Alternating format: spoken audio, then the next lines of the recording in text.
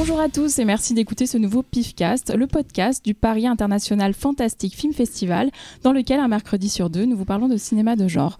Pour l'animer autour de moi, Xavier, Bonjour. Talal, Salut Véro. Cyril Coucou. et Laurent n'est pas là aujourd'hui malheureusement. Euh, C'est parce qu'il travaille ardemment sur une, une surprise que prépare Mad Movies, donc vous aurez bientôt euh, des infos là-dessus. Mais il est au-dessus de nous. hein. Il est au-dessus de nous, euh, juste au-dessus de nos têtes. Euh, ça ne laisse pas pour autant un micro tout seul, puisqu'aujourd'hui nous recevons le réalisateur euh, Nicolas Boukrieff. Bonjour Nicolas. Bonjour. Alors voilà comment se passe euh, le PIFcast. Euh, nous commençons toujours avec l'œil du PIF, une séquence dans laquelle nous parlons du dernier film qui nous a marqué. Euh, nous parlerons ensuite évidemment de ton parcours et de ton actualité, Nicolas. Et tu te prêteras au rôle de programmateur du PIF en ayant choisi certaines séances cultes. euh. Bah, super. Et enfin, c'est aussi toi qui as choisi la bande originale qui clôturera ce podcast. Euh, donc voilà, c'est un peu ton émission en fait. ah, bah, c'est sur votre demande. C'est hein, ça. c'est- très intéressant comme, comme demande d'ailleurs. Euh, On, on quatre oublie questions. souvent euh, la musique aussi. Souvent, les gens ils parlent que de Exactement. cinéma, mais ils oublient la musique aussi. Cite-nous un thème, etc. Ouais. Et donc, euh, voilà, c'est. Chante-nous un être, thème. euh, Voilà, ça peut être angoissant, Bah, mais puis en fait, c'est très intéressant. On écoutera son- ça à la fin. Donc, écoutez jusqu'au bout ce podcast pour découvrir le choix de Nicolas. On commence donc euh, par l'œil du pif et on commence par Xavier. Évidemment. Euh, donc, moi, je vais tenir une promesse que j'ai faite à notre ami François Co. Voilà, Cyril est au courant. C'est un film que nous avons adoré tous les deux et euh, en fait, euh, j'attendais tout simplement la sortie vidéo pour pouvoir en parler. Ah oui. Voilà, là ça y est, tu remets. Donc en fait, je vais vous parler du film Agazusa, qui est sorti sous le titre Incantation en France, avec une, euh, une jaquette qui ne représente absolument pas le film. voilà, c'est absolument génial. Euh, donc il s'agit d'un film germano-autrichien qui est voilà, Je rigole, c'est un leitmotiv euh, chez Xavier. voilà si c'est pas tchèque c'est que c'est allemand avec moi. D'accord, Donc, d'accord. bon. Et euh, en fait, il s'agit donc d'un premier film et, et, et aussi un film de fin d'études que moi personnellement j'ai trouvé assez impressionnant. Donc ça se passe au 15e siècle en Autriche et en fait on va suivre le, destin d'une femme qui vit euh, seule avec sa fille dans la forêt et euh, qui va euh, qui va subir un petit peu la pression en fait de la communauté. Parce que comme c'est une femme seule qui vit dans une dans la forêt elle n'a pas d'homme elle n'est pas mariée et tout très rapidement il va y avoir des, rumeurs de sorcellerie la concernant. Donc le film est assez impressionnant euh, picturalement parlant et c'est un film que j'ai du mal à conseiller à tout le monde Pourquoi tu me Euh, regardes là voilà Euh, tout le monde a vu The Witch j'imagine Oui, Oui. Bon, bah dites-vous que The Witch, c'est un film d'action comparé à Gazusa.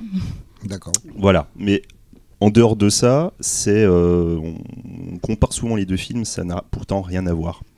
Donc en fait, euh, c'est un film que j'ai trouvé euh, vraiment impressionnant par ce côté euh, lancinant. Euh, je sais pas comment je pourrais vous expliquer ça. En fait, on est dans une sorte de, folk horror gothique. Et on pourrait s'attendre en fait à un film véritablement sur la sor- sorcellerie. Il y a tout un décorum sur la, sorcellerie qui va entourer le, le- le personnage principal. Mais en fait, la réalisation, elle va toujours s'attarder sur l'humain. Et en fait, on se rend compte très rapidement que c'est pas tant un film sur la sorcellerie, c'est un film vraiment sur la, la- la- la psychologie d'une femme au XVe siècle. Et du coup, en fait, moi, ça me faisait beaucoup penser au film Axan, la sorcellerie à travers les âges. Ah, super. Et euh, franchement, c'est, euh, j'ai trouvé le film mais vraiment impressionnant quoi. C'est vrai que la lenteur est voulue. Attention, Euh, on va vraiment avoir un, un film sur la folie. Sur, c'est une, vraiment une étude de l'âme. Et en fait, euh, ben pour euh, pour te faire ressentir cette folie du personnage, très rapidement, on va essayer de te faire perdre tes repères. Donc que ce soit visuellement, mais aussi d'un point de vue temporel. Donc euh, toute cette lenteur, en fait, c'est quelque chose de, c'est une des grandes qualités du film, même si ça peut faire peur. Donc bon, bref. Au niveau un peu des, références, bah, en fait, c'est entre Zulawski et Tarkovsky. Moi, c'est les, vraiment, ça m'a vraiment pour fait, fait penser à ces deux réalisateurs. Et euh, voilà, quoi, c'est un film qui est assez hum, Bon, euh, je, je- trouve pas très bien vendu en fait le, le- la jaquette. En fait, on voit une sorte de Sadako qui sort d'un lac, euh, prête à aller, euh, aller massacrer des C'est gens. qui l'éditeur? Euh, je sais plus du tout qui est l'éditeur, mais. euh, Mais c'est français, c'est un éditeur français. Ouais, ouais, ouais. Et du coup, voilà, enfin, si vous tombez sur le film Incantation, surtout, ne vous fiez pas à la jaquette. Vous avez vraiment un film atmosphérique, beau, que j'ai vraiment trouvé euh, très fort, très humain. Et euh, voilà, si... essayez de vous accrocher un peu, il faut vraiment aller jusqu'à la fin.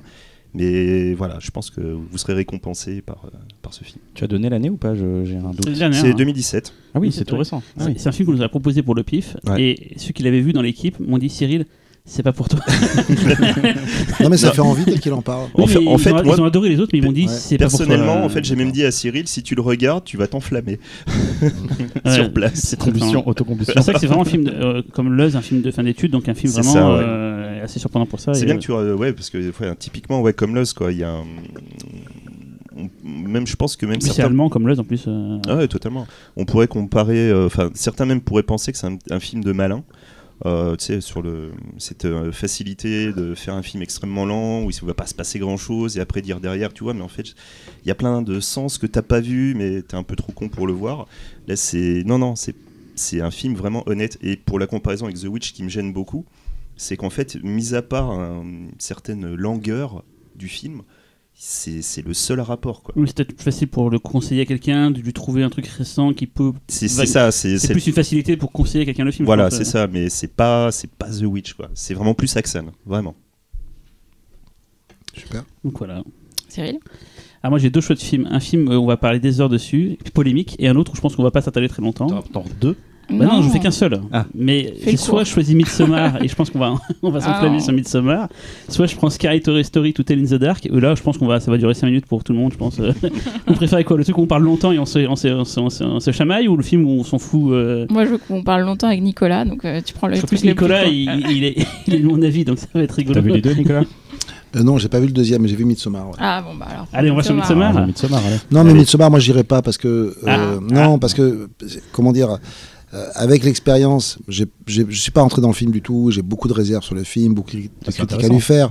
Mais c'est pas ça. C'est que comme c'est un film tripal, je- trouve que casser le trip des gens euh, dans la période où ils sont encore dessus, Ah ben, C'est juste parce qu'on n'aime pas le film, euh, on devient très vite dialectique, on devient très vite plein d'a- d'arguments. Si, on attaque le scénario de Midsommar, il y a ple- plein de choses où le scénario se décompose.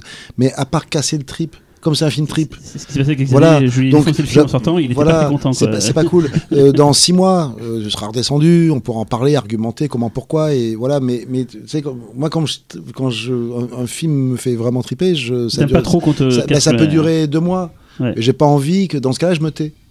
Euh, j'ai- pas envie d'argumenter parce que je préfère garder mon trip dans mon coin que d'être là en train de défendre ardemment le truc parce que c'est un film quand on l'aime on, on considère que c'est un film de visionnaire donc euh, c'est un peu dommage donc je- moi je, je, Attends, je pas maintenant dans je six peux te mois parler je reviens. Ouais, parle de l'autre. Petite parenthèse, t'avais aimé euh, Hérédité ou pas? J'avais adoré les 45 premières minutes et j'avais déjà trouvé les, les 45 secondes minutes suivantes plus, plus théoriques, plus prétentieuses, plus je me la raconte. Voilà.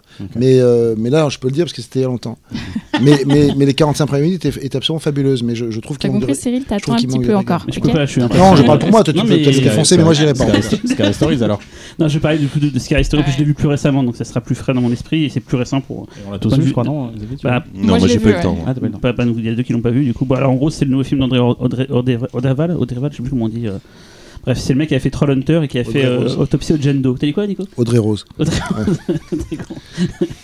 Et donc, c'est donc un, un Danois. Putain, je veux dire des conneries. Je crois qu'il est danois, mais euh, j'en sais, j'en sais Je rien. crois qu'il est danois. ouais. Ouais, Il est danois, ouais. Donc danois. Et c'est son là. premier film. euh, c'est pas son premier film américain, vu que Jendo était. Je crois que Jendo c'était anglais. Mais bref.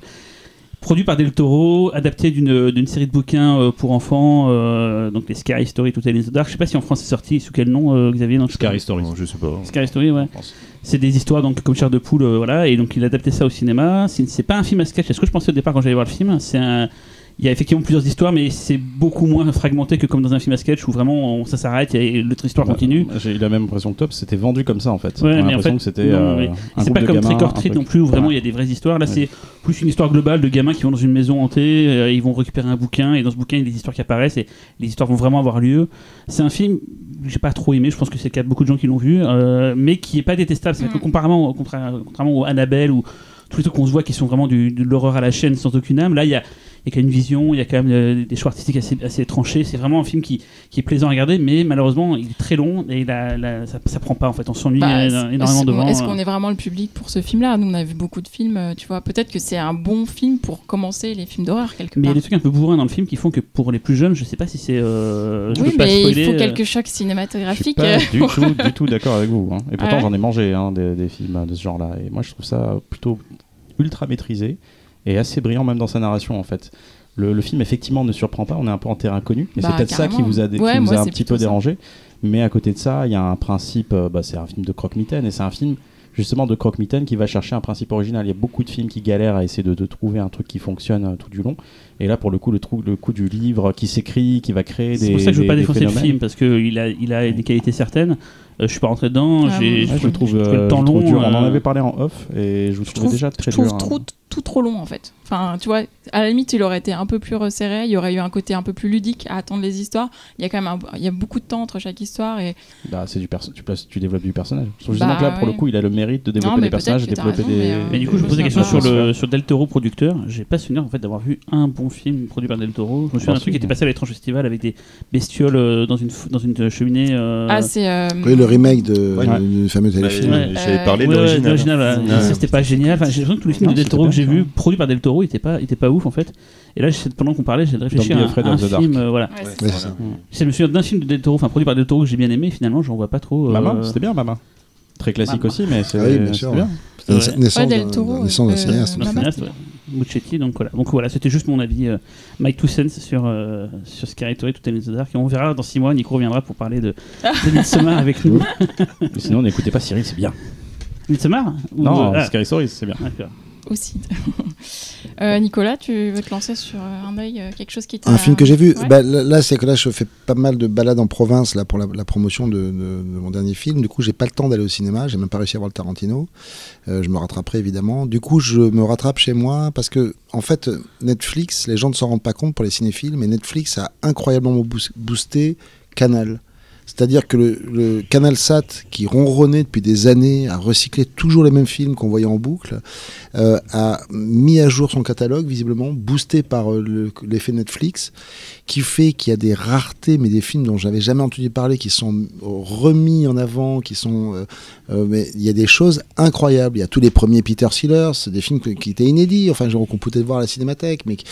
Et, et- et- et ça marche aussi pour les polars, ça marche... Enfin, aujourd'hui, si on est cinéphile, c'est affreux parce que euh, tout le monde s'est jeté sur Netflix, qui, qui, qui, en fait, comme dit Christophe Gans, qui, qui correspond à un mauvais vidéoclub de province. Je trouve qu'il a tout à fait raison. mais qui ne sort que de la nouveauté, c'est-à-dire Ouais, qu'il n'y a aucun- aucune ancienneté, alors que sur CanalSat en ce moment, il y a des, des merveilles, mais incroyables. Et donc, euh, hier soir ou avant-hier soir, j'ai découvert un film dont je ne connaissais pas l'existence, produit par Jack Layton, le grand metteur en scène des Innocents.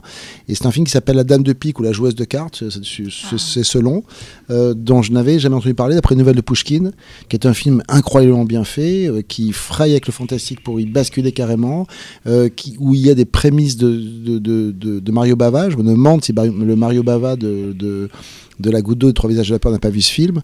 Enfin bref, euh, et j'ai pris un pied incroyable. J'ai même pas eu le temps de mémoriser le nom du metteur en scène, ni même l'année. Enfin, j'ai vu ça comme ça tard dans la nuit. Véronique est en train de chercher. Et, euh, et franchement, euh, c'est euh, c'est une merveille. Et on comprend que Jack Layton les produits, il y a, une, il y a une- une qualité graphique, une lumière absolument époustouflante. C'est un, c'est un sacré film. la reine des cartes. La reine des cartes, voilà. Et c'est la la, dame de, la dame de, pli- de la dame de pique en et en fait sur IMDb pour ceux qui l'ont vu, il a une excellente note, etc. Je pense que c'est un film, ça doit être un petit classique dans les pays anglo-saxons qui avait totalement disparu. Voilà, il fait partie de ces Comme films. le tour d'écrou. de- ou, voilà, euh, il fait partie de ces films de, que, le- que, que Canal Plus a, a été parce que Canal Plus pendant des années a racheté, racheté, racheté des catalogues Ils ont et un n'en catalogue énorme d'ailleurs. et n'en Canal+. faisait rien. Ouais. Et là, pour pouvoir se- lutter contre Netflix, et ça se renouvelle tout le temps, ce film n'était pas sur le, sur le câble il y, a, il y a une semaine. Donc, euh, du coup, c'est c'est merveilleux de découvrir des, films, de découvrir des films dont on ne sait rien. Comment s'appelle le metteur en scène? Thorold Dickinson. Voilà, années 48, c'est ça, un truc comme ça 48, j'imagine ouais. 48, ouais. Euh, et voilà, ça, je, voilà, si des gens ont Canal Sat, euh, allez voir ce film, vous allez vous C'est éclater. intéressant d'entendre ce point de vue, parce qu'on n'entend pas ce point de vue en fait, de dire qu'en fait, euh, le Netflix tout puissant, non, tu viens de Bah, nous je prouver le qu'en fait, chaque euh, c'est vrai. toutes les deux semaines. mais- Mais t'as pas fait la comparaison avec le Netflix qui fait qu'effectivement c'est que des Bah, nouveautés. moi, j'ai bah, j'ai- jamais été abonné à Netflix, donc Ah je ouais. sais pas. Mais... Netflix, c'est que de la nouveauté, donc Mm. euh, c'est- c'est- ça, dé- c'est- ça dépend de la nouveauté. Comme, le- comme, comme à la grande époque de la VHS, une fois que on avait vu tous les classiques, bah, on se tapait la nouveauté. La nouveauté, c'était des, des- des- slasher gore à tout va, euh, ennuyeux. Non, la définition de Christophe, euh, mauvais vidéoclub de province, elle est très bonne. Et en fait, c'est comme quand Vidéo Future est arrivé, et en fait, a remplacé tous les vidéoclubs qui avaient un, un Exactement, stock, on en voit a- les classiques. Voilà, et les films, Absolument. les films avaient genre 5 ans, pas plus d'existence en arrière. Exactement. Et c'était par contre 20 fois le même film pour qu'il y ait un maximum de gens qui louent. Et euh, là, euh, je pense que l'information doit circuler, que CanalSat fait un travail remarquable, ont enfin mis à jour leur catalogue et ça se renouvelle tout le temps. Mais c'est hallucinant. Je sais que le maire, souvent, il est à fond aussi. Ah non, mais c'est très il- impressionnant. C'est très impressionnant. Et Véronique, souvent, elle fait la VRP aussi. De... Pour l'instant, ça s'appelle plus Canal Sat. Ah, ça Ça s'appelle. euh, euh, Canal Plus. euh. Canal Plus, bon d'accord, je sais pas. MyCanal. Ah oui, C'est MyCanal. sur absolument. MyCanal. Voilà, Ouais, c'est sur ouais. MyCanal. En tout cas, MyCanal mérite vraiment d'être d'être d'être Exploré, poussé. euh, et ouais, abonnez-vous à MyCanal plutôt qu'à Netflix, franchement. Non, mais c'est c'est- Oui. un, un, Si on est cinéphile, hein, je veux Ouais, dire, si on est, euh, si on veut voir, euh, je sais pas, si on s'en fout, ouais. euh, et qu'on veut juste voir des trucs comme ça. Voilà, des images. Mais si on est cinéphile, là, c'est incomparable, incomparable. Et c'est dommage parce que ça se sait pas assez. Oui, ça se sait pas. C'est voilà. c'est rare qu'on entende ce point de vue, enfin, de entendre cette voix discordante. euh, Ça communique pas aussi beaucoup là-dessus. Non, c'est ça, c'est un truc d'expérience. C'est de dire, tiens, ils ont renouvelé leur catalogue, tiens, ils renouvellent, tiens, ils renouvellent. Mais c'est hallucinant tout ce qu'il y a. Mais c'est hallucinant. Il y a des films dont tu n'as jamais entendu parler. Il y a, il y a- il y a- il y a tellement, il y a tellement pas d'informations qu'il y a juste un pitch de deux lignes. Des fois, il n'y a même pas le pitch. Il y a juste un peu une vague fiche technique et tu n'as ah, aucune pas information sur le film. Mais ce qui est intéressant, Euh, c'est la qu'il y tour de l'angoisse, un film anglais euh, qui dure une heure et quart. Et tu sais pas si ça va être bien, pas bien. Déjà, la durée, c'est assez encourageant. ouais. Non, mais ce qui est Ah ouais. intéressant, c'est que du coup, euh, nous, on commence à être un espèce de réseau de gens qui ont le même abonnement. Et par exemple, La Reine des Cartes, j'ai un ami qui l'a vu qui m'a dit il faut absolument que tu ça, Génial. Donc, maintenant, ça. fait un peu comme les cassettes qu'on passait sous le. ça, va repartir probablement parce que mais il faut le dire en tout cas il faut le dire il faut communiquer là-dessus parce que c- ils font un vrai boulot incroyable Euh, c'est dommage que ça se sache C'est pas comme. Toré qui a été pioché dans le stock de Studio Canal pour Exactement. ressortir des éditions Ouais, rares et tout. Exactement euh, mais c'est la même chose en fait C'est la même chose en, C'est la même chose. plus c'est- réduit. dans et puis c'est- comme les gens euh, sont, sont méchants non je veux dire comme on dit on dit Canal c'est la loose donc tout le monde ça, ça, ça- ça excite tout le monde Netflix c'est la hype et Canal c'est la loose et ça excite tout le monde mais non la vérité c'est que ça fait des mois que Canal c'est 100 fois mieux quand on est cinéphile que Netflix vraiment Ce qui, vraiment ce qui est dommage, c'est qu'on a attendu justement que Netflix arrive pour qu'il y ait cet éveil. euh, ouais c'est- l'histoire, dire. c'est comme bah, ça. c'est comme hein, ça, ouais, ouais, c'est comme ça. Ça les a boostés en tout cas, ça les a boostés incroyablement. Et Zéro du coup Mon, mon œil Ouais. Bah, écoute, je l'ai vu sur. Euh, non, je l'ai vu sur TCM, mais qui fait partie du bouquet Cast Canon. Ouais, c'est Donc, vrai. c'est pareil, donc euh, il est encore en ce moment disponible. Euh, c'est Au-delà du réel de Ken Ah, Russell. Ah oui. En fait, j'avais écouté le Discordia spécial Ken Russell, donc j'avais envie de, découvrir le cinéma de Ken Russell que je ne connaissais pas, donc je commence à m'en faire plusieurs. Quand j'ai vu qu'il était apparu euh, bah, dans, les, films dispo, je me suis jetée dessus.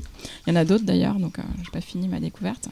Donc celui-là, euh, donc Au-delà du réel, titre original Altered States de 1980, c'est le premier film américain de Ken Russell, puisque c'est un réalisateur britannique. Euh, donc euh, le pitch c'est euh, un professeur d'université qui en fait fait des recherches sur la schizophrénie ou sur les états de conscience parallèles et pour ça il utilise un caisson d'isolation et qu'il combine avec la brise de drogue. Euh, et en fait, il va faire une expérience un peu mystique euh, dans le désert au Mexique, euh, justement en prenant une drogue particulière. Donc, il se fait un peu emmener comme ça dans le désert pour tester cette drogue avec des chamans et tout.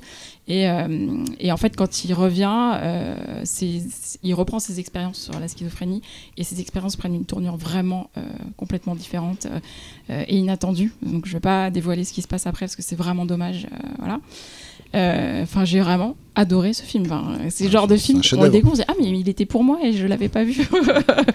Euh, donc dans le film il y a William Hurt euh, qui est vraiment tout jeune, c'est son premier rôle au cinéma. il avait fait que de- des téléfilms avant, donc euh, voilà, espèce de scientifique euh, autiste, socialement inadapté, et en même temps, euh, bah il y a quand même une grande histoire d'amour dans ce film, ce qui est génial aussi, c'est-à-dire que ce mélange de romantisme, de mysticisme, euh, cet homme qui, qui, comprend pas ce qui lui arrive, qui, qui cherche quelque chose, euh, il sait pas ce qu'il cherche mais il le cherche. Euh, il y a des séquences de rêves surréalistes qui sont incroyables, qui, qui véhiculent comme toujours un peu, j'ai l'impression chez Russell, des symboliques bibliques complètement what the fuck quoi. Et après effectivement ça bascule vers autre chose et là aussi c'est très surprenant visuellement, ça, ça fonctionne, les effets ils ont pas vieilli. Enfin moi je, je suis pas C'est Dick Smith, je crois, si je me souviens Ouais, bien. exactement, c'est Dick Ouais. Smith justement, et voilà, ça n'a pas vieilli. Franchement, jetez-vous dessus, euh, j'ai adoré. La lumière est incroyable. vous l'avez tous vu, ouais, j'imagine. Bien sûr, bien sûr, bien sûr. Pour moi, c'est euh, From Beyond, c'est la version bis, je trouve, de Oui, tout à fait. Altered Ouais, State. tout à fait. Euh, mais c'est vrai que c'est un film euh, dingue. Moi, je l'ai vu en salle. C'est les, les flashs, tout, il y a des salle, trucs, ouais, des trucs un peu Ouais. cinémascopiques à des moments. Il ça Cyril, tu savais pas. Non, mais je l'ai vu, on l'avait passé à la, à à Lumière, on l'avait passé, tu vois. Il me plaisante. Voilà. Et Talal? Euh, c'est génial. J'ai plein de. En fait, j'ai plus des souvenirs de sensations que euh, de, de narration, on va dire. Et parce que j'ai vu il y a, je sais pas, une, di- une dizaine, quinzaine Ouais. d'années, quoi.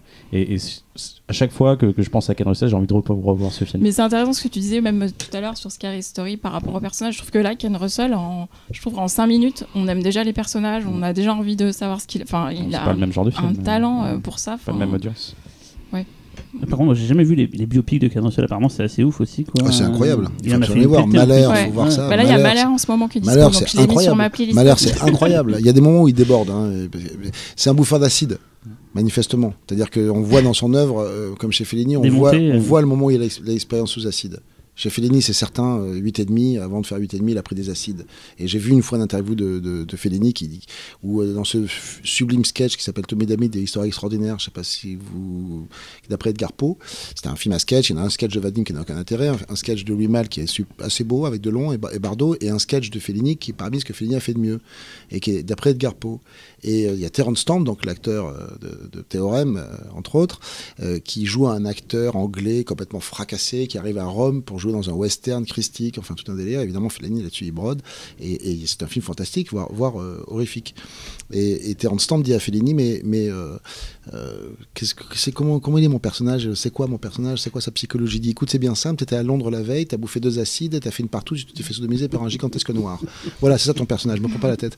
Et quand j'ai vu euh, Terence Stamp raconter ça, je me suis dit, donc, Fellini savait ce qu'étaient les acides. Et Russell aussi.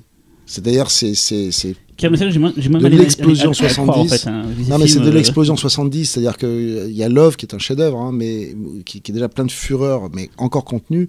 Et à partir des biopics, ça devient complètement des visions euh, démentes et c'est du, du précipité de culture anglaise 70 et, euh, et hippie quasiment, euh, ou pré-punk même pour- par, par certains aspects, mais totalement écla- éclaté. Et Mahler, qui est justement en ce moment sur mon Mm. canal, c'est un film incroyable, incroyable. C'est un, un- c'est un virtuose de la caméra, capable de vision hallucinante, euh, grand directeur d'acteur, euh, incroyable. Et après, quand il a basculé dans le rock, quand il a fait Music Lovers, Malheur et tout, ce mélange de classique, de vision sous acide, ça donnait quelque chose de totalement dément.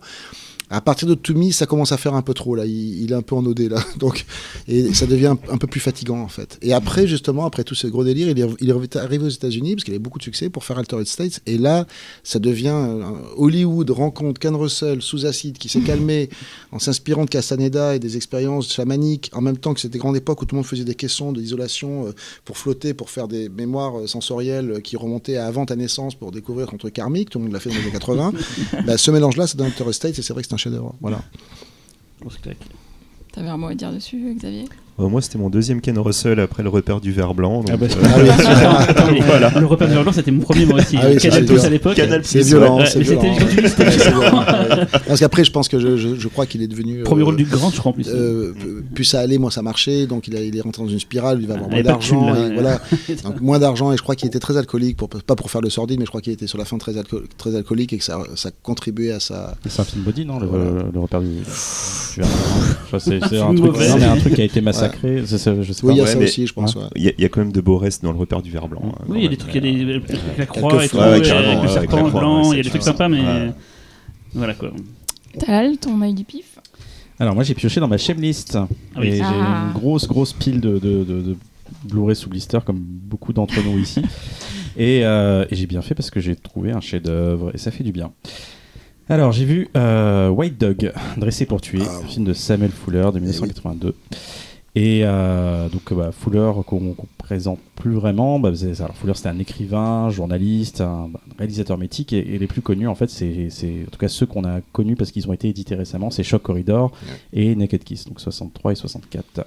Et bien sûr, au-delà de la gloire, euh, son film de guerre, on va dire, euh, mythique, ou un de ses films de guerre mythiques, parce qu'il était aussi assez spécialisé dans les films de guerre. Pourquoi? Parce que justement, Fuller a été, euh, a, participé à la Seconde Guerre mondiale en tant que soldat américain. Il faut savoir que c'était un, il était juif euh, russe et euh, qu'il a migré aux États-Unis et que très rapidement, il s'est retrouvé embarqué dans, dans- dans cette guerre-là. Volontaire, volontaire. Il était volontaire. Ouais, il était volontaire. Et, et aussi, bah, il était aussi journaliste, donc du coup, il est reporter de guerre là-dessus. Donc apparemment, ça a dû un- pas mal imprégner sa rétine. Alors, de quoi ça parle un peu euh, Déjà, White Dog? Donc, c'est Julie, une jeune comédienne en devenir, qui habite dans les hilltops de, de Los Angeles. Elle rentre chez elle un, soir, et puis elle heurte un gros berger allemand blanc. Elle va le soigner, le recueillir, alors, alors que, et alors qu'un lien se crée entre la femme et l'animal, un lien qui se renforce de plus en plus. Elle va découvrir que son chien est en fait un chien violent qui a été dressé pour tuer des gens de couleur noire. Alors, moi, je suis parti euh, sans. j'avais, il y avait la légende autour de ce film-là parce que c'est un film dont on m'a pas mal parlé, en tout cas dans, dans le milieu cinéphile, et, euh, et je savais pas de quoi ça parlait en fait. J'ai, pas jamais creusé en fait sur le pitch, euh, et, euh, et du coup, bah voilà, j'étais très très agréablement surpris. Euh, c'est un film qui se révèle. D'ailleurs, je me demande si j'en ai, si j'en dis pas trop déjà là-dessus. En, en- Non, c'est le pitch, ce- c'est Ouais. la première minute, ça va. C'est après, euh, un peu plus. C'est- Je crois que c'est à partir du, du- du- du moment où ils arrivent au zoo et on est déjà à 30 D'accord. minutes. Bah, déjà, on dit trop.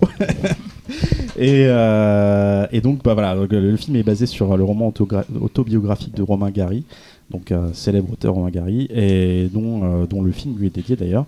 Le roman s'appelait Chien Blanc. Et à la base, euh, c'est donc c'est une autobiographie, c'est l'histoire de, de ce qu'il a vécu avec sa femme. Euh, c'est aussi j'ai appris un truc, c'est Jeanne Sibert qui était sa femme.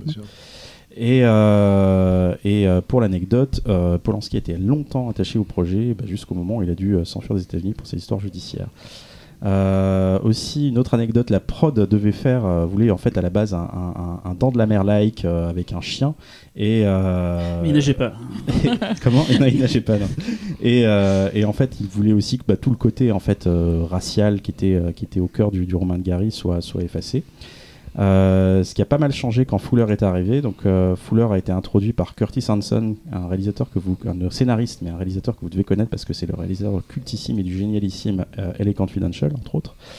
Et, euh, donc Hanson et Fuller ont, réussi à se mettre d'accord apparemment pour garder cette thématique. Et, d'ailleurs, je me posais souvent, la, je me posais la, question au début, je me disais, mais c'est bizarre de trouver Fuller dans un sujet comme ça. Et puis, plus ça va, et plus justement ce truc se débloque en fait à partir de la 20-30e minute. Et on se rend compte que le truc racial en fait est vraiment au cœur du sujet. Et là, tu dis, bah voilà, c'est, c'est- ça, ça fait sens. Et surtout, voyant, le connaissant un peu l'obsession du personnage sur ces questions-là, euh, bah, c'est parfait. C'est un film parfait pour lui en fait. Euh, c'est un film passionnant, euh, très intelligent dans, son approche du sujet. Et c'est pas, c'est un film vraiment sur le racisme, et pas un film raciste comme certains ont pu le penser à l'époque, parce que le film a eu de nombreux problèmes. Je reviendrai rapidement dessus tout à l'heure. Donc voilà, c'est un film qui a une approche très très étrange, euh, une narration vraiment euh, qui sort un peu du commun. En tout cas, on n'est pas dans quelque chose de dans une narration traditionnelle. Déjà tout, simplement parce qu'on on commence avec le personnage, donc cette comédienne, puis après on va partir sur un autre personnage, et finalement on se rend compte au bout d'un moment qu'il n'y a pas vraiment de personnage principal, à moins que si, le personnage principal c'est le chien en fait. Et, pour le coup c'est voilà, assez surprenant, déroutant parce que le film ne, ne- ne t'amène pas direct- directement dans cette direction-là. Euh, voilà, le film, euh, qu'est-ce que je peux dire de plus Euh, Le film a un score de Morricone magnifique. voilà. J'allais, j'allais y venir justement. Euh, c'est un score justement qui va accompagner, euh, justement qui est en phase avec ce, ce- ce chien. En fait, tu sais pas. euh, on se focalise à la, à la fois sur, sur cette image très rassurante que, que- que représente ce chien, mais aussi sur ce côté très dangereux. Et je pense que le score de Morricone va vraiment dans ce sens-là. C'est un très très bel BO. Euh, voilà, écoute, euh, je dirais, à travers l'histoire de ce chien, on parle aussi de l'histoire de- de- des États-Unis. Et je pense que le film a une résonance d'autant plus marquante qu'aujourd'hui, euh, dans la société dans laquelle on vit, c'est cette- on va dire cet extrémisme qui se répand un peu partout dans le monde, la résonance est d'autant plus forte. J'ai vraiment beaucoup, beaucoup aimé ce film. Juste dernière anecdote, Fuller en fait a été dégoûté de cette expérience-là. C'était son dernier film américain parce que la Paramount ne savait pas quoi faire de ce film en fait. Euh, et finalement, ils avaient peur de, de- choquer euh, les Afro-Américains, même de choquer le, le Ku Klux Klan. Finalement, le film a été, est sorti euh, en catimini sur cinq copies en, je crois, en plein, été, puis il a été mis au placard après. Et heureusement, moi je l'ai vu dans une édition. alors, il est sorti chez Criterion il y a à peu près il y a une dizaine d'années. Il est ressorti en Blu-ray là euh, chez Eureka en Angleterre. Jetez-vous dessus, c'est une pépite euh, et je suis très content de l'avoir vu. Nico, tu l'as vu à l'époque en, en salle euh J'ai vu en salle à l'époque, c'est c'est le dernier grand Fuller en fait. Après, il est arrivé en France, il a été euh, produit en France, qui était très méritoire de la part des Français de produire Fuller, mais c'était, je crois qu'il avait perdu le goût euh, à la fois de dessin de ce film, et puis il s'est retrouvé dans, dans, des, dans des, des façons de produire, des façons de réaliser qui n'étaient pas les siennes probablement, et, et les deux films qu'il a fait en France, euh, bon, sont pas. Donc c'est le dernier grand Fuller, on va dire. Et c'est, à part la, la, la, la coupe de cheveux de l'actrice qui a pris un, l'actrice principale qui a pris un sale coup, euh, c'est, c'est un sacré film, quoi. C'est, un film euh, incroyablement émouvant. Ouais, une belle claque. hein. Moi perso, euh, c'est euh, une Madeleine de Proust. Moi, je l'ai vu gamin. Euh, première diffusion sur Canal+. C'est un des premiers films à m'a- à m'avoir fait pleurer. Oh. Ah ouais, j'ai fini le film, j'ai été Ah ouais, euh, en larmes. c'est bouleversant et le score de Morricone il Ouais. beaucoup aussi Ouais, d'ailleurs. C'est est très inspiré. Alors, je sais pas si c'est si c'est le Royal Canin qui est arrivé ou, euh, ou le, ce film avant, mais quelqu'un a dû inspirer l'autre. Moi, j'ai jamais vu. Pareil. Regarde-le. Bon, oui, bien merci, on passe à la suite. Aujourd'hui, dans le PIFCAS, nous recevons Nicolas Boucrier, parce qu'il y a plusieurs euh, actualités. Donc, tout d'abord, le 18 septembre, en salle, sort 3 jours et une vie, ton neuvième film en tant que réalisateur. Et il y a aussi un livre, Les 100 grands films pour les petits, avec, euh, que tu as écrit avec euh, Lydia Boukrieff, euh, qui est sorti en mai dernier aux éditions Grund. Bon, pour nous, c'était l'occasion de t'inviter pour revenir sur ta carrière, puisqu'autour de cette table, il y a des gens qui te connaissent très bien, notamment Cyril, et qui, nous a convaincus que on allait- Voilà, ce que j'expliquais en off, c'est que je, pars avec Nico depuis, des- depuis maintenant plusieurs années et à chaque fois, c'est un plaisir de l'entendre discuter de cinéma, de raconter euh, ben, tout ce qu'il a vécu parce qu'il a, il, il a une part importante dans l'histoire euh, de la cinématographie, enfin, la cinématographie française. Il va dire que, en bon modeste qu'il a que non, mais il fait si. Il a, on va, on va, on va Ah oui, on le va truc et il y a beaucoup de choses qu'on n'aurait jamais pu voir si Nicolas n'avait pas été là. Euh, et en plus, j'adore ces films, donc c'est vraiment, ça faisait un tout quoi. Et donc là, le film sortait, c'était, c'était idiot de pas, de pas t'inviter, voilà. Donc on va, on va faire, un- on a fait un, on a dressé une sorte de, de- de chemin de fer pour essayer de rien louper. Ouais. Il y a des trucs sur lesquels on s'attendra plus parce que ça parle du domaine Ouais, ouais, fantastique. moi je suis à votre disposition. Et Voilà. on l'a attaché de toute façon, donc il n'a pas le Voilà. choix. Et donc, on commence au commencement, parce qu'on va prendre l'accent de Nice. Ouais, bon. Elle est du sud, euh, Véronique aussi. Je sens que mon, mon accent a fait un plat de ouf. Non, non, au contraire, je me disais, tiens, c'est pas mal, parce qu'en général, Oh, les gens qui ne sont pas du Sud, qui prennent l'agent du Sud, c'est Ah. un peu gênant. Et là, c'était pas gênant, ça sonnait juste, donc voilà. Ah, merci. mon talent enfin reconnu. Donc, oui, donc euh, début à Nice, tu grandis à Nice. Et... Antibes. Antibes, j'ai Nice, Il faut pas confondre. Oh, Ah, pardon. puis j'ai Ah, faut pas confondre Nice, J'ai Antibes Nice, Cannes, mais ouais, rien à voir. Et t'as commencé, enfin, on va parler, on va pas non plus raconter euh, ta naissance, machin et tout, mais le fanzine, en fait, très tôt, tu as, commencé à, lire des, des- des revues et à toi-même participer. Bah, En euh, fait, ça commence encore plus tôt, c'est-à-dire que euh, Antibes était une petite ville, mais euh, il y avait euh, plusieurs cinémas. Euh, des, salles de, cinéma qui passaient beaucoup de cinéma très populaire. Donc euh, c'était James Bond, c'était les films de karaté évidemment, parce que c'était l'arrivée de Bruce Lee, etc. C'était les, films fantastiques, les Dracula, euh, voire même les Paul Naski, de Dracula contre, Frankenstein, à l'époque où, où sortaient dans les grandes salles, des salles immenses hein, des fois, hein, genre 500 places, on pouvait voir Dracula contre Frankenstein, parce que les, les, les caissières n'en avaient rien à cirer de nos âges, de, quoi que ce soit, donc on pouvait payer, tout ça c'était... il y avait un black énorme euh, au niveau des caisses de, du cinéma, enfin bref, c'était une grande foire et on pouvait... euh, voilà. Et euh, donc un petit groupe de, de, de gens qui se retrouvaient tout le temps au cinéma, parce que c'était- il n'y avait rien d'autre, il n'y avait pas de musée, il n'y avait pas de, enfin il y avait rien, il y avait la plage l'été et le cinéma tout le reste de l'année. Et donc il y avait un petit groupe qui se créait, qui se retrouvait tout le temps, euh, d'âge plus ou moins variés, et dans ce petit groupe, il y, y avait Christophe Gans. Euh, donc euh, voilà, donc moi Christophe, je l'ai rencontré, je devais être au CE2, je pense. Euh, et lui devait être au CM. Non, je devais être au CE1 et lui au CM2. ouais, donc pas- pas- des- pas très Et on se voyait, on voyait des films de karaté ensemble, etc. etc., etc. Donc tout ça, ça, ça crée une émulation comme ça. Et puis Christophe, euh, quand il était peut-être en 6e, ou CM2, je sais pas trop, il a, il a commencé à faire des films super de karaté. Donc euh, bah, il, il fallait qu'il ait des adversaires, il jouait toujours le héros. Euh, il fallait qu'il ait des adversaires à abattre. Donc tout ça se retrouvait au Cap d'Antibes à, à- à faire des, des- des- des- des- Je me souviens d'un titre, par exemple, qui est un très beau titre, euh, qui s'appelle Karaté pour une blonde. Et donc c'était voilà des, des- des- Christophe se promenant dans, le- dans la forêt du Cap d'Antibes apercevait euh, des méchants dealers de drogue qui euh, s'en prenaient à une blonde. Et donc il sortait un sabre en bois et commençait à les décimer. Et puis d'autres dealers arrivaient, d'autres et d'autres encore. Donc c'est voilà. Et donc il fallait bien des, des figurants pour prendre des coups de sabre. Il fallait se faire un peu attention parce qu'il n'était pas cascadeur. Et ben c'était voilà, j'en faisais partie, ainsi que, que pas mal de, de petits, de petits minots d'Antibes, euh, notamment des copains de son frère. Il avait un petit frère. Donc voilà, mais tout ça faisait donc il y avait à la fois ces films Super 8 et, et en même temps euh, voilà quoi. euh, c'est m'est revenu- cette anecdote là que je, je racontais hier à l'équipe du film, qui est très marrante, c'est que euh, Gans, euh, c'est là qu'on se dit ouais c'est- Gans fait beaucoup d'entrées quand même, c'est un, un cinéaste qui, qui- qui aime le- qui aime les salles pleines. Et en fait, quand il était gamin, quand il était en sixième, bah, il, il faisait, il avait un projecteur Super 8. Et donc, il faisait des projections chez lui euh, pour, pour les enfants. Et on payait, on payait un franc.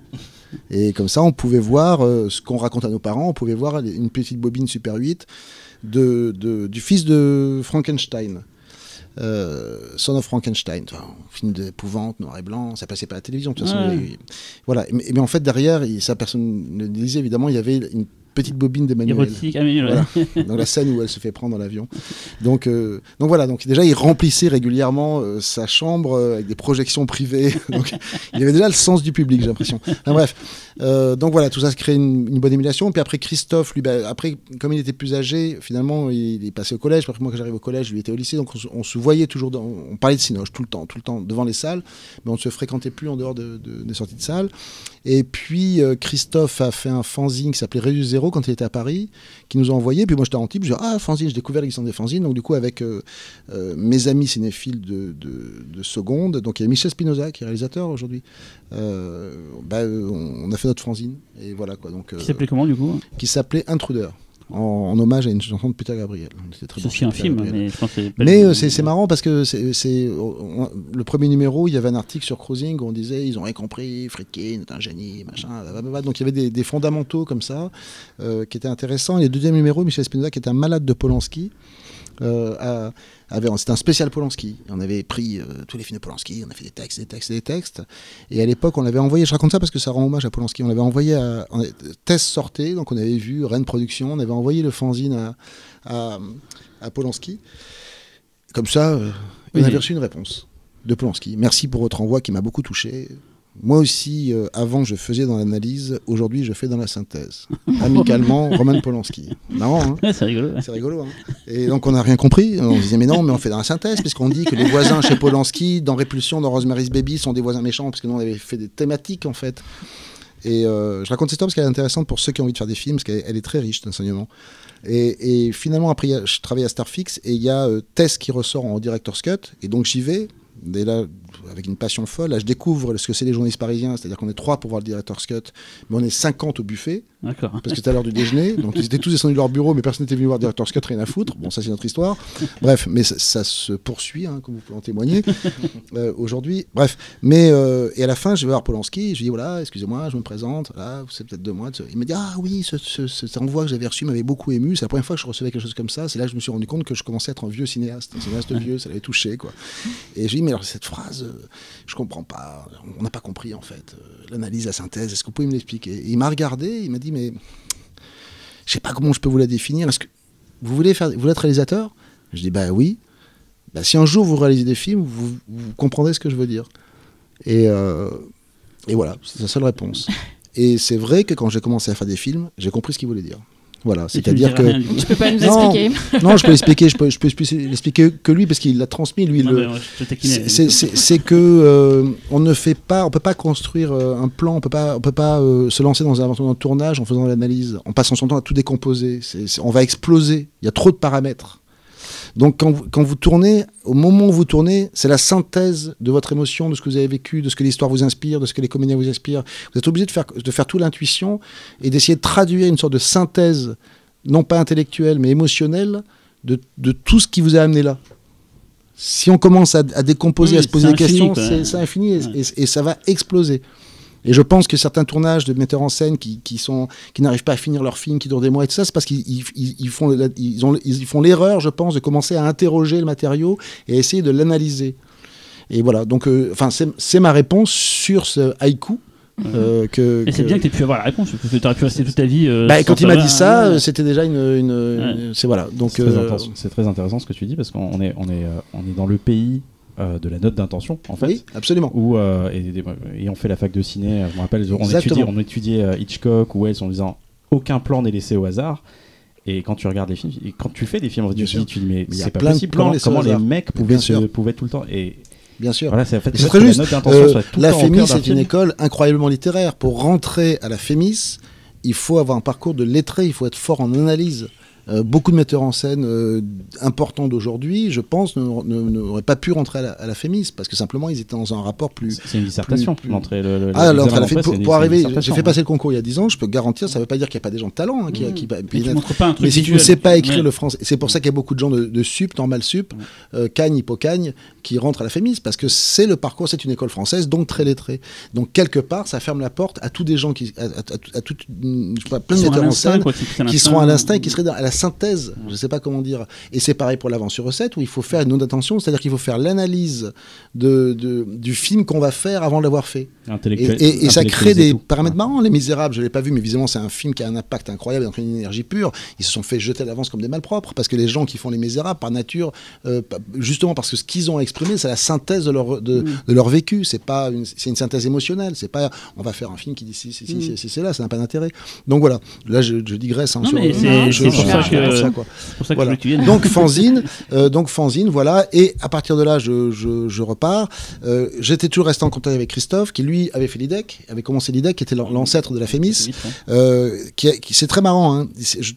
J'invite les gens à aller voir sur Internet les promotions de l'IDEC et les promotions de la Fémis.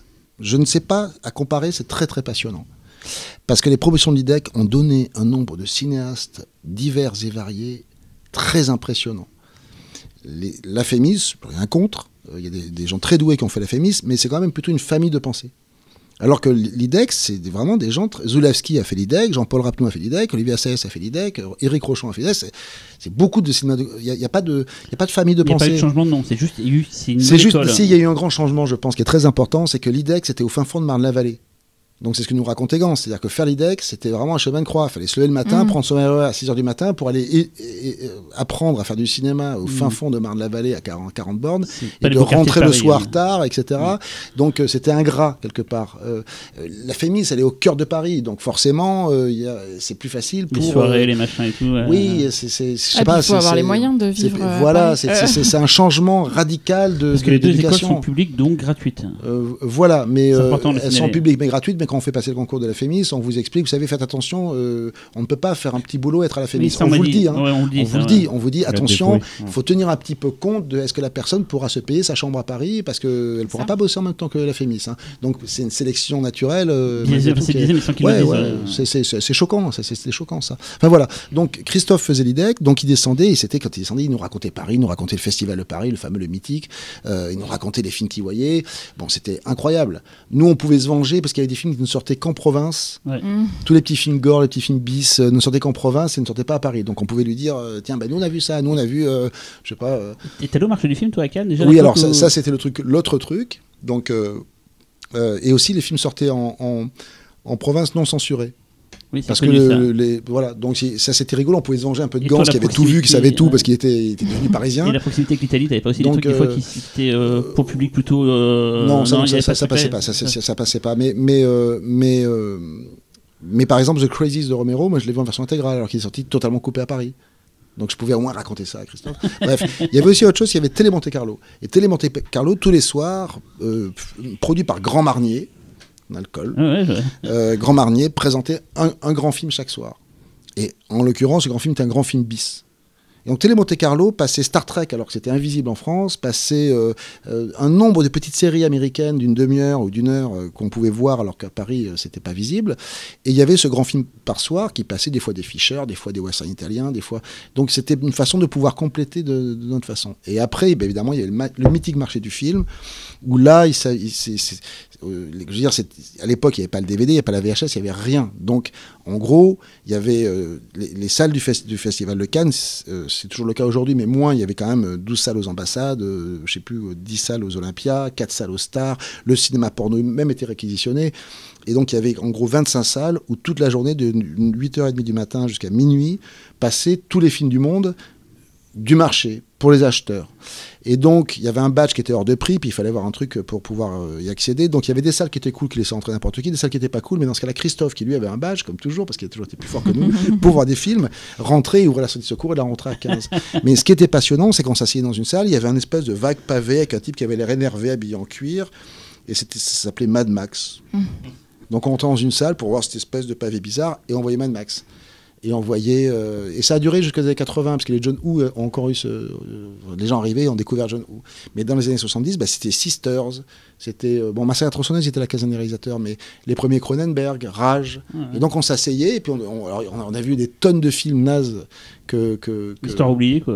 Ouais, et on s'arrêtait. Et donc, on a, on a tenu un degré de boulimie de film qui aujourd'hui est possible euh, avec le DVD, mais qui à l'époque n'était pas possible parce qu'il y avait. Même On s'est passé pour le revoir. même un les jour, multiplex euh, n'existaient ouais. pas tant que ça, donc euh, finalement on pouvait voir quatre fois, parce qu'à l'époque quand on rentrait voir un film, on pouvait rester dans la salle. Donc quand on aimait un film, moi, Fury de Palma, je l'ai vu quatre fois de suite. euh, parce que ça me plaisait. Donc euh, ça c'était cool. Mais le- voir huit films différents dans la journée, c'était impossible, sauf au marché du film. Donc ça crée des états d'épuisement, euh, évidemment, pour les, les- les jeunes. euh, Et là, t'avais en gros euh, qu'on était, 18-20 euh, ans, t'avais à peu près. euh, non, là, ouais, ça a commencé à 15-16. Ah, carrément, Euh, ouais, c'est 15-16, tôt, puis ouais. 17, 18, euh, et après 18, je suis venu à Paris. Donc c'est vrai D'accord. 14, 14, 15. Et donc je prévenais mes parents, je dis de toute façon, je, je, je vais cramer l'école pour aller au marché du film. Euh, donc, soit, vous, soit je, tru, je truande mes mots, Ouais. mais euh, ils vont le voir, soit vous me f- faites le mot, parce que de toute façon, je n'irai pas à l'école. Et mes parents étaient cool, je sais pas, ils avaient confiance, je sais rien, bref. Et euh, Ils ont ça. raison. Le jeu de notre oui. jeu préféré à l'époque, il y avait Christophe Gans, il y avait après François Cognard que j'ai rencontré euh, euh, a rejoint cette bande, puis Christophe Lemaire. Mais le jeu préféré, c'était on était tellement fatigué au bout de 3-4 jours qu'il arrivait qu'on s'endorme devant un mauvais film. Et donc le jeu, c'est que tout le monde se barre en laissant celui qui dort. Ah ouais. Et c'est très bizarre comme expérience de s'en- de s'endormir devant un slasher et de se réveiller plus tard sans savoir combien as endormi devant un mélodrame autrichien. Ah oui, oui, oui. c'est certain- c'est un espèce de, de, de, de, coup d'espace-temps et on sort où sont les autres. Ah putain, j'ai dormi de 3 heures. Ils sont où? Voilà, ça c'était la blague préférée du moment. Donc c'était assez drôle. Voilà, donc ça c'était, euh, je dirais, cette euh, joyeuse bande. Quand, à l'époque, quand il y avait un fanzine, il était de, de, de rigueur de, de, de se renseigner sur les autres fanzines et d'envoyer euh, gratuitement son fanzine à tous les autres fanzines de France qui vous envoyaient gratuitement Ah oui, c'est pas ou con. pas, parce qu'il y avait des Ah radins, euh, votre fanzine. Nous, notre fanzine, on avait fait gratuit avec Spinoza parce que ça nous emmerdait de- de- d'encaisser les sacs à 5 euros, 3 euros. On s'est dit, ah, on est là pour, pour, voilà, pour donner le truc. C'est les parents qui photocopiaient au Donc, bureau, euh, c'est ça Non, Non, l'avantage, c'était, ça, ça nous a créé des problèmes. C'est que euh, dans le milieu du fanzina, c'est que Michel Spinoza, son père était entrepreneur de, de, je crois, de machines, euh, je sais pas, pas agricole, mais je sais plus quoi. Et donc, pour faire ses catalogues, il avait une machine offset. Ah, carrément. Donc, gratuitement, on avait pu faire notre fanzine. Nos photos étaient superbes, oui. en offset et tout ça. Donc, nous, nos petits antibois, un peu dans le délire, euh, lâchant gratuitement un fanzine à tous les Parisiens qui ramaient pour faire la photocopie, on est passé pour d'affreux petits bourgeois qui pouvaient faire un fanzine en offset gratuit. Ce qui n'était pas le cas, c'était Oui. juste des plans. Enfin, bon, s'ils savaient. Et bref, voilà, donc ça, c'était euh, pour l'histoire du fanzina. Et ce qui s'est passé après, c'est que donc, un- moi, je décide, euh, une fois que j'ai le bac, je me dis, bon, bah, je vais aller à Paris euh, faire des films, je vais faire l'IDEC, ou je sais pas, je verrai bien. Enfin, en tout cas, je reste pas sur la côte. Sale région déjà à l'époque. Et, euh, et Christophe me dit, euh, tu viens à Paris l'année prochaine? Ouais, ouais, ah je vais te parler d'un truc, euh, faudrait que je te parle d'un truc. Bon. Et j'arrive à Paris, il m'héberge, euh, il, me, passe son studio. Parce que lui, il partait faire le CPA, il partait faire l'armée, euh, service cinématographique des armées. Et c'est là qu'il me dit, ben voilà, en fait, on va préparer un truc. Lui, il travaillait à l'écran fantastique à l'époque. Et il me dit, voilà, avec Doug Headline, que j'ai rencontré à la Cinémathèque, qui lui vient de Métal Hurlant, voilà, on a un grand projet, l'écran fantastique, euh, c'est pas au niveau, il y a moyen de faire un grand magazine de cinéma. Il, adorait, il aimait beaucoup mon fanzine, Christophe. Et voilà... euh, est-ce que tu fais partie de la rédaction? On va lancer un truc qui s'appelle Starfix et tout, mais chut, chut, on parle à personne. Donc pendant trois mois, on a vécu dans le secret euh, pour, pour lancer le numéro 1 de Starfix. Et puis après, Star- le numéro 1 de Starfix a cartonné. François, que j'avais rencontré entre temps, donc Christophe adorait le fanzine, nous a rejoint, puis etc. Peu à peu, l'équipe s'est étoffée. Puis euh, voilà, c'est comme ça que c'est parti. Et comme le numéro 1 a cartonné, et Starfix est né, c'est très marrant. C'est né de la rencontre de Christophe, parce que Christophe faisait les chroniques vidéo de, de, de l'écran fantastique, les VHS de l'époque, etc. Il y en avait partout et tout ça. Et il avait rencontré des, des éditeurs qui pff, c'était des gars qui vendaient des magnétoscopes, et ça, ils avaient ramené du cash, donc ils avaient acheté des films et ils avaient acheté, je crois, Cannibal Man, euh, film d'horreur espagnol. si de. Iglesia. Euh, non, non, ouais peut-être. Si, c'est Eloy de euh, Eloy, ouais, d'accord. Eloy, pas, pas Oui, oui, c'est ça. ouais. Euh, et, et puis ils avaient des mauvais films. Et Christophe leur dit, mais savez, moi je peux vous aider un peu à faire le catalogue. Et il les aide à sortir un ou deux films. Et puis il leur dit, vous savez, vous pouvez faire du porno chic. Et il leur sort les Story of Johanna, euh, Alpha Blue. Et il les emmène à acheter des Damiano. Et ils sortent du porno chic et ça fait un carton. Et les gars, les gars se retrouvent gavés d'argent. Et dans l'envie de réinvestir pour pas que les impôts viennent leur prendre à la fin de l'année. Et c'est là que Christophe dit, je crois qu'on pourrait faire un magazine. Donc Starfix est né en fait de bénéfices ouais, de le porno, cassettes de ouais. porno. C'est marrant, c'est sympa. Voilà. quoi le porno amène à tout. Bah oui. Et donc ça tombe bien, on- la suite c'était donc. Euh, Bah, c'est les années Starfix, les quoi. Starfix. Alors, Et les années Starfix, bah, alors là, je vais pas m'étendre parce que c'est vrai fait que. récemment, en fait, il y a eu un Ouais. bouquin, il y a eu. Ouais, euh, voilà, dans le bouquin, Christophe Lemaire euh, a fait vraiment un très beau texte, je trouve, euh, très senti et très, très sincère sur ce qu'était Starfix. Quoi. Euh, donc c'est vrai que j'aurais plutôt envie de renvoyer les gens au bouquin parce que Ouais. c'est- sinon on y est jusque demain matin. Ouais. quoi. Oui, non, mais Euh, c'est bien pour situer dans la chronologie. voilà. Ouais, Qu'est-ce qui Voilà, non, mais- devenir machin Voilà, donc bidule on euh, jusqu'à demain matin. C'est juste de dire c'était une bande de cinéphiles, euh, malades de, de cinoche, dans cette époque où justement la VHS existait, mais mais il y avait encore tellement de films à découvrir, tellement de cinéphilie qui n'étaient pas explorés, tellement de marchés du film encore existants. On partait à Milan, on partait à Los Angeles, à ferait à chaque fois. En fait, vous avez décloisonné, c'est ça Mais, qui est euh, important, c'est que vous n'avez pas considéré qu'il y avait de l'horreur. Ben, C'est-à-dire que, ben oui, genre parce qu'il y avait, on venait tous d'une cinéphilie. C'est-à-dire, euh, chacun avait un peu son secteur. Mais moi, j'aimais euh, Tarkovsky, Fellini, euh, Friedkin, euh, Carpenter. Gans aimait le cinéma de Hong Kong, mais adorait aussi John Ford.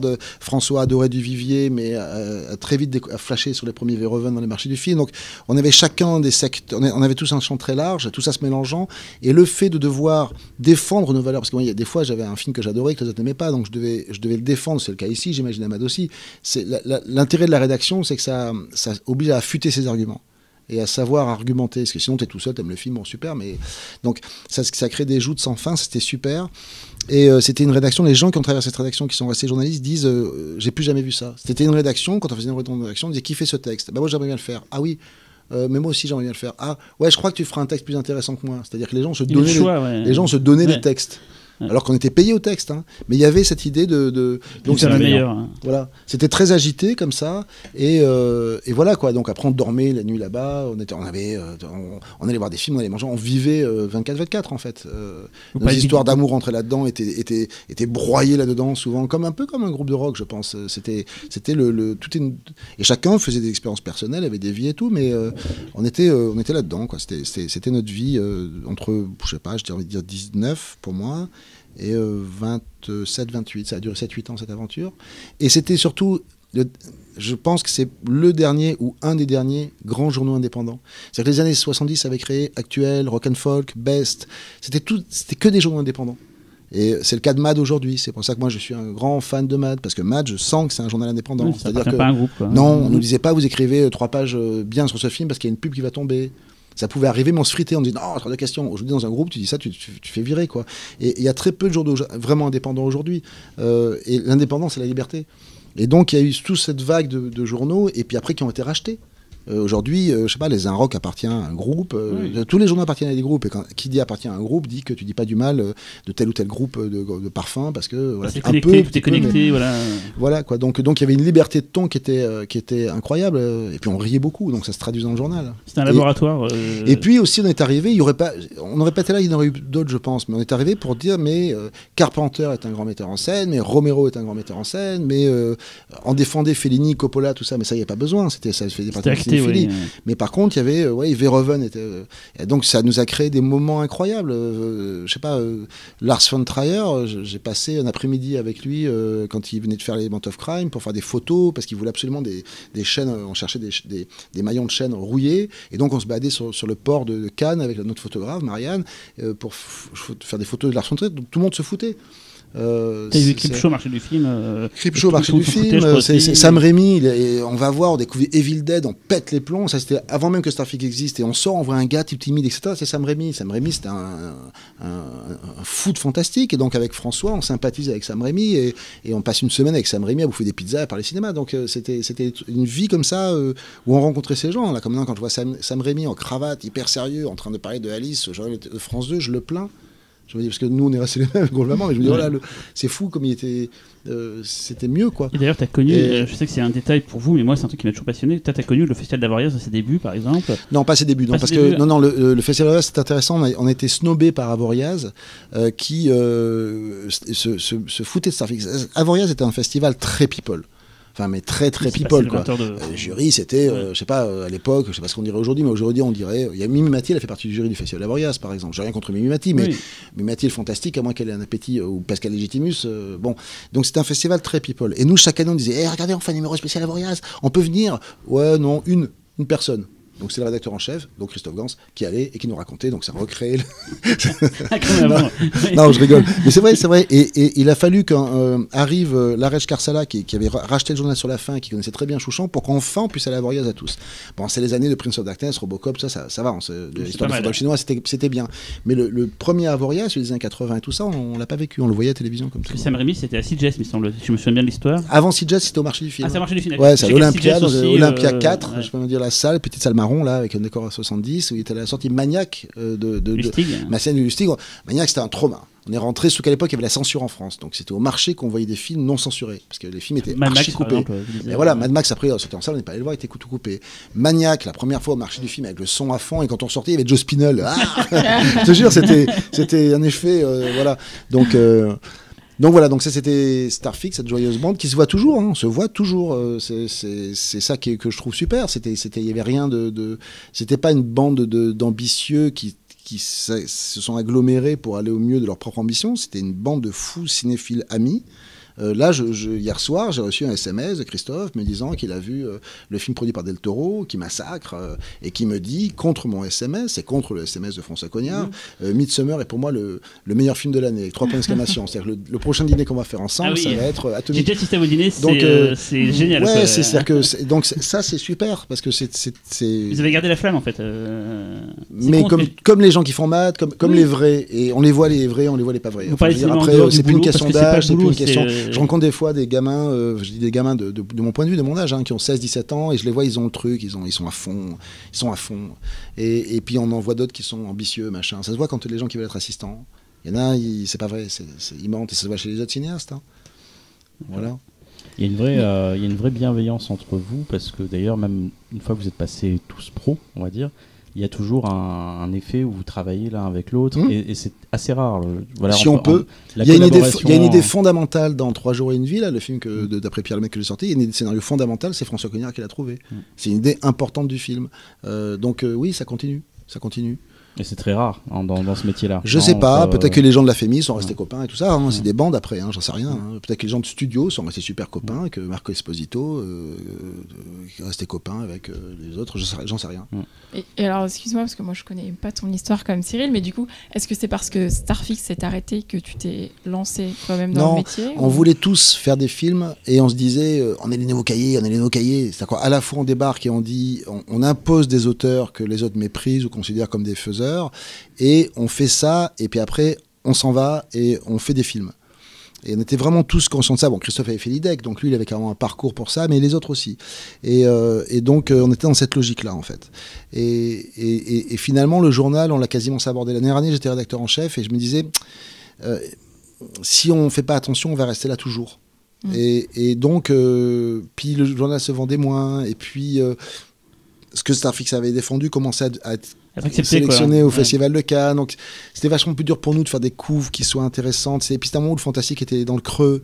euh, où- Les années 90, quoi. Ouais, il commençait à y avoir les, les- les directs, non pas tout DVD, mais tout VHS. C'est ce qui était sélectionné à Avoriaz, parce que c'est- Avoriaz, il ramait pour faire de- des, des sélections. Donc c'était un creux de la vague du genre, comme ça arrive souvent.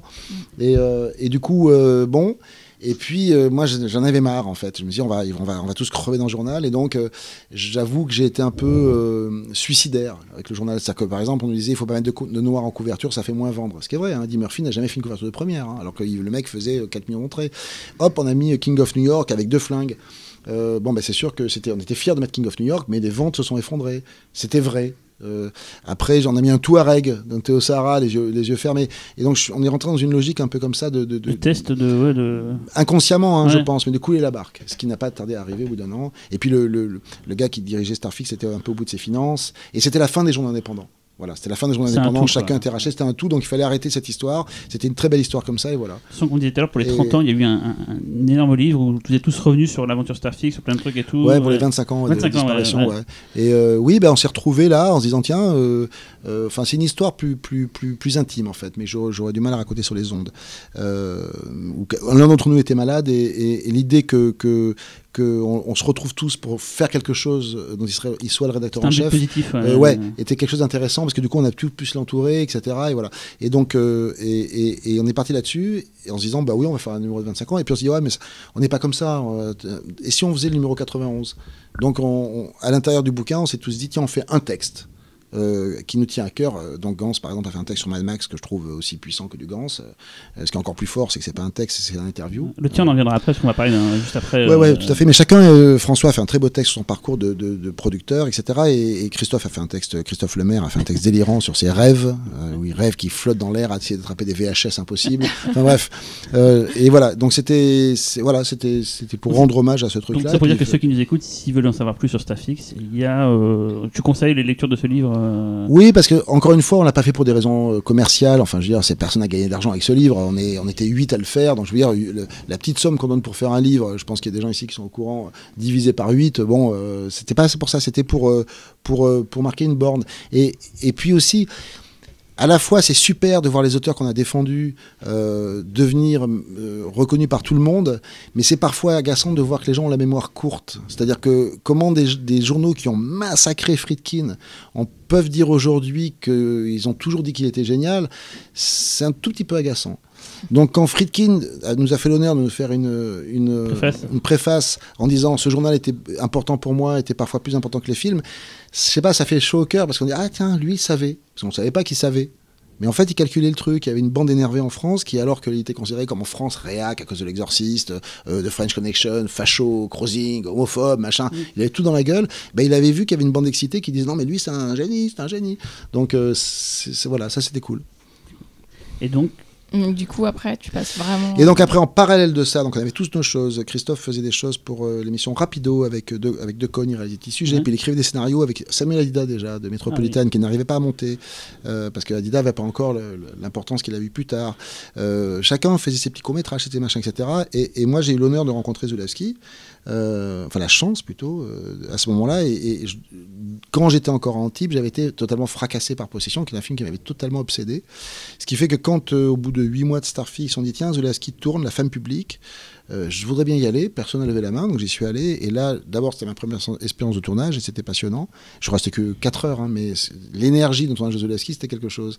C'était pas, pas forcément hystérique, mais c'était puissant. oui, un truc. Et donc, je suis arrivé sur un tournage qui correspondait à tous les mythes que j'avais pu avoir sur les tournages et même que j'avais vu dans des films. Après, j'étais sur d'autres tournages français et là, j'ai compris que c'était pas toujours pareil. Mais là, c'était vraiment un moment incroyable. Et puis, euh, et puis voilà. Et puis après, je rencontre. Voilà. Donc, euh, moi, j'ai commencé en même temps de, que Starfix à devenir euh, une sorte d'assistant perso de Zulawski. Euh, dans notre siècle, on aurait dit secrétaire personnel. Donc, je, je, à la fois, je, je pouvais travailler sur les films, faire du casting, faire des repérages. Quand les films se faisaient, souvent les films de Zulawski ne se faisaient pas. Donc, je travaillais sur plein de films qui ne se sont pas faits, qui s'arrêtaient à un mois, deux mois du tournage. Et, et en même temps, il- s'il devait partir dix jours dans un festival, euh, je gardais son gamin. euh, Ah, et je vivais chez lui, dans son grand appartement, et du coup, je matais les cassettes de polonaises de Zulawski. C'est comme ça j'ai pu voir le, le, Globe d'argent le diable, Ah, le, le diable qui, qui était totalement invisible en France. Je l'ai vu en noir et blanc. Euh, Le globe d'argent, j'ai vu des cassettes et des cassettes de Rush. Euh, Ah ouais. Et donc voilà quoi. Et donc lui, il avait un fan hardcore. Enfin, quand il rentré, t'as fait quoi? Bah, J'ai regardé les rushs du diable. Il y en a pour 12 heures. Ah putain, c'est super intéressant. Donc forcément, ça crée une relation d'amitié, euh, mais euh, transgénérationnelle, qui était, qui était super ici à intéressante. Berlin à l'époque, tellement fasciné par Possession que tu étais parti à Berlin pour voir la. Ah oui, j'étais parti à Berlin chercher les repérages et tout ça quand j'avais 18 ans. Ouais, ouais, c'était, c'était, c'était un film qui m'avait complètement fasciné. Donc j'ai eu, j'ai eu la chance de pouvoir rencontrer un des cinéastes qui m'a fasciné et, et de devenir, je vais pas dire son élève, mais euh, un peu si quand même, puisque c'était le, c'était un non-dit entre nous, mais très clair. Il me donnait des leçons de mise en scène, etc. Quand même, l'air de rien. Et donc plein de tuyaux, plein de tuyaux qui me servent encore aujourd'hui. euh, Et que tu as donc, Euh. disais dans le, ton texte, dans, dans le bouquin sur bah, dans- dans- bah oui, parce que Zulawski est mort et, et, euh, et, dans tous les journaux, euh, tout le monde a fait que des textes people. Ah, le grand séducteur, ah, l'ancien mari de Sophie Marceau, ah, euh, ah, Gianni, ah, machin. Et je trouvais ça tellement ingrat par rapport à un cinéaste qui avait quand même 14 films, dont certains qui sont quand même incroyables, que quand il s'agit de faire le texte pour Sarfix, d'abord j'avais plus écrit depuis 25 ans, je me dis je vais écrire sur quoi Pour dire que The Witch c'est génial, mais The Witch j'ai pas besoin de moi. Déjà il y a Mad qui dit que c'est bien, il y a machin. Et, et je me suis dit mais non, je, vais- je vais rendre hommage à, à- au cinéaste qui m'a. Je vais raconter cette histoire en fait, parce que à la fois ça permettait de traverser les années Starfix, et je trouvais que c'était intéressant parce que je pouvais du coup mettre plein de tuyaux que j'avais appris.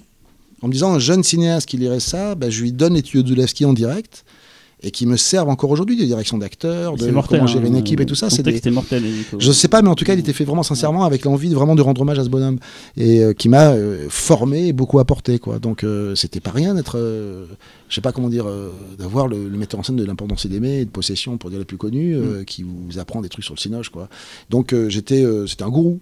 Pourrais le dire comme ça, au sens, euh, euh, pas au sens euh, ironique, au sens indien du terme. Et, Et j'étais pas le seul. hein. Il y avait d'autres, il y avait un autre, un autre gars euh, qui faisait des courts métrages, qui était dans cette, dans c'était, quelqu'un qui était très intelligent, incroyablement cultivé, euh, complexe, polonais, descendant de grandes familles, machin. Donc c'était, on était cu- culturellement très très très éloigné.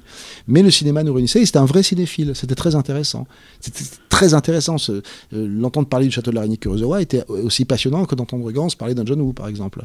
Mais euh, on, on s'engueulait des fois très violemment. Euh, il avait haï, je crois, si je me souviens le premier Carax.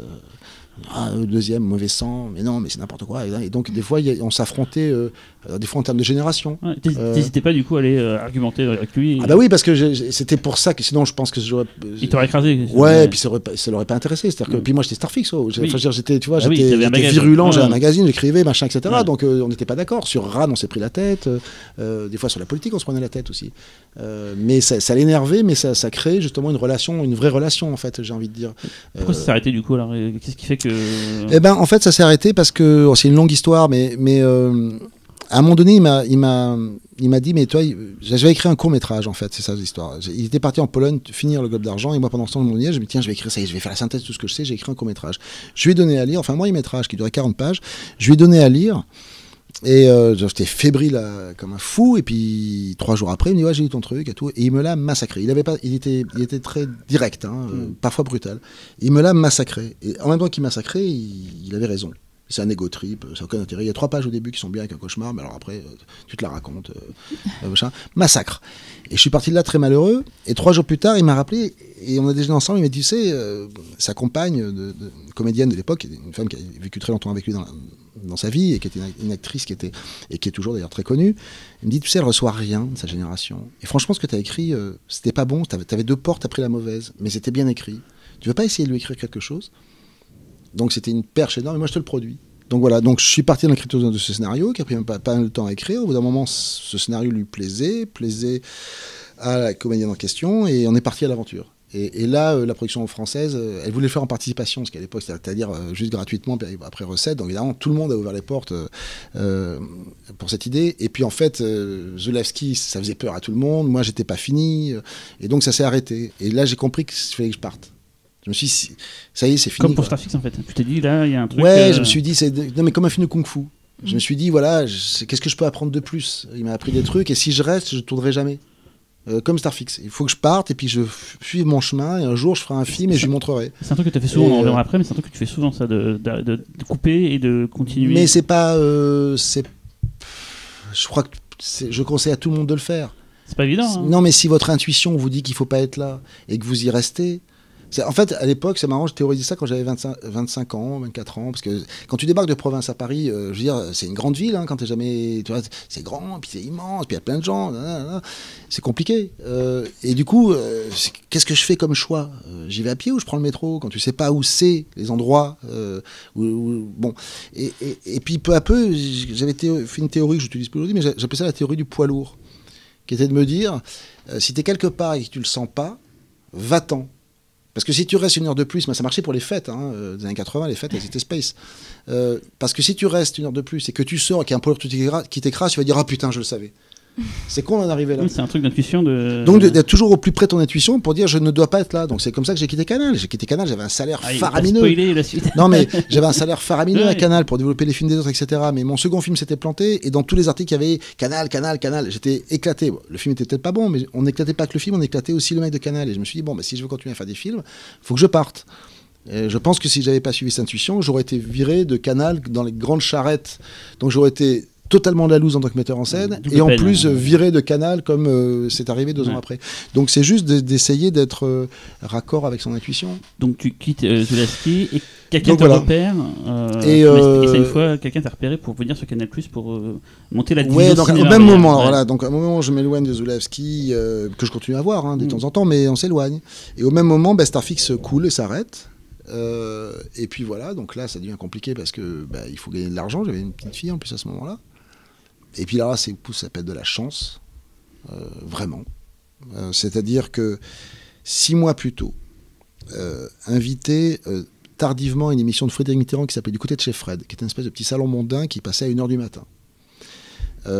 Sophie Marceau, qui aimait bien Starfix, voulait faire de la pub pour Starfix parce qu'elle savait qu'on n'allait pas bien, me dit bah, Viens parler de Starfix dans cette émission et je suis invité. Bon. J'arrive et je me retrouve dans un tout petit canapé et je suis coincé entre Colombani, le rédacteur en chef du Monde, et un très grand homme italien qui s'appelait Franco Maria Ricci, qui faisait un journal qui s'appelait Éphémère, c'est-à-dire ses initiales. Et qui était un, un sublime magazine, d'ailleurs très beau, mais d'un snobisme terrifiant. Donc je suis coincé là dans ces trucs, et puis il fait chaud, et puis voilà, et puis ça parle, et ça parle, et ça parle, puis moi je suis pas habitué à la télévision, et puis ça, évidemment, il fait bah, d'abord parler Franco Ricci, puis après il fait, moi c'était vraiment pour la fin d'émission, c'est-à-dire 2h30 du mat, quoi, tu vois. Et puis à un moment donné, il me fait parler du cinéma français, et je n'avais marre, et je, je balance je- sur le cinéma français, sur, euh, voilà, sur, sur, sur comment, Star, ce que c'est Starfix, et pourquoi le cinéma français c'est de la merde. Enfin, je suis bien chaud. Genre, rien à foutre. Et ben, six mois plus tard, en fait, donc euh, il n'y a plus Starfix, il n'y a, plus- a plus rien. Je reçois un coup de fil sur mon répondeur, à l'époque c'était répondeur. euh, Voilà, je m'appelle Nicolas Plisson, je travaille pour, pour Canal. Canal qui était en train de monter furieusement. C'était pas encore les grandes explosions qu'on a connues encore, c'était encore l'ancien immeuble de C'est Canal. c'est avant 90, donc c'est Voilà, 86, c'est- 88. À l'époque, hein. c'était dans la tour Olivier de Serre. Pour Ouais. ceux qui ont connu, c'était les débuts de Canal, mais c'était le moment où ça commençait à décoller.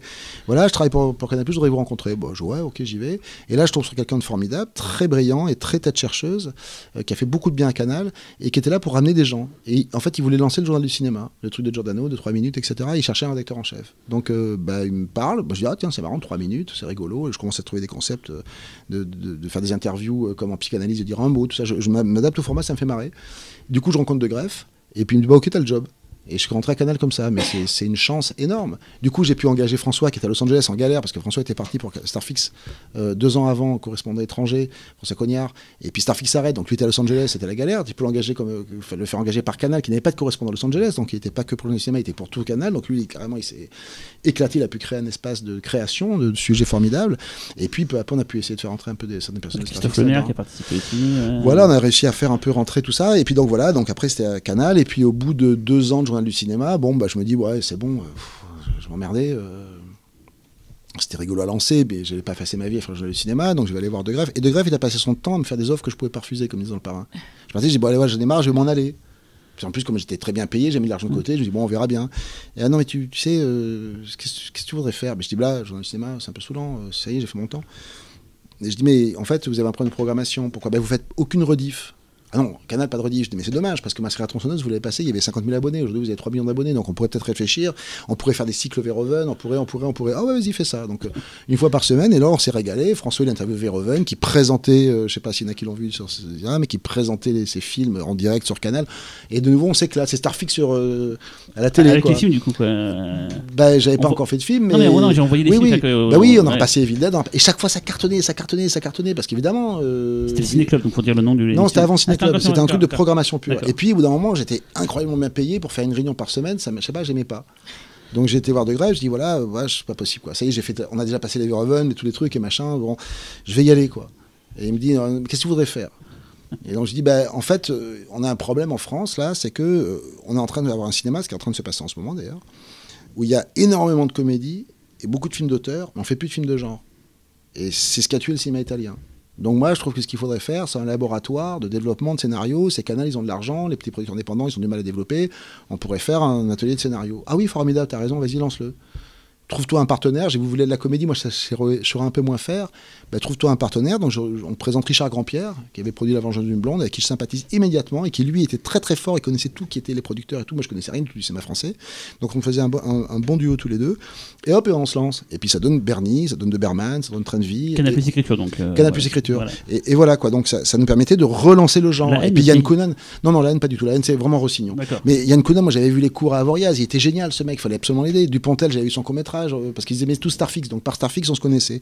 Et, et donc ça permettait de, de- de- de donner de l'argent à leurs producteurs indépendants pour pouvoir les aider à, à bien écrire leur scénar et tout ça. Et puis il y avait une génération d'acteurs émergents, les Cassel, les Bellucci, les machins. Ouais, enfin, Pacte des loups, du coup, c'est aussi un Canal Plus Écriture. alors voilà, donc après ça a évolué, et puis au bout d'un moment, euh, Canal Plus Écriture, ben, ça fonctionne à plein, à plein régime, et puis euh, ils nous disent, bah, euh, qu'est-ce que vous voulez faire maintenant Euh, Parce qu'on dit, ah bah mais on peut pas produire. Et donc c'est Grand Pierre là qui dit, euh, moi, je- TF1 m'a appelé, euh, donc euh, où je vais à TF1, vous me laissez produire. Ah oui, bah, ok, bah, créez une boîte de prod, Esquad. Donc voilà, donc on crée Esquad, avec lequel on produit Les Parasites, d'ailleurs. C'est une comédie euh, aujourd'hui culte, paraît-il. Oui, Euh, de Philippe de Chevron. Donc, euh, là, C'est Franck non, mais là, c'est, là, c'est- c'est- Nicolas. non, mais c'est un, garçon très sympathique. Euh, et, et, euh, et le second du Pontel, on met de l'argent dedans. Et moi, entre-temps, j'avais fait mon premier film, j'avais fait mon second film. Mon second film se fait complètement Donc, massacrer. va mourir, et donc le voilà. Et mon second film, je sais pas si, je suis clair, hein, mon second film s'est fait complètement massacrer. Il dit il faut que je parte. Et c'est le moment où le Pack des Loups se met en place. François Cognard avait récupéré Canal Écriture, développe le Pack des Loups, et le Pack des Loups qui intéresse Esquad et Grand-Pierre. Et donc voilà, je mets vaguement en place le Pack des Loups, mais c'est surtout Cognard et, et Grand-Pierre qui s'en étaient occupés, en ramenant Gans. qui a dit je vais faire le Matrix du film en costume.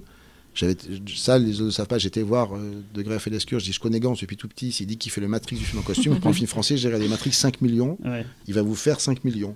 C'est pas loin. Et, combien voilà, film, bah, euh, 5 millions. 5 et millions, donc oui. euh, Christophe a tenu parole. Bref, et l'aventure de Pâques des loups commence. Et là, j'en étais plus parce que moi, j'étais en train de, de, de, de faire l'œil du tigre. Je fais ça un peu à la loose, mais à la, à la lourde, mais de repartir à zéro, euh, d'arrêter Canal, de démissionner en fait, Ouais. et, et de me mettre à travailler enfin sur un film où je me dis bon, maintenant, il faudrait que je passe un peu au public parce que mes deux premiers films étaient Et tu t'es mis en danger du coup pour, euh, pour écrire ça. En danger. Ouais, c'est- Non, mais tu quittes- oui, oui, mais ça, oui, un- mais, mais- oui, je sais, mais j'ai juste choisi la vie d'intermittent. C'est-à-dire que la vie d'intermittent, c'est ça. Donc en fait, ce qui s'était passé, c'est quand j'ai bossé à Canal, je me suis pas acheté de voiture, je me suis pas acheté d'appartement, je me suis pas acheté de maison de campagne. Je, je- vraiment, j'étais au taquet et j'ai mis beaucoup d'argent de côté en me disant, si un jour je veux partir, je vais partir. Mais je veux pas être prisonnier de ce truc-là. Donc quand je suis parti de Canal, j'avais du niveau de vie que j'avais à l'époque, j'avais une pension alimentaire, etc. J'avais deux ans devant moi. Donc c'était un pari que j'ai fait sur euh, deux ans, mais c'était comme deux ans de chômage quand on est intermittent. Oui, oui. J'avais déjà fait deux films, j'avais créé Assassin, j'avais créé. Donc euh, j'ai juste euh, choisi ma vie d'intermittent. C'est pas d'un courage euh, extrême. D'ailleurs, justement, euh, Assassin, euh, si tu peux nous en parler un petit peu, parce que tu as participé à Oui. deux, deux films, euh, donc Assassin. Silent Hill est beaucoup plus, anci- beaucoup plus loin dans, dans- dans la chronologie, Ouais, ouais, mais. Alors, donc dans la chronologie, donc voilà, Canal ça s'arrête et après voilà, je suis pleinement, entièrement metteur en scène. En parallèle de Canal, j'avais fait un premier film qui s'appelait Va mourir, qui était sur, qui se passait à Antibes avec trois ragazzi du sud. euh, euh, fa- vont se choper des manettes. euh, ouais, voilà, un film, sur, coup. un film sur des losers du sud, on va dire, euh, in- inspiré par Akaton. Je l'ai vu aujourd'hui, du coup. Ah, voilà. ouais. inspiré par Akaton, mais très mal écrit. Et puis après, comme j'avais pas de sujet et que je, je sentais que je manquais d'expérience technique, je me suis dit, merde, j'ai pas fait de court-métrage, ça me manque. Et j'ai pensé à la ronde de Schnitzler. Du coup, je me suis dit, tiens, si je fais la ronde, je me retrouver à faire plein de petits univers différents, gérer des acteurs différents, faire... et, donc je me suis payé un exercice de, style, Euh, ce qui était pas euh, ce que j'ai raconté à tout le monde. C'est un film qui se zappe lui-même et tout. J'ai fait de tout un baratin, donc Polygram était venu. euh, beaucoup c'était pas Canal hein, qui avait financé le film, c'était d'autres groupes. Et puis avec les gens que je côtoyais, Cassel, Kassovitz, machin, c'était des gens que je côtoyais. Donc ça t'intéresse Ah bah oui, ça m'intéresse. Donc et, et et voilà quoi. Et le film s'est totalement ramassé, s'est fait massacrer par la presse. Mais bon, j'en suis sorti avec une expérience technique que j'avais pas avant.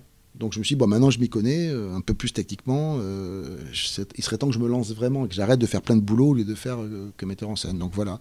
Et avant ça, il y avait eu aussi Assassin. Et ça, Assassin, c'était marrant. J'avais vu La haine en première projection. C'était un film produit par Canal, Studio Canal. Donc je l'avais vu très tôt. Et j'avais été fracassé par le film, comme tous les gens qui ont vu La haine derrière. J'étais allé discuter avec Kassovitz, qui, qui n'avait pas encore eu toute la vague. Donc il voyait bien que c'était sincère. Et puis on se revoit à Cannes, où là il était en pleine, euh, en pleine explosion de la haine. Et puis on se parle, il me dit, moi je lisais Starfix. Ah ouais, d'accord, ok, c'est un, gros lecteur. Et puis on se parle, et puis on parle, on parle, on parle, on sympathise beaucoup. Puis il me dit, mais en fait, je voudrais écrire un film sur euh, l'influence de la télévision, le trop d'écran sur les nouvelles générations. Et euh, je lui dis, ah bah tiens, c'est marrant que tu dis ça, parce que, que j'avais lancé le journal du Hard sur Canal, et je me disais, mais en fait, un gamin qui ne regarderait que du porno, euh, la première fois qu'il couche avec une fille, il sort pour éjaculer, je lui dis. Parce Ah qu'il oui. croit que c'est comme ça qu'on fait. Puisqu'il l'a jamais vu, il sait pas, personne lui a dit. Oui. Et Kassovitz, ça l'a troublé, il m'a dit faut qu'on se reparle. et puis il est revenu à Paris, et puis il m'a dit ah, j'aimerais bien qu'on écrive Assassin ensemble. Donc c'est parti comme ça. Et puis on a écrit Assassin, et ça a été le massacre qu'on sait, injuste, hein, tout le monde le sait aujourd'hui. Quoi qu'on pense du film, euh, ça a été Ça un- méritait pas ce torrent de haine à l'époque. c'était hallucinant. euh. Et voilà, mais j'ai pu accompagner, là c'était très intéressant. Kassovitz, euh, de mon point de vue, est le meilleur metteur en scène de notre génération. Metteur en scène, je parle pas de direction d'acteur, je parle pas raconteur d'histoire, je parle de metteur en scène. La capacité que ce garçon a à, raconter une idée avec une caméra est, absolument hallucinante. Et sur Assassin, où il jouait dans le film, où il était quand même, je l'ai pas dit en dépression, mais il avait tous les l'impact de la haine, plus la pression qu'il y avait, plus Michel Serrault qui était quelqu'un d'assez pas commode, voire facilement odieux, plus un jeune garçon qui avait jamais joué, plus un film très lourd. euh, bref. La violence, je qui. qui- avec une violence incroyable. Et je l'ai vu trouver des plans euh, comme ça le matin dans l'inspiration. Encore aujourd'hui, je n'ai jamais vu personne faire ça. Des plans où je- par moments que je trouve dignes des frères Cohen. Je ne parle pas du, du global des films. hein. Je parle de sa capacité à sortir un plan proprement hallucinant. Et quand je vois l'ordre de la morale, le, le, le flashback, en Flashback, plan séquence réel, euh, est juste hallucinant. Et ce qui est incroyable, c'est qu'il ne réfléchit pas en, en, en termes de, de morale forcément. Mais le, le, flashback en plan séquence est génial comme idée, puisque, puisque c'est ce qu'on raconte et que ça prête à caution cette vérité. Le fait de ne pas faire de coupe est incroyablement juste moralement. Euh, C'est-à-dire que c'est ce gars ouvre la bouche et c'est sa vérité, c'est un plan séquence. C'est génial. Donc voilà. Donc du coup, comme le scénario d'Assassin n'était pas terminé, euh, parce que Serrault avait dit je tourne ce film-là, sinon je ne tourne pas pendant un an. Donc il a mis la pression. Donc le film avait le mot fin, mais il y avait encore du travail sur le scénario. Euh, au bout de deux semaines, euh, Kassovitz est un peu en crise, on m'appelle, moi j'étais en vacances, ah, ça va pas, ça va pas, il faut, il faut continuer à travailler le scénario. Donc du coup j'ai suivi tout le tournage d'Assassin, Et j'ai vu Mathieu travailler. Et j'ai appris énormément, en technique pure. J'étais pas très bon en choix de focale, etc. Les comédiens, ça allait. Avec Zulawski, j'ai appris beaucoup de choses. Mais... Et donc, j'ai pu suivre tout le tournage d'un film chaotique où j'étais important, enfin, j'étais nécessaire, puisque le soir, on réécrivait le scénar et tout ça. Mais la journée, je n'allais pas me mêler en plein milieu du, tournage et dire non, mais je pense que ce dialogue, on va le changer comme ça. Je faisais la synthèse. Zéro avait d'énormes problèmes de mémoire. Donc, des fois, dans certaines séquences très complexes, il oubliait une phrase. Donc des fois, c'était une phrase super importante et je me disais non attends, il faudrait qu'on on peut la garder, on la mettra dans telle séquence plus loin. Donc on faisait une petite cuisine le soir et donc moi le jour, j'étais juste témoin de Kassovitz au sommet de, je dirais de, de son ambition euh, en train de tourner. Donc ça, ça m'a énormément appris aussi. À plus de Zulawski, je peux dire que là, euh, là c'était pas un maître, hein, ça n'avait rien à voir, c'était juste un père hyper brillant. Et, euh, et voilà, donc euh, tout ça l'un dans l'autre. Je quitte Canal, la séquence assassin, plus les machins trucs. Et voilà, je me suis dit, alors on passe aux choses sérieuses et puis. et puis j'écris Le Convoyeur, qui est le premier film que je signe. C'est le premier film où je mets un film 2, Le Convoyeur. D'accord. Avant, je m'étais mis- mise en scène, production sur le même carton. euh, mais j'ai considéré que là, je- là, voilà, là, c'était mon film. c'était mon- Et là, le convoyeur, ça a été. Enfin, je, là, je, parce qu'il y en a beaucoup qu'on va parler pendant cette émission. mais- Non, mais voilà, parce que je parle non, beaucoup, non, mais je- comme, tu, ça, hein. je, comme vous voulez faire la totale, du coup, je, Ouais, je vais vite parce que sinon, on est, on c'est pas est jusqu'à ça- c'est pas 5h du pour ça que mat. je dis ça, c'est que. Je suis désolé. On écoute. On, On, on a des jalons comme ça, on a dit qu'on avait des jalons. et donc, le convoyeur, enfin, je sais pas pour vous, mais moi, en tout cas, c'est, je te connaissais pas du tout à l'époque et ça a été euh, une grosse claque. Euh, Xavier, Moi, moi, c'est pareil. hein, Je t'avoue, c'est ton film que je préfère. Le Convoyeur. euh, d'accord. très honnêtement, je m'attendais pas à ça. Quand je l'ai vu, c'est une grosse baffe, quoi. Vraiment grosse baffe. J'ai trouvé ça mais mortel. Bah. C'est-à-dire que des fois, euh, en tant que metteur en scène, euh, maintenant j'ai mis longtemps à pouvoir parler comme ça, maintenant je peux parler en tant que metteur en scène au bout de neuf films, tu arrives à un moment donné où il faut que tu fasses un film où tu vas mettre tout le monde d'accord. Sinon, t'es mort. Et ça, quand tu l'as, tu vois, et moi j'étais mort, j'étais considéré pas comme metteur en scène, les gens pensaient que j'avais tourné, parce que les gens ne, comment dire, pensaient que c'était que de la complaisance, que mon second film avait été entièrement financé par Canal, ce qui était faux, j'avais appelé la meuf de Canal, je lui ai dit, donne-moi le prix plancher. Oui, mais t'as Kassovitz et Cassel. Non, je ne veux pas qu'on puisse dire que. C'est pas grave, j'ai Polygram, il y a M6, il y a- il y a- c'est bon, il y a l'avance sur recette, il y avait Eurimage, tout le monde y allait. Euh, euh, parce que j'étais à la mode, j'en sais rien, tu vois, sur le, co- le concept hein, euh, de la ronde aujourd'hui, le sida, machin, etc. Ça passionnait tout le monde. Et donc, mais tout le monde considérait que donc j'étais pas, donc j'étais obligé de me trouver une idée en me disant voilà, il faut que ça mette tout le monde d'accord. Donc c'est sûr que quand tu es dans cet état-là, euh, tu, tu, tu t'es- t'es au taquet. Euh, ça c'est la première chose. La seconde, c'est quand on te réduit tellement l'argent avec lequel tu tournes que tu, tu ton scénario, enfin dans le chutier du convoyeur, il y a une séquence et un champ contre champ. C'est tourné monté. Sinon, il n'y a pas d'argent. Donc quand tu arrives à l'os comme ça, ou tu rates ton film, ou il est d'une efficacité redoutable. Parce que, euh, et je pense que Assaut, c'est ça. hein. Je ne dis pas que le convoyeur, c'est le niveau d'assaut. Ouais, Mais je pense que quand Carpenter tourne Assaut, il n'a pas le quoi tourner trois séquences en plus, quatre séquences en plus, et machin, une séquence de foule. Donc, t'es- optimum, T'es- hein. tu, tu- tu- au figurant près, tu penses. Et là, forcément, il y a une énergie, il y a une boule d'énergie, et j'étais très en colère J'étais très en colère de, comment, quand j'ai quitté Canal, euh, j'avais quand même fait mes preuves de Berman, machin. Je ne les ai pas fait, mais j'avais eu des intuitions, pas un coup de fil. J'étais pas, j'étais pas aigri. Je me dis quand même, ils sont cons, quoi. Enfin, je veux dire, euh, j'ai- fourni, je sais pas, au cinéma français une espèce de, enfin, j'ai fourni, j'ai contribué à fournir au cinéma français une nouvelle génération d'acteurs, de metteurs, etc. Il n'y en a pas un qui me dit, t'as quoi comme idée en tête C'est quoi cette histoire? Donc, euh, je me suis dit, je vais faire, un, je vais tous les mettre d'accord. Et, voilà. Donc, c'est le, précipité de cette colère qui donne ça, quoi. Et, voilà quoi. Après, euh, moi, je revois jamais mes films parce que je sais pas. euh, et là, j'ai été obligé de le revoir parce qu'ils vont le sortir en DVD. Et donc, j'étais obligé de le revoir pour, surveiller l'étalonnage. euh, ce que j'aime pas faire, mais là, quand même, faut, par rapport aux gens qui l'aiment. Et, donc, du coup, j'ai revu le film. Et ce qui m'a plu quand je l'ai revu, bah, d'abord, c'est qu'effectivement, bah, le film est assez bien raconté parce que de toute façon, il est à l'os. Euh, et l'autre chose, c'est que j'ai trouvé tous ces acteurs hyper frais. Il y a une énergie de groupe. Ils sont tous tellement jeunes, en fait. Et ils, ont tellement, ils, ils aiment tellement faire ce qu'ils font. De faire ces convoyeurs, jouer aux cow-boys et aux Indiens. euh, c'est un film de diligence, hein, avec leurs leurs fourgons, leurs uniformes, leurs flingues. Ils, ils sont pas en calcul de carrière, ni du jardin, ni Albert, personne. Je dis pas qu'aujourd'hui ils calculent leur carrière, mais c'est plus compliqué. Aujourd'hui, ce sont des valeurs sûres. Donc dès qu'ils font un film, est-ce que le film va marcher, pas marcher? Là, il n'y avait pas beaucoup Déjà, d'enjeux. Pris à contre-emploi, ce qui est souvent le cas dans tes films. Tu prends toujours des gens qui sont. Non, mais c'est- c'est c'est- c'est la notion de contre-emploi qui ne marche pas. C'est quand un acteur est bon, et ben il est bon. Oui, et puis mais voilà, c'est Voilà. le premier à avoir- vu dans, dans, dans du jardin. Tiens, il y a quelque chose. y a un Ouais, truc, mais en euh, fait, c'est comme ça, c'est marrant. hein, c'est comme ça que je je l'ai. Personne n'en voulait, hein, du jardin. Personne. Ouais, c'était C'est-à-dire, Loulou et Chouchou. Personne n'en voulait, euh, aucun producteur n'en voulait, aucun financier n'en voulait, ça nous a pas rapporté un euro de l'avoir, même le producteur n'en voulait pas. Euh, voilà, c'était comme ça. Et, et du coup, j'avais appris à Zula- avec Zulawski à. On peut parfaitement déjeuner avec un acteur archi bankable euh, devant le producteur, et ce serait idéal qu'il fasse votre film. Et vous faites un déjeuner impeccable et le producteur s'en va et dit ah c'est sûr il va le faire mais vous voulez pas de cet acteur et ben je peux vous dire que vous, vous savez qu'il le fera pas parce qu'il y a une façon de lui parler. C'est comme le désir, en fait. Vous pouvez, être- vous pouvez avoir un discours impeccable, mais putain, tu bien parlé, hein, il va le faire. Non, non. Euh, et donc, j'avais fait du, du, du slalom, comme ça, euh, entre d'autres acteurs remarquables, mais qui n'étaient pas le rôle, et, mais qui étaient plus bankable. Et donc, le combat, le combat c'est ça, faute de combattants. Au bout d'un moment, il n'y a plus personne. Donc, j'ai dit, bah ouais, moi, j'ai du jardin. Bah ouais, vas-y, prends-le si tu veux. hein. voilà. Et, mais vraiment, euh, et mes gens, dès le premier rendez-vous, ça se voyait qu'il allait exploser, dès le premier rendez-vous. Et, je lui avais dit, euh, c'était vachement intéressant, je, lui ai dit, tu sais, euh, Bourville, il lui a fallu très très longtemps pour faire le cercle rouge. Toi, vu que Chouchou Loulou, c'est de la comédie, tu vas sans doute exploser dans la comédie. Et ce serait dommage qu'il faille 40 ans pour que les gens s'aperçoivent que tu es un grand acteur aussi dramatique. Donc moi, je te propose de faire le cercle rouge tout de suite. Ça tombe bien, tu as du Pontel en face de toi. Je peux dire, en tant que partenaire, il va être mortel. Et, et, euh, et j'ai vu que ça lui parlait vraiment. Et il m'a répondu oui le lendemain. Et il a été d'une drôlerie euh, sur le tournage, d'une générosité incroyable. Donc euh, voilà. Après, le, le, le- vrai truc du convoyeur, ce qui fait le convoyeur, c'est intéressant, c'est vraiment un problème de manque d'argent. C'est-à-dire que le scénario original était dans l'ordre. Ah, d'accord. C'est-à-dire C'est que c'était un cadre qui, allait, qui était invité par son patron avec d'autres cadres dans une grande maison. Je voulais raconter un peu l'ambiance de Canal, les grands patrons, le, le côté collègue un peu machin. Et, et sur le retour, il se retrouvait derrière un fourgon. Bah, c'était sa femme à l'époque qui se faisait tuer. Et là, il rentrait en dépression. Il sortait du commun, en fait. Et puis, il allait sur la tombe de sa femme six mois après, qui est une belle idée que j'ai toujours pas réussi à caser, d'un type qui va pleurer sur la tombe de sa femme, mais euh, alors que tout est. Bref. Euh, et puis, il rentrait au boulot, il faisait une dépression. Comme il faisait une dépression, on finissait par le virer. Et puis là, il zonait chez lui, devenait une loque, un peu comme sa mise en possession, probablement. Et puis, il entendait à la télévision, nouvelle attaque de la compagnie euh, qui s'appelait pas Vigilante à l'époque, voilà. machin. Et, et là, il se disait, tiens, et là, il rentrait chez les convoyeurs. Et puis, à un moment donné, ben, il n'y avait pas de chaîne de télé euh, sur les films, à part Canal, euh, un prix normal. Euh, Il n'y avait pas France 2. Alors, on disait, mais c'est votre chouchou, ben, faites-en une star et on sera là, mais nous, pour l'instant, euh, voilà. Prouvez-nous. Ah ouais, non, c'est discours typique, c'est les gens de l'époque, c'est pas les mêmes aujourd'hui, mais c'est un discours très classique. Prouvez-nous que vous avez raison, vous inquiétez pas, après, euh, là, on sera vraiment là.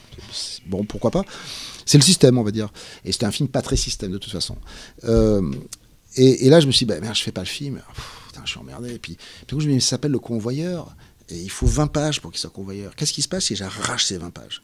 Oh putain Et c'est là que le film apparaît. Un type arrive chez les convoyeurs de fond, on sait pas ce qu'il veut.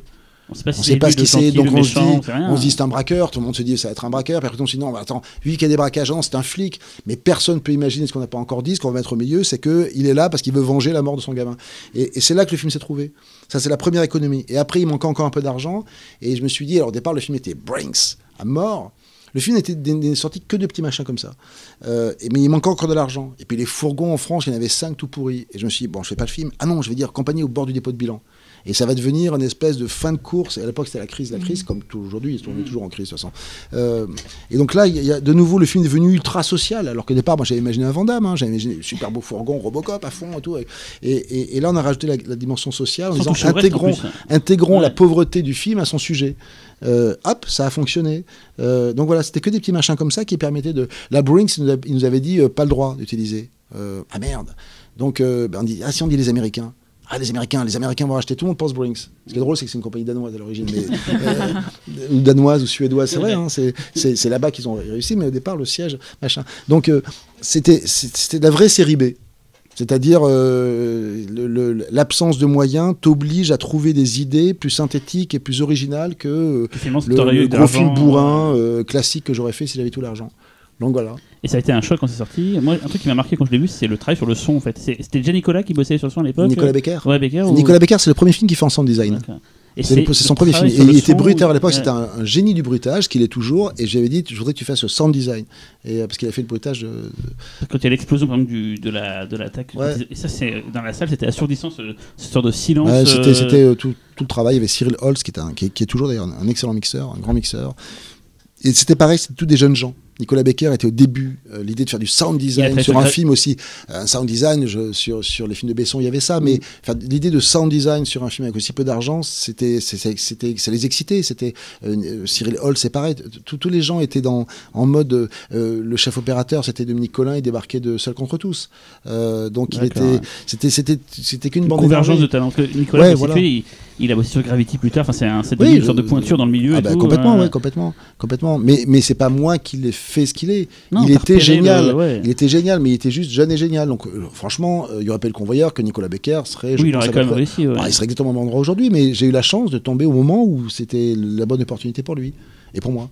J'ai l'impression qu'il y a un petit, un petit côté souvent hasard justement pour ce genre de film en France, on va dire, parce que euh, bah, voilà, il y a un convoyeur, après il y a quelques temps après il y a eu un Hit Gap, quelques temps Ouais. avant il y a eu un Pacte des loups, et en fait c'est, on a, on a, on a, j'ai l'impression qu'on n'arrive pas à saisir ce truc où euh, il y a une euphorie tout d'un coup qui se, qui, qui se- qui se- qui se en fait, on passe. le, en France, et c'était déjà à l'époque du convoyeur. Quand on essayait de le faire, on disait ah ben, le polar en France, ça marche plus. C'est tout ce que, le pourquoi on avait créé Canet Écriture. Ce n'est pas dans le goût des gens. On est partagé entre un cinéma euh, plutôt intello, ou plutôt sophistiqué, ou plutôt euh, Saint-Germain, qui a des chefs-d'œuvre dans le genre. La maman la putain est un chef-d'œuvre de cinéma, il n'y a pas de problème, mais il y a quand même ce goût qui domine, euh, très chic, et on le voit dans les films français qui sont sélectionnés à l'étranger, qui, qui voyagent. C'est aussi un goût qui est apprécié des festivals étrangers, des universités On attend ça de nous, quoi. etc. On attend ça de nous. Et la grosse comédie bourrin. Et on passe notre temps à nous dire, le polar, ça marche pas. Mais je suis désolé, quand ils produisent 10 comédies, il y en a une qui cartonne, deux qui marchent plutôt bien, et sept qui se plantent ou qui marchent pas trop. Et on produit trois polars. Et si sur trois polars, il y en a un seul qui s'en sort pas trop mal, il ah non, le polar, ça marche pas. C'est- Donc c'est dur, c'est dur. hein. C'est pas, c'est pas évident. Euh, et puis le marché, il est fracturé. C'est-à-dire que le film d'horreur, euh, l'étranger en veut, le DVD marche pas, mais en voulait. Canal Plus en voulait. Mais les distributeurs n'en voulaient pas. Donc euh, vous vous retrouvez en permanence écartelé. Donc à part la grosse comédie Panzer qui est- dont tout le monde veut, euh, c'est toujours un peu difficile. Mais ça oblige à trouver des idées, en fait, effectivement. Et Mais c'est pas leur goût. Euh, je veux dire, à la base, les gens qui, financent le cinéma français, c'est pas leur goût. Il y a, de toute façon un léger. euh, comment dire euh, Pierre Lemaître écrit des polars. Il prend tous les prix du polar. C'est un grand écrivain, je le pense. Je dis ça, je le connaissais pas, mais je le pensais avant de le rencontrer. Mais c'est un grand écrivain. Il, il écrit son premier non polar et il a le prix Goncourt. Mais jamais il aurait eu le prix Goncourt avec euh, Alex ou avec euh, Robe de mariée. Jamais. Paradoxalement, c'est pas parce qu'on fait un polar qu'on n'est pas qu'on peut pas faire un polar intelligent. Et c'est le cas justement Mais le- c'est le, le mais cas du convoyeur. c'est ça que je veux dire, c'est que ou dans le Parisien, a qui est un journal que j'aime beaucoup, que je lis tous les jours, mais dans le Parisien, à la fin de l'année, ils font les étoiles du Parisien, le meilleur euh, film, le meilleur, euh, le meilleur disque, etc. Ben, ils font le meilleur roman et le meilleur polar. dix- Mais le meilleur roman ne peut pas être le meilleur polar. Ouais. Il y a, c'est du, c'est, du genre, c'est Bah, C'est catégorisé. comme le CNC qui a fait une commission spéciale pour le cinéma de genre, qui Voilà. l'a écarté de la commission normale en fait. Mais c'est même pire que ça. Le, C- le- le CNC, j'ai appris ça, je trouve ça, euh, je vais dire, affligeant. Il faut une commission spéciale pour le cinéma de genre. On dit, bah, euh, même s'ils le séparent du cinéma normal, c'est déjà bien. Au moins, ils vont l'aider. Sauf Mais sauf, sauf que c'est par vague. Donc c'est le cinéma fantastique pendant un an et d'horreur, et après c'est la comédie musicale. Donc si on débarque avec, une com- avec un film de fantastique au moment où c'est la comédie musicale, après c'est le film de guerre, on, on- on est, on est de la loose. Non mais c'est hallucinant. C'est-à-dire que le, le genre c'est par tranche maintenant. Mais merde, ça devrait être. euh, on amène un film de SF, un film d'horreur. Et ça, je trouve ça. Je sais pas qui a eu cette idée, mais elle est d'une stupidité. euh, et d'un mépris pour ce qu'est le genre au fond, c'est un en voulant, hein. en voulant l'honorer, en fait, on le, on le catégorise. euh, Donc, c'est l'année comédie musicale. Donc, t'as gars qui doivent être en train de gratter. Donc, on va se taper cinq comédies musicales, donc quatre pourries, parce que, enfin, j'imagine. Parce que si c'est, ça va être à la demande. Après, c'est film de guerre. Donc, il y a des mecs qui doivent en train de réfléchir à faire du film de guerre pendant l'année où on peut le caser. Il faut arriver en décembre. Hein. T'as intérêt de gratter vite. Je sais pas, ça- je trouve que ça résume tout sur ce, cette envie. euh, Et que- à côté de ça, pardon, Ghostland est probablement le film qui s'est le mieux vendu à l'étranger euh, cette année. Sans doute celui qui a le mieux marché. C'est bizarre, Unifrance, il le revendique pas. Non, mais c'est Parce connu, que c'est un euh, film en anglais, parce que c'est Ah. Ghostland, parce que c'est Pascal Logier. Donc, du coup, Ghostland n'est pas revendiqué. Comme, nulle part, on lit bravo Ghostland, voilà, quel carton.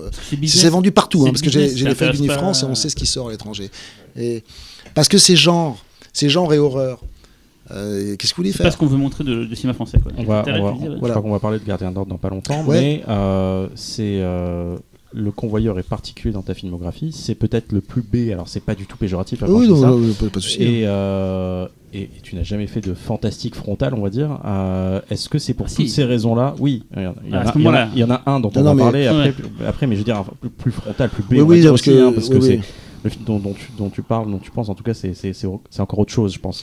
Ah ouais. Mais, Non, mais on euh, va dire de, comment- de comment- fantastique, fanta- horreur. euh, Ouais, euh, quelque chose, quelque chose Pour des raisons très tu as- simples. tu as Si j'ai pas fait de polar au premier film, c'est parce que comme je, je- j'ai pas, comme j'aimais Friedkin et que j'adorais French Connection, j'avais, quand j'ai fait Va mourir, j'avais pas fait de court métrage, j'avais rien fait. J'avais été assistant de Lasky, j'avais écrit des scénarios, mais je suis arrivé par le texte. Je n'avais pas fait de court métrage. Je ne me sentais pas prêt.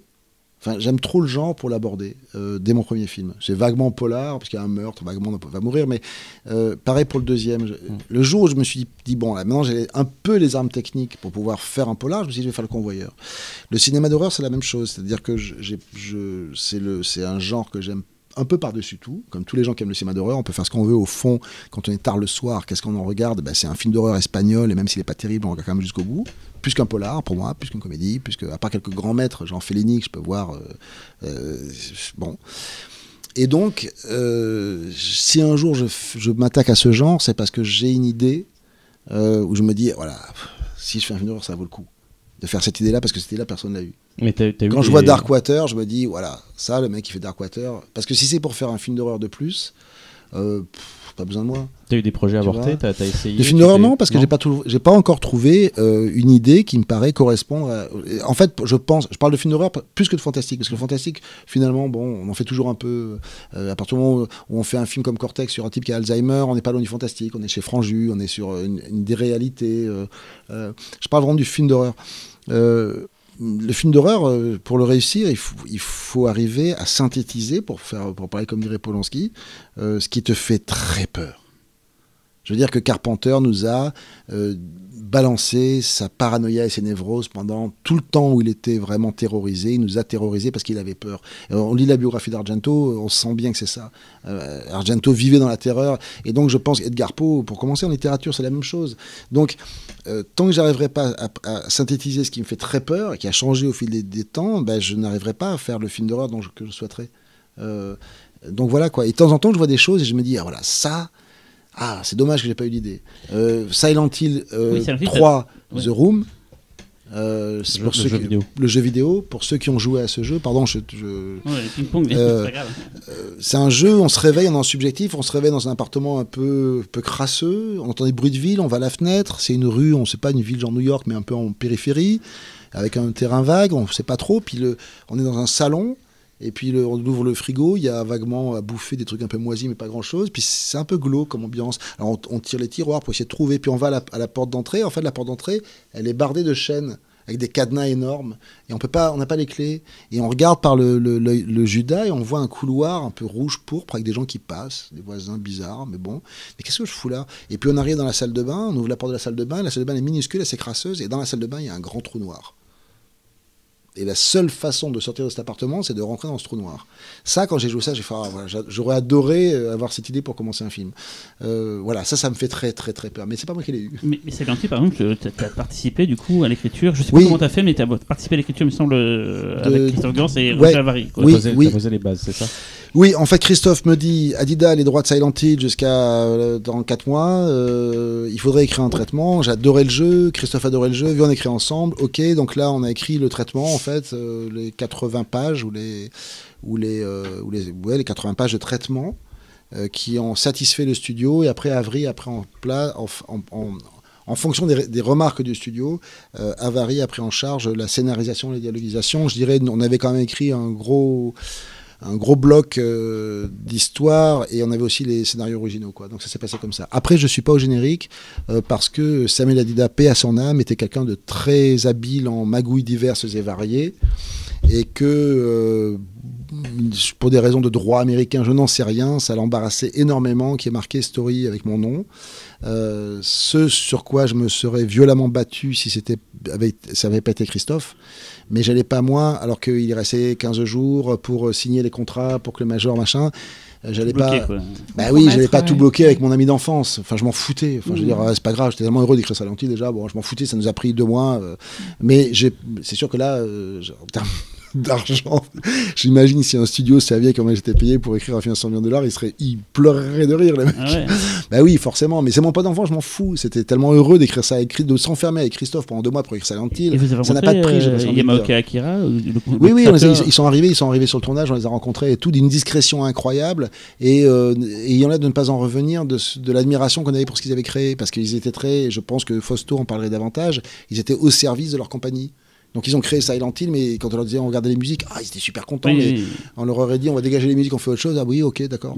Euh, tu vois, donc euh, on les a rencontrés à un Et moment. Vous tu m'as raconté à l'époque que Christophe avait fait une sorte de petite vidéo pour montrer ce qu'il voulait faire, pour les convaincre, je crois. Il y avait- Euh, oui, il avait parlé. Euh, oui, il avait parlé en, de- devant une caméra pour l'envoyer aux créateurs, pour les convaincre. que on, était les, on était les bons clients. Quoi. Je me demande si cette voilà. vidéo n'était pas publique. C'est possible, c'est possible, c'est possible. Je m'en souviens plus très bien, en fait, voilà. Mais ça nous a pris deux mois de travail pour. Mais il y avait aussi le, le script original. Hein.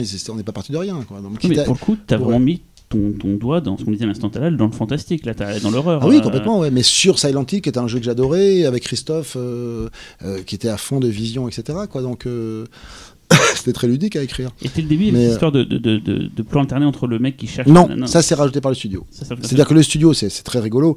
Christophe devait faire un film d'horreur qu'avec des femmes. Euh, C'était le concept de la story qu'on a écrit. Euh, donc c'était et, et donc on rentrait dans Silent Hill et, et ça faisait peur quoi. euh, voilà. Et le studio a dit non, un film d'horreur qu'avec des femmes, ça marche pas. Il faut rajouter un homme. Et donc là, avec Avery, et ça c'est là, c'est moi, c'est là que je me suis arrêté. Mm. Ils ont intégré Silent Hill 2 à Silent Hill 1. De ce point de vue, je trouve que le film est devenu plus romanesque, mais moins terrifiant. Et ce qui est fou, c'est que excusez-moi, ce qui est fou, c'est que six mois plus tard sortait The Descent et que du coup, euh, la demande c'était des femmes, des femmes, des femmes. Enfin voilà quoi. Et il y a un type qui a remonté Silent Hill sur le net, celui qui s'est mis à remonter. En Et- virant les. Eh ben oui, spontanément, il a enlevé les parties avec les hommes, avec l'homme. Bah, c'est- ça fait sortir du film en fait. T'es dans l'horreur. C'est très beau, c'est très romanesque, voilà. c'est très mélancolique, mais le problème, c'était que c'était le Silent Hill 1. Je, je dis tout ce que je pense, mais j'ai beaucoup de respect pour le film, hein, que je trouve très beau et très dense, très graphique et tout ça. Mais le, le projet organique que Mais ça c'est le principe de bosser avec les Américains, hein, c'est quand le studio parle, ben, soit vous faites pas, soit vous acceptez, et vous essayez de sauver les meubles en cinéma. Mais vous pouvez perdre peut-être votre un peu de et le projet était plus organique puisqu'on on, on était avec cette jeune fille, avec cette femme pardon, et on, on- on ne comprenait pas ce qu'on vivait. Et on apprenait les informations. Là, ce qui, ce qui était un peu complexe, c'était que, c'est que le mari en sait plus qu'elle. Mais quand elle, elle apprend les choses, on, on nous dit les choses deux fois. Donc, euh, c'est la raison pour laquelle aussi, quand, j'ai- quand, quand Adida m'a dit Ouais, mais j'ai pas envie que tu sois au scénario, c'est compliqué, etc. Vu que je voyais les studios, je me suis dit Oh, finalement, avoir été une sorte de script consultante pas marqué au générique, vu que je préférais le projet original de Gans, pour tout vous dire, euh, mais même, attention, j'aime énormément le film, hein. je Oui, le revois avec grand pas, hein, plaisir, ouais. je le trouve très beau. Je trouve que c'est un très beau film romanesque, mais euh, Silent Hill, c'est de la terreur pure.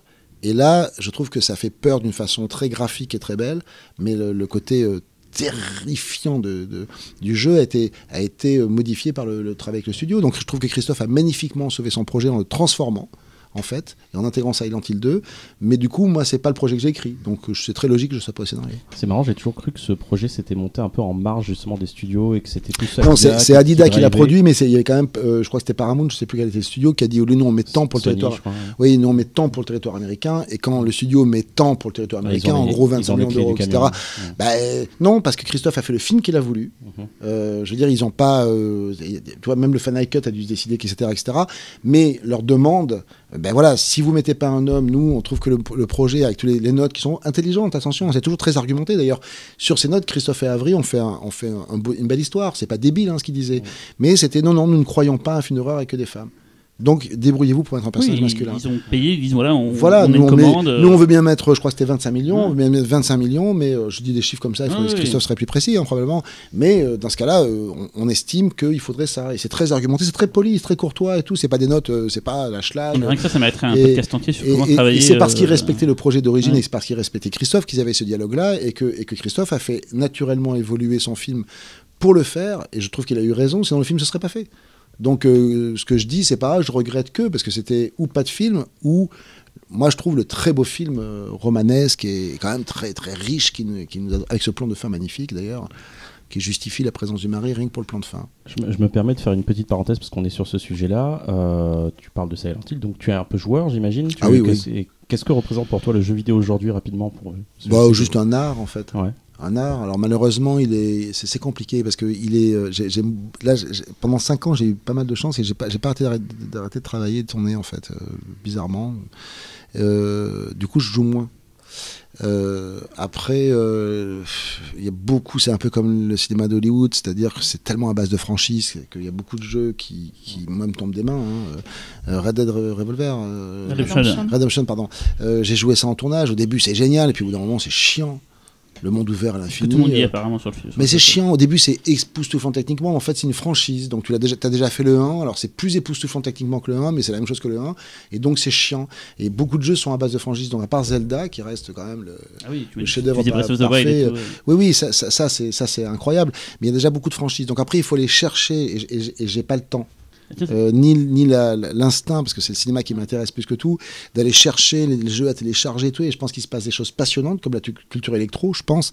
Mais c'est une culture, quoi. Il faut beaucoup de temps, beaucoup de jeux, j'imagine. Hein. Je sais pas s'il y a des gamers parmi vous, mais j'imagine que voilà, il faut, faut y aller, faut aller loin pour ramener la petite pépite, Oui. genre Rez, qui est un Voilà. de mes jeux de Ah tiens, référence ça. Une question que j'ai jamais posée en fait, alors, on se connaît, mais est-ce que tu joues à des jeux qui sont purement du gameplay et pas forcément. Je fais une mini parenthèse, hein, je suis désolé, mais Ouais. j'ai une question. Est-ce que tu joues qu'à des jeux cinématographiques ou tu joues aussi à des jeux juste des. Ah non, pas du des tout. Au, des contraire. tout, Ah non, euh, ma- mes jeux préférés, euh, je parle en termes de jeu, quand je considère que le jeu est un art, tu vois. Mm.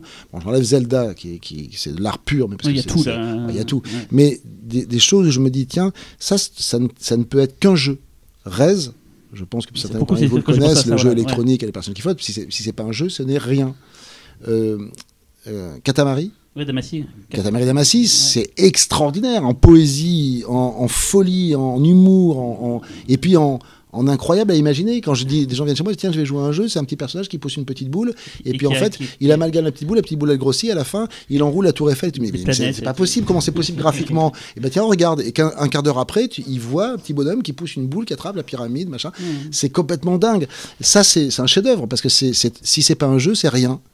Donc c'est une œuvre d'art en fait, ça s'appelle une œuvre d'art. hein. Quand Non, ça mais bien, ça on procure jamais parlé ça, de ça, de, Ah ouais, de ouais, mais là, on peut, gameplay, là, on peut en parler, on peut parler très longtemps. Et je préfère ces jeux-là, je préfère ces jeux-là aux jeux euh, narratifs qui finissent à la longue par m'ennuyer, sauf s'ils s'en procurent, ils procurent des émotions. J'ai jamais eu aussi peur euh, que dans Silent Hill 1, euh, par exemple. Enfin, si avec Prince of Darkness, mais je veux dire ça se autrement. Euh, voilà, donc euh, c'est notre, notre Si, dossier. si jamais tu as le temps à l'occasion, il y a, il y a un, petit jeu indépendant qui dure à peu près 1h30. C'est une, expé- Ouais. une expérience très Ça particulière. s'appelle comment? What Remains of Edith Finch. C'est sorti il y a à peu près 2-3 ans. C'est un petit chef-d'œuvre. Ah, Euh, je- diras après, ouais. D'accord, Voilà, je, je d'accord. noterai, mais Génial, c'est- génial, c'est génial. super, super. On va éviter de digresser. Ouais, on va voilà. revenir à ta filmo Bon. parce que du coup, euh, après le convoyeur, euh, tu- est-ce que tu as plus de facilité à monter des films? Après le convoyeur, euh, comme j'avais envie de changer de genre, j'ai créé un film qui s'appelle L'Italien.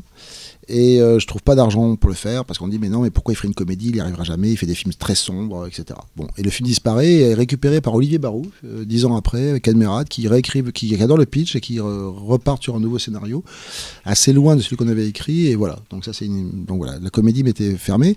Du coup bah après euh, non on peut pas spécialement parce que le genre reste quand même. euh, Est-ce qu'on t'a enfin, bêtement demandé de refaire le convoyeur Tu vois, ça, Euh, non, non, parce que, parce que le convoyeur, dans son essence même, même s'il marche, n'est pas dans le, dans le mainstream du cinéma français. Mais c'est vrai pour le Pack des Loups, c'est vrai pour euh, Doberman. Je veux dire que derrière Doberman, euh, il a failli bosser avec Miramax, Yann, mais les gens ne se sont pas précipités pour produire, à part, à part le Thomas Langman euh, qui était à fond. Ils savent pas comment faire en fait.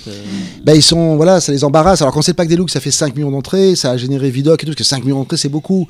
Mais le convoyeur, ça fait 500 000, tout le monde dit, ah ouais, c'est bien et tout, mais pff, euh, ça fera toujours euh, trois fois moins qu'une une co- une comédie euh, qui marche pas mal. Donc, euh, et puis on sait pas les faire, on n'a pas d'avis sur ces gens-là. Enfin, ils, sont trop à fond. Enfin, je pense. Je me plains pas du tout quand je dis ça. hein. C'est une remarque. C'est comme ça. Donc, les gens sont pas précipités pour dire, ah, tu vas faire après, etc. L'avantage de travailler dans des budgets moindres, ce qui est mon cas, c'est que on reste malgré tout relativement libre du casting. C'est-à-dire qu'on m'a jamais imposé acteur. J'ai jamais pris un acteur avec lequel j'avais pas envie de travailler mm, parce que sans lui, je faisais pas le film. Euh, malgré tout, euh, voilà, quand je choisis du Solier, euh, j'adore du Solier des- des- depuis les films de René, j'étais ravi de le choisir. Et à l'époque, quelqu'un m'avait dit si tu prends de, de long, on rajoute un million. Et, et- mais le problème, c'est. Hein Ça rime en plus. oui, ouais, bah oui, ça- 2 millions, 3 millions. Ça, oui, ça arrive avec millions de long, c'est bizarre. Euh, euh, et et- et j'ai- je m'étais dit, mais le samouraï à Alzheimer, ça marchera jamais. Ça, les gens n'y croiront pas. Et je- ça va, j'arrive à faire le film avec cette somme. Ok, restons sur du solier. Euh, c'est l'avantage. À partir du moment où aujourd'hui tu veux faire, je sais pas, un film à 12 millions, t'es coincé. Et ça donne Omar Sy dans le champ du loup. Euh, J'ai rien contre Omar Sy, qui peut être formidable, il est très bien Intouchable, mais il n'est pas très crédible, tout le monde le dit, le pauvre, mais parce que pour faire un film à 20 barbes, il faut se rassurer en prenant Omar Sy, quitte à ce que ce soit du miscast. Donc c'est des aberrations qu'on voit des fois dans les gros, dans les gros budgets, euh, que, au moins dans les, dans les budgets moindres, on on t'emmerde pas avec ça. C'est l'histoire qui prime quand même. Voilà. Donc Cortex, ouais, euh, un polar qui parle de la maladie d'Alzheimer en fait. voilà, euh, dans ce texte. euh, voilà, en ce texte, euh, voilà, c'était un une film idée. assez malin, je trouve. Enfin, moi, je, je l'ai vu, je me dis tiens, je m'attendais pas à ça tout le long.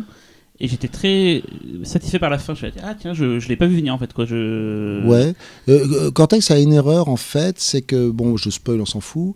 C'est que à la fin, il y a, on va dire, il y a une infirmière de la mort qui, qui donc, euh, Claude Perron. ouais, qui, qui, qui, qui donc shoot les. J'étais persuadé que tout le monde savait que ça existait. Et en fait, du coup, j'ai pas donné de raison. À la fin, on, on entend, il la tue, et puis on dit voilà, le directeur passe en procès pour négligence, mais on dit pas euh, pourquoi elle tue. Je me suis dit, mais en fait, euh, on dit pas, le silence des agneaux, on sait pas pourquoi il mange des gens. Enfin, je veux dire, euh, quand c'est un serial killer homme, on n'a pas la fiche à la fin pour dire il est serial killer parce que quand il était petit ou parce qu'il voulait Ouais. faire ceci ou cela, il aimait pas les femmes, machin. Donc j'ai fait pareil. Et là, dans toutes les salles, mais pourquoi elle tue? Dans toutes les salles. Quand fait le, ouais. Je On comprends pas pourquoi, ça je d'une comprends pas femme. pourquoi elle tue. Bah, parce que c'est une infirmière de la mort. Ah, mais c'est quoi une infirmière de la mort? Bah, C'est des gens qui sont dans les hôpitaux et on ne sait pas pourquoi ils tuent. c'est comme ça. Par volonté de domination, on sait pas trop. Donc j'avais pas envie de faire, de faire psychose. À l'époque, psychose c'était le premier du genre. Il a fait toute l'explication parce que il était obligé de dire les serial killers. Il n'y en avait pas dans des films comme ça à ce point. Il y avait Jack l'Éventreur, des, des connus, mais là il avait, il avait récu- récupéré euh, la fameuse histoire. Euh, donc voilà, ça c'est l'erreur qu'il y a dans, dans, Cortex, euh, ce serait celle-là. Et puis des problèmes de production. Ça c'était pas de production, mais de. Ça, ça, ça, ça m'a- ça m'arrivera plus jamais. Il y a une espèce de frénésie qui s'empare du cinéma français à partir de janvier, où toute personne qui a tourné un film et qui est en montage, on lui dit Cannes, Cannes, Cannes, Cannes, Cannes, Cannes. Cannes, Cannes, Cannes, vas-y, vas-y, monte, monte, Cannes, Cannes, Cannes. Assassin, tu m'as dit que c'est ce qui a coûté beaucoup à Assassin. Ouais, ça. absolument. Mais là, c'était pareil. Excitation, Cannes, Cannes. Moi, je connaissais un peu Cannes, quand même, depuis, depuis, depuis l'âge de 14 ans, fait marcher marché du film en mobilette. Mais c'est un film qui ira jamais à Cannes. Il prend jamais en compétition. On sait pas, on sait pas, Cannes, Cannes. Non, vas-y, vas-y, monte, monte, monte. Ouais, mais on va pas monter le film en UA. Non, mais c'est pas grave, on verra plus tard. Tu montes, Cannes, tu montes, ok. On fait un mixage rapide et tout. Et puis, euh, si Cannes ne le prend pas, on, on- tranquillement, on repartira. Mais même s'ils le prennent, tu verras, pour la rentrée, on s'y reprendra. Ok. Tu, donc, tu bourres, tu, tu montes le film pas si bien. C'est un film qui est pas abouti en montage. Et tu, tu montes le truc, et tu mixes vite, et machin, la musique, tout le monde est à la bourre, et puis Cannes ne le prend pas, parce que tu, tu savais que ça ne déçoit pas, tu le savais. Tu connais un peu ce festival quand même. Euh, et là, euh, tout le monde est déçu en fait. Alors tu dis, bon, ben alors on repart en montage. Euh, ouais, enfin non, c'est- 10 jours si tu veux, une semaine, les deux premières bobines, parce que c'est vrai que c'est un peu long, mais arrête-toi là. Tu vois C'est-à-dire que on te, on te dit pas ce qu'on t'a promis, puisque c'est- les gens disent, bah non, déjà que le film va pas à Cannes, c'est- c'est-à-dire que c'est pas si bien. On va pas, on va pas redépenser de l'argent. C'est hyper frustrant. Ah, hein. c'est hyper frustrant. Donc Cortex, c'est une, un, un grand, euh, une grande frustration, c'est celle-là, quoi. Donc voilà, mais euh, on, on peut passer vite. euh. Guardian Et Lord après, ensuite. ouais. euh, Après, Garden Lord, c'est aussi notre histoire. C'est un film qui, au départ, était un film conçu sur la ville, euh, avec des histoires. C'était la fabrication d'une amphétamine. On voyait comment une amphétamine se fabriquait, euh, c'est-à-dire avec rien. En même temps qu'on voyait des petits flics dans leur vie au quotidien. Il y avait un petit côté convoyeur. C'est quoi un flic? C'est quelqu'un qui arrive pour un type qui tape sa femme, euh, pour aller chercher un chat. Enfin, euh, et donc il y avait ça en parallèle. Et pendant ce temps, cette nouvelle cam fluo, elle montait, elle montait, elle montait, jusqu'au moment où, dans les petites histoires de flics, nous on savait ce qui allait arriver et euh, un- nos héros se retrouvaient avec un type qui prend une balle. Et voilà. Et à partir de là, le film commençait et se développait. Et ce qui s'est passé, c'était que le, le marché un peu dire oui, hein, il revient au polar après le convoyeur, génial, ok, ouais, ils peuvent faire un film. Et puis le message était ouais, ouais, ils peuvent se lâcher, ils peuvent faire un film à 12. Et c'était Sylvie Capella qui produisait. Puis de 12, c'est devenu 11, puis de 11, c'est devenu 10, puis de 10, c'est devenu 9, puis de 9, c'est devenu 8, et ça, a baissé. C'est la peau de chagrin. Et on s'est retrouvé à un moment donné où, où, le film, euh, ben, si je le faisais pas, Sylvie, qui avait déjà dépensé beaucoup d'argent en scénario, en développement, en, repérage, en, truc, ben, elle coulait sa boîte. Donc je me suis dit, bon, eh ben, j'ai fait comme sur le convoyeur, mais là c'était pas une bonne idée, c'est que je, je savais, hein, je me suis dit, bon, ben, je vais commencer euh, tout de suite. quoi. Et ce film, euh, ce film qui était plus dense et plus large, peut-être que ça aurait été un mauvais film, hein, j'en sais rien, mais, mais le, le projet d'origine a, été euh, a été vraiment réduit de moitié en fait, pour faire une sorte là, de petit exercice de style Euh, voilà, je me suis éclaté à faire parce que, je- parce que Cécile de France, elle est géniale, parce que Fred est un garçon Fred formidable. Testo, du coup. Donc, ouais, Fred euh, Testo, pardon. euh, voilà, c'était bien, c'était l'équipe du convoyeur, donc c'était très heureux à faire. Puis j'ai expérimenté la HD, donc ça c'est ce que j'en ai retiré. D'ailleurs, c'est très flou le film. Il y a plein mal de justement où tu vas loin dans les couleurs et tout. Voilà, donc je me suis dit, tiens, au moins je, fais la, je, je, je profite de la HD. T'as fait ton Michael Mann, quoi. euh, non, c'était qu'ils ont changé de support et qu'il fallait s'y mettre. Et donc, c'était, c'est ce que ça m'a apporté. Si, si je faisais pas ce film, non seulement il y avait des acteurs qui étaient sur le carreau, il y avait parce que le moment où on avait vraiment plus d'argent, c'était un, mois du tournage, un mois et demi. Il y avait une équipe qui était bloquée, donc c'était un peu cruel euh, de dire bon, je laisse tomber. Je me suis dit, ça fera un film de plus. C'est pas, c'est pas mon projet, mais au moins j'apprendrai. Enfin, je veux dire, ce sera un exercice de style. C'est ce que c'est devenu. Mais j'ai touché la HD, donc j'ai trouvé mon intérêt. Et je me souviens que j'avais été en salle à ce moment-là, deux, trois semaines avant, et je vois la bande-annonce. Et je me dis, ce film va monstrueusement se planter. Parce qu'il n'est plus son projet d'origine, parce qu'il est, il est. Et les gens prennent un abonnement pour Canal précisément pour voir ça. Et d'ailleurs, le film a fait un carton sur Canal, et une très bonne note sur Canal, c'est-à-dire que les gens vont pas payer 10 euros pour voir ça. C'est pas possible. Ça, ne, ça ne peut pas rivaliser euh, d'aucune façon euh, en moyens, en production. Donc voilà, ça c'est l'histoire de, Gardien de qui est un film euh, euh, que j'ai- pris vraiment beaucoup de plaisir à faire, dont j'ai beaucoup, j'aime toujours les comédiens, mais dont je me fous royalement. Et Cannabis, d'ailleurs, c'était avant ou après Cannabis, c'était après. Cannabis, alors ça, c'était un autre projet, c'est très, très, très symptomatique du cinéma français. C'est-à-dire, c'était un projet, c'est un scénario qu'on m'a amené qui était magnifique sur euh, le développement du trafic de hashish en France à partir des années 80 sur la Côte d'Azur. Euh, pourquoi le hashish euh, C'était pas les Italiens, euh, les Corses, comme, alors qu'ils avaient les rôles. Bah, voilà, toute l'histoire du hashish, c'était un super beau projet. Et Jamel m'a dit Ah, génial, super, je Jamel le fais, je le fais. donc, euh, Jamel Debbouze, pardon. Et euh, il nous a mené en bateau pendant deux, mois, deux ans, ce qui fait souvent. Et il a planté le projet. euh, sur la, sur, la, sur la fin, quoi. euh, oui, à, à deux mois du tournage, et là le film s'effondre parce que, parce que le truc compliqué, c'est que quand Jamel vous dit oui à un rôle, vous devez écrire le rôle pour Jamel, pour des raisons euh, évidentes. Donc vous adaptez complètement le rôle à sa personnalité. Je parle de, de- de tout point de vue. Donc quand il vous plante, vous dites pas tiens, je vais le remplacer par Dizem, ça marche pas. C'est pas du tout le rôle que vous avez écrit. Vous avez écrit un rôle cérébral, vous avez écrit un rôle moins physique, euh, etc., etc. Donc euh, quand il vous plante, il plante le film. Et d'ailleurs, euh, quand il, s'est barré de, de- du film de Jean-Pierre Jeunet, Micmac attire l'arigot, il l'a remplacé par Danny Boone. C'est Oui, un film très mécanique qui ne Ouais. marche pas. Alors que je pense que Micmac attire, attire l'arigot, joué par Jamel, ne nous ferait absolument pas le même effet. Il l'avait pensé depuis le début pour Jamel. Mmh. Et C'est Jamel un miscast euh, de Boone dans le film. c'est de- qu'à ce moment-là, Jeunet, il faut qu'il fasse son film et il le remplace. Et Danny Boone est plutôt méritoire d'ailleurs dans le film. C'est pas le problème, c'est que c'est pas son projet. Et donc euh, voilà, et là, dans un cas comme Cannabis où là carrément c'était l'histoire de, bah, ça s'est effondré quoi. Voilà, ça c'était. euh, Ensuite, Made in France. Ensuite, Made in France, bah là c'était la même chose. Après, Cannabis qui euh, se- s'effondre. Euh, bizarrement, euh, je ressens de nouveau un truc de me dire oh là, le polar ça marche plus trop, euh, Gardien de l'Or ça s'est planté, Cannabis ça s'est effondré. Faudrait que je fasse un film qui mette tout le monde d'accord, de nouveau. Et j'étais très en colère.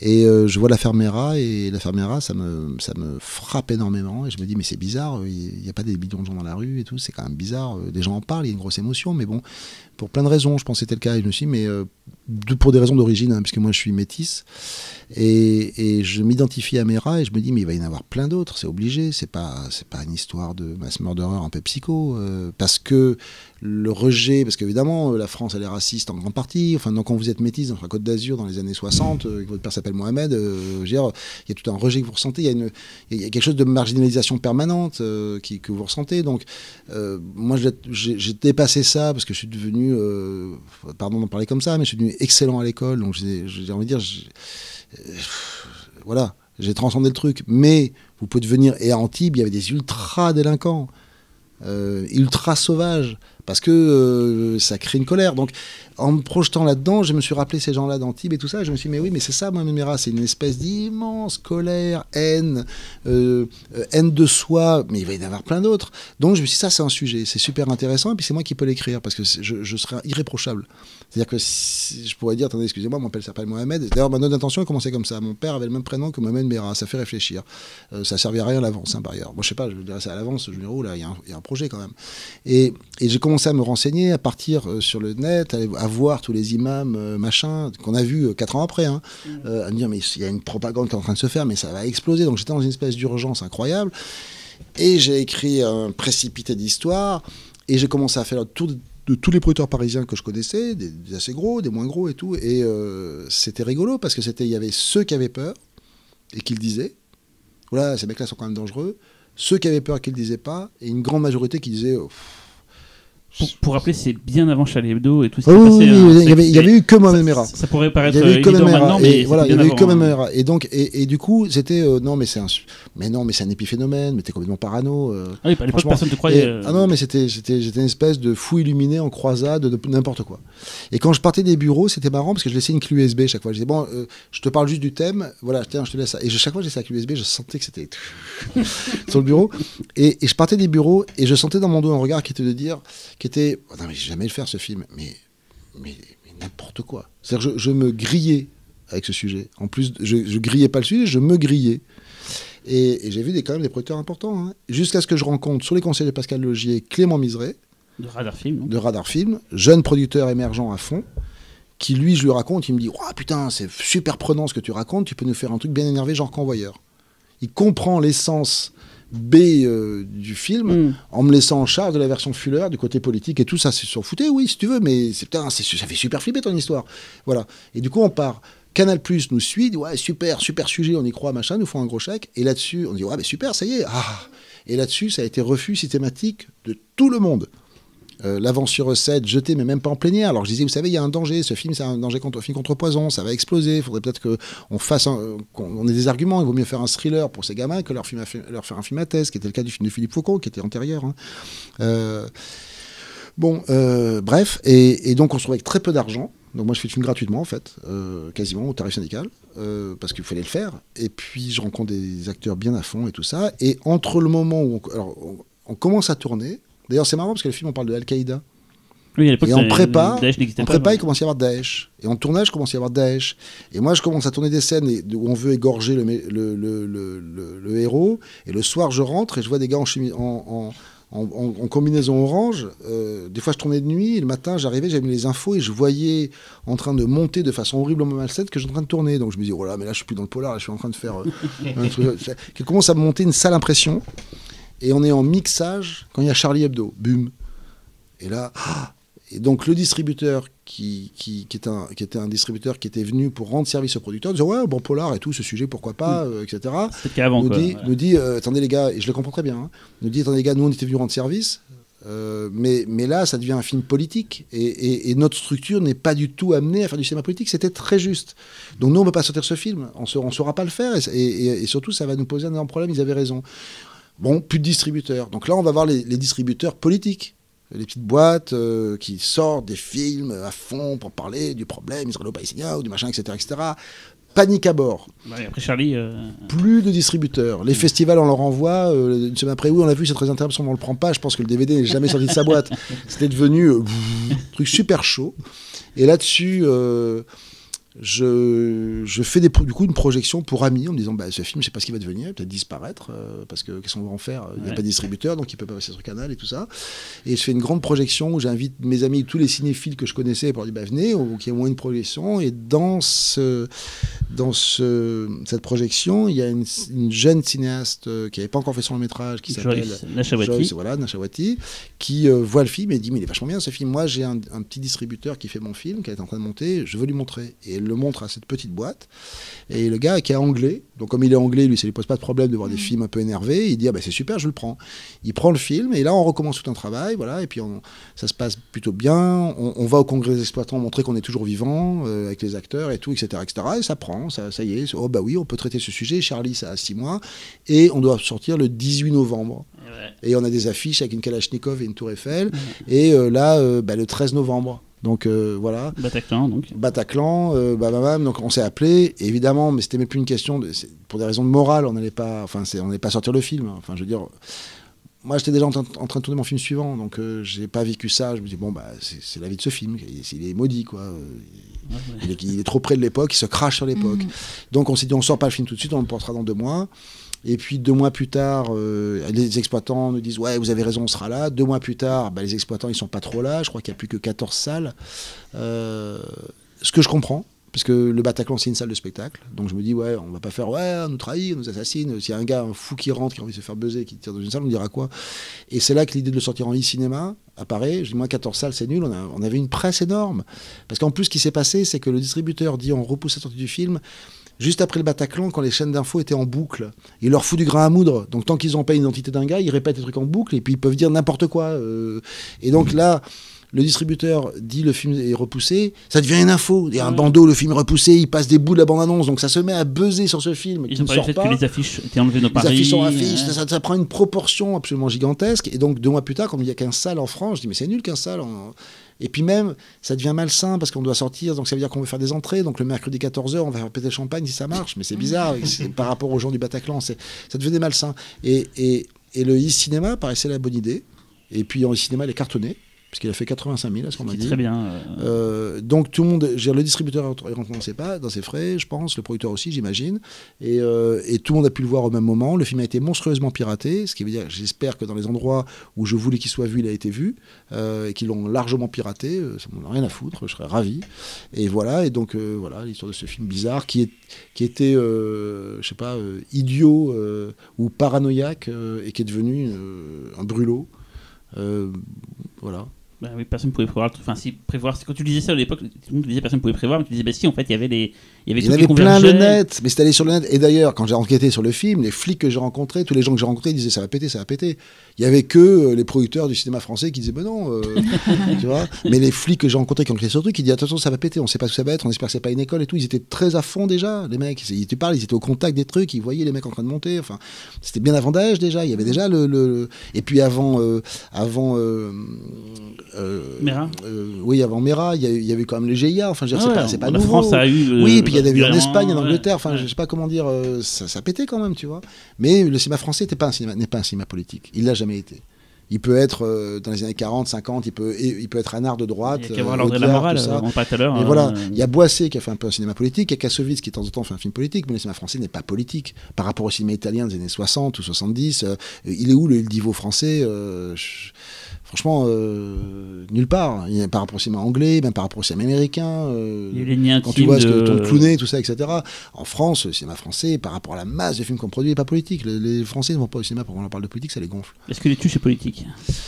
Les tuches, est-ce que c'est politique? Je ne sais pas. Euh, c'est la question que je me suis posée sur les tuches 3 sans l'avoir vue. C'est-à-dire les tuches à l'Elysée par rapport aux élections qu'on venait de passer. Je me suis dit, c'est un peu bizarre. Euh, mais je ne sais pas vu le film, donc je ne vais pas en parler en l'ayant pas vu. Nous parlons plutôt de ton film suivant. Voilà, euh, le film suivant c'était La Confession. Et La Confession, j'ai mis 20 ans à faire ce film. Ah oui. Euh, J'avais Ah lu le, beau- le livre de Béatrix Beck euh, il y a 20 ouais, dix- 16 ans avant. Et je disais au producteur, tu voudrais faire quoi? Je voudrais faire ça. Ah bon, tu veux faire ça toi Et aucun producteur ni ne, ne lisait le, le livre, ni même ne voyait la- Le l'adaptation. livre c'est Léon Morin Léon Morin prêtre, pardon, Voilà. euh, qui avait adapté déjà Melville avec euh, Belmondo et Emmanuel Riva. Mais je trouvais que ce- le film de, Bel- de, de- de Melville, qui est très beau, euh, était une vraie proposition par rapport au livre de Beck, mais qui avait moyen de faire une autre proposition. Et, et, et jamais les producteurs, ils lisaient le livre, vous voyez le film, c'est bizarre. Jusqu'au jour où je rencontre un jeune producteur. euh, qui crée sa boîte, qui me propose un truc qui n'a aucun intérêt. Je dis, bah, tu voudrais faire quoi? Bah, Je voudrais faire ça. Il a dit, il me dit, ah, j'adore, je vais le faire. Et voilà. Et, là-dessus, euh, une fois qu'on avait développé le scénario, comme Clément Miseret de Radar Film avait beaucoup aimé travailler sur Manu France, ben, on l'a amené et voilà, on a pu faire ce film. Mais qui est, euh, qui est un film, euh, ouais, voilà, c'est qui était, qui était un, mélodrame sur fond de religion, qui était un film que j'avais vraiment envie de faire depuis très très longtemps. Moi, j'avais pas vu justement le, le, quoi. Et que quand tu m'as parlé du projet, j'ai fait un truc sur un, un prêtre et tout, enfin un curé, je sais pas, c'est ou prêtre, un curé, je sais pas d'ailleurs, c'est enfin un religieux dans un Euh, petit village prêtre, et tout, ouais. voilà, prêtre. Ouais. Ça m'intéressait pas du tout, en fait. Et en fait, ce film, il, il- je trouve qu'il a pas confronté ses publications publiques, en fait. Et j'en parle souvent autour de moi, j'ai ce. Mais la c'est- en fait, c'est vraiment intéressant. À ce que j'ai cru comprendre, Voilà. ce que les gens me disent, mais c'est un film qui a l'air super chiant, mais qui l'est pas. Voilà, c'est ça. Et il, il a la verbale, Euh, elle est, elle c'est est ce que les gens disaient, putain, ouais, mais en fait c'est bien. Ouais, la- la- la ce qui se passe, tous les, les- les- les échanges et tout, c'est hyper vigoureux, c'est vraiment intéressant. Et tu sors de là, t'as fait un film qui t'a vraiment emporté, quoi. Et c'est Bah, C'est-à-dire que, regarde, en fait. mais parce que en fait, le, le truc que, les gens n'ont pas calculé, euh, c'est rigolo parce que euh, James Gray fait du polar, et puis un jour il fait Two Lovers. Et, et en fait, euh, les Hitchcock sont très souvent se font hyper mélodramatiques. Et en fait, quand tu travailles sur du polar et du suspense, le suspense amoureux c'est pareil. C'est juste que c'est pas les mêmes, c'est pas à base de flingue, Ouais. mais c'est vont-ils s'aimer, vont-ils arriver à s'aimer sans problème? Mon Dieu, ciel mon mari. Enfin, c'est pas le cas de la confession, c'est pas tout le débat, mais je veux dire que Notorious, c'est un ciel mon mari euh, à trois. Enfin, je veux dire que le glissement il est facile. Euh, je pense pas que pour James Gray, quand il fait Two Lovers, je, je me compare pas à un au-delà. hein. Euh, je pense pas que quand il fait Two Lovers, il a l'impression de faire un film totalement différent de ce qu'il fait d'habitude. En gestion du quotidien, de direction d'acteurs, de, de la tension. C'est pas une tension policière, ça peut être une tension érotique ou une tension sentimentale, mais c'est la même chose en gestion. C'est marrant parce que pour moi, il y avait un lien de parenté avec euh, Made in France. Et bon, je savais pas que c'était un projet que tu portais depuis, depuis des années. Mais il y a la religion. Ouais. Il y a la- la- le rapport à la religion aussi qui est traité. euh, la Ouais. sincérité par rapport à la religion. Et du coup, bah. voilà, Oui, ça- après, c'est des thématiques euh, qui traversent ces histoires-là, mais euh, par euh, principe, je parle jamais thématique, moi. Euh, parce que je, je, je crois que quand on commence à parler de thématique entre metteurs en scène, euh, on commence justement à, remplacer la synthèse par l'analyse. Et on Mhm. commence à se dire euh, Ah, tiens, ça c'est un thème qui me. Il y a, y y des, y a obsessions quand même chez des cinéastes. Je ne, je dirais surtout pas le contraire, mais je suis Mhm. ravi de voir les obsessions Mhm. d'Hitchcock. Tu vois, je suis ravi de, de, de voir que, je sais pas, euh, à un moment donné, euh, sa libido s'est exprimée sous forme d'oiseau, qui fait que les oiseaux sont empaillés dans Psychose. Oui, Parce que Bon, Norman enfin, Bates est gelé et qu'après il les déchaîne sur Tippy Hedron. Voilà, à un moment donné, la libido d'Hitchcock s'est incarnée en, en oiseau. C'est comme ça que je le ressens. Euh, je peux me tromper, c'est mon analyse. Je trouverais dommage de voir un interview d'Hitchcock qui dit Alors vous comprenez, ma libido à un moment donné, je sais pas pourquoi, c'est des oiseaux, donc ils étaient empaillés pour. Ça m'emmerderait, mais profondément, et ça m'enlèverait même le plaisir que j'ai à faire cette analyse. Après, c'est des Donc, sujets euh, proches. C'est-à-dire la religion, c'est voilà. un sujet du quotidien. Absolument, donc moi, la libido aussi, hein, mais bon. euh, et ça va souvent ensemble.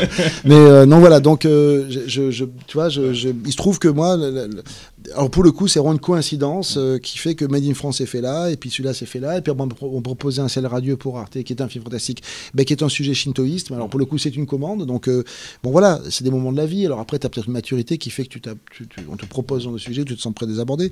Mais euh, par ça, euh, voilà. quoi. Un truc. Ah, désolé, Véronique, vas-y. Non, j'allais enchaîner sur un ciel Ju- radio. Justement, juste pour dire qu'il y a des personnes avec qui tu as travaillé qui vont avoir un sens dans les films dont on va parler, les derniers films dont on va parler maintenant. C'est à la fois Rob pour la musique, sur Ouais. lequel tu as travaillé sur Made in France, Ouais. et Emmanuel Dacos, sur qui tu as travaillé sur la photo sur, euh, sur la trois jours et confession. une vie et sur la confession. voilà. Oui, oui, bah oui, bah c'est c'est l'avantage de, de- de- comment dire, quand on a la chance de pouvoir croiser sur sa route des techniciens euh, qui à la fois vous comprennent, que vous comprenez et qui enrichissent euh, votre travail de leur personnalité propre euh, et, et- le font l'upgrade en fait. Ben on on veut pas s'en séparer. Et donc Rob, je l'ai rencontré, j'avais écouté la musique de Belle Épine. Je vois Belle Épine, qui est un, je trouve un joli film. Et il y a une musique, je me dis la musique elle est incroyable. Moi il y a une séquence, c'est presque une musique de film zombie sur une scène de film d'auteur français. Je me suis c'est étonnant ça. Après, je vois un autre film qui s'appelait, dont j'ai oublié le nom, sur le, le monde des gitans.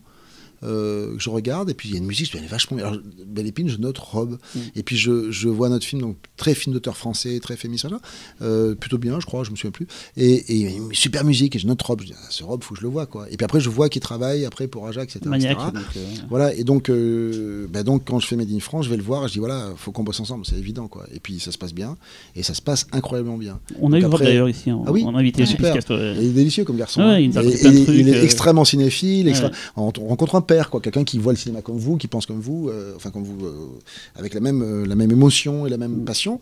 Et voilà, donc après on fait un ciel radieux qui était une histoire pas évidente à illustrer, il est super bien, puis après on fait trois jours et une vie, voilà quoi. Donc euh, Justement, c'est le radio du coup. euh, Ouais, bah, c'est sa première expérience euh, fantastique. Exactement. Et ça, c'était fou parce que c'était les gens d'Arte qui sont venus me voir en me disant, enfin des gens d'EuropaCorp d'ailleurs, télé, euh, pas Besson, parce que Besson, ils s'en foutaient complètement des téléfilms. euh, ça, ils s'intéressaient pas du tout. C'est la seule garantie que j'avais demandé. Est-ce qu'ils s'intéressent Parce qu'il y a beaucoup d'histoires sur Besson qui fait du remontage et tout ça. Donc moi, je voulais surtout pas me mélanger à ça. Non, ils sont fous complètement. euh, pour Arte, euh, ok. Et c'est vrai qu'on l'a jamais vu, jamais, jamais apparu. Il y avait d'autres chats à fouetter, euh, euh, si j'ose dire. Non, non, mais non, c'est- senti- c'était pas, c'était sans, sans arrière-pensée. Je me permettrais pas en fait. Euh, sujet trop grave. Donc voilà, et je lis ce manga. Je connaissais pas Taniguchi parce que je suis, je pas mal à côté de la culture manga, qui là aussi, il faut beaucoup de temps, beaucoup de passion et tout ça. Et je trouve cette histoire bouleversante. Et je me dis, waouh, et puis merci Arte de me proposer ça, quoi. C'est pas, tiens, on va faire un polar. Et, euh, et si j'avais su qu'il était Taniguchi, j'aurais refusé. Moi, j'ai lu ça, j'ai fait, c'est une super belle histoire, ok. Mais pour Et expliquer, puis- c'est un des, un des personnes qui vend le plus de mangas. Enfin, Voilà, il est vraiment c'est le mangaka en, auteur, en euh, Europe voilà. considéré comme le Ozu du manga, le Yasuhiro du manga, le génie du manga et tout ça. Ils C'est- des adoré, quoi. lointains. euh, Quartier voilà. lointain, adoré, hommage à Angoulême, machin, etc. Mm. Adoré, couverture, star. numéro spécial des Inrocks, numéro spécial de Télérama. Si j'avais su tout ça, je me serais dit, oh là là, il y a que des coups à prendre, là, je vais pas y aller. Mais comme j'avais pas ça, j'ai juste été bouleversé par cette histoire. Et je me suis dit, ah bah tiens, ouais, ok, je vais le faire. Et puis donc après, on a rencontré Taniguchi. Euh, pour lui exposer comment on voulait faire cette histoire. C'était un tout petit monsieur euh, délicieux, euh, pas mal d'humour. Alors tout le monde tremblait, mais moi je tremblais pas, je savais pas qui c'était. Après j'ai compris qui c'était, mais trop tard j'étais dedans. Et, puis voilà, on est parti faire ce- cette histoire. Et, il se trouve que c'est là aussi, c'est une histoire très pure, très simple.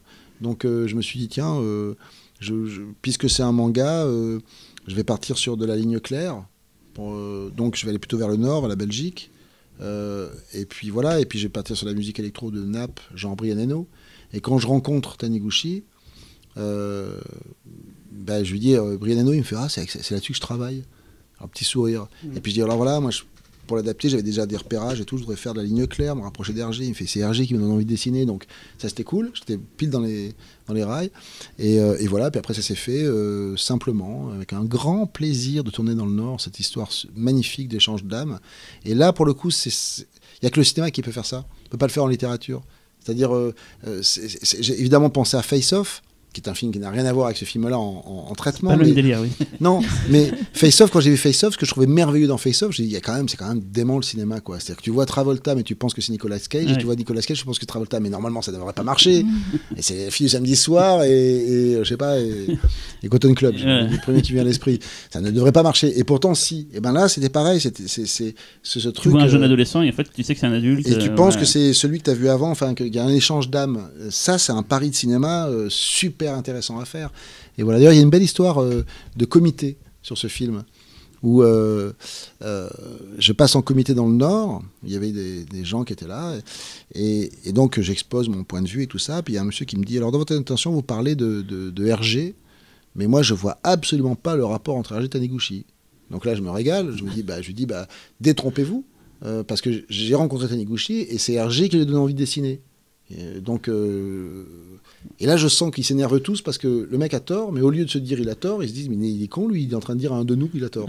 J'ai en train de, en disant la vérité, que- de dire que je sens que ça va très mal se passer. Et le gars me regarde et il dit euh, bon, il y a tellement de gens qui se réclament d'RG. Qu'est-ce que tu veux répondre à ça? C'est-à-dire, euh, tu me dis qu'il qu'il a rien à voir avec RG, mais lui il me dit que c'est lui, qui- donc il peut s'en réclamer quand même, puis c'est de lui dont on parle, tu vois. Espèce de truc méta, euh, ouf, incroyable, drôle d'histoire. Bref, et voilà quoi. Et après, ce téléfilm a eu, a eu ouais, il, a- il est très bien passé. En fait, je sais pas, il- je sais pas ce que je pourrais en dire, hein, parce que Justement, on peut en parler. du coup, Moi, j'avais une question quand même. Le fait d'adapter une histoire qui était, qui, a- qui était déjà en image, est-ce Ouais. que ça t'a bloqué ou est-ce que.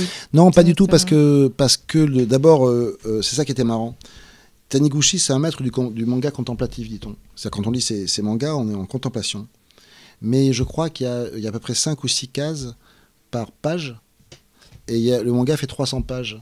Ça fait 1800 dessins. 1800 dessins, c'est euh, euh, les visiteurs 2 quand Poiré est à, à donf euh, de, de substance et de mégalomanie. C'est tellement ça. Non mais donc euh, si tu veux si tu adaptes littéralement donc il fallait trouver une autre syntaxe. Donc là tu dis ouais, je vais plus penser à Tarkovsky là pour le coup que de penser à adapter le manga. Tu vois, c'est c'est ça peut pas t'inhiber. Après le, le truc qui était très dans ce manga, c'est que c'est c'est un, un pitch sublime mais en fait très mal écrit. Quand il pose l'histoire, les 150 pages, c'est magnifique. Tu dis ouais, ça je peux prendre, ça j'enlève, ok, ça je peux réduire. Mais en fait, une fois qu'il les échange, ben, euh, il, il se passe plus rien. Et, euh, le personnage qui est censé dire adieu, il dit adieu trois fois sur euh, 40 pages. Euh, Il y a des personnages qui sont au courant de son mystère, c'est de ce- cet échange d'âme. Il parle à sa petite copine, il dit bah voilà ce qui m'est arrivé. Elle dit ah oui, je vais t'aider en bas d'une case avec son petit truc de manga là, en contre-plongée, super mignonne. Puis en fait, elle elle a rien, elle l'accompagne. Donc il fallait, d'un coup, il fallait scénariser l'histoire. Et là, c'est là que je me suis dit bon, maintenant j'ai droit à ça. Euh, je me suis dit, tiens, je vais parler du harcèlement au travail, parce que l'affaire France Télécom, ça m'avait quand même pas mal traumatisé. Et je me suis dit, tiens, et si l'accident que ce gars a, j'avais bien lu le manga, je me dis, mais tu sais, c'est quasiment un burn-out. Et donc, euh, ce qui, qui s'appelle le karoshi au Au Japon. Oui, euh, Et, et- et donc, je me dis, tiens, je vais baser là-dessus. L'accident que ce personnage a et qui fait qu'il y a un transfert d'âme, ce sera parce qu'il est épuisé au travail. J'ai parlé de France Télécom. Comme ça, j'ai quelque chose à raconter quand même. Et quand on a vu Taniguchi, je lui ai parlé de ça. J'ai j'ai cru lire en sous-texte que autant c'était un karoshi. Et je voudrais travailler là-dessus et développer ça. Et il m'a fait un petit sourire, il a fait un petit oui, il a rien dit.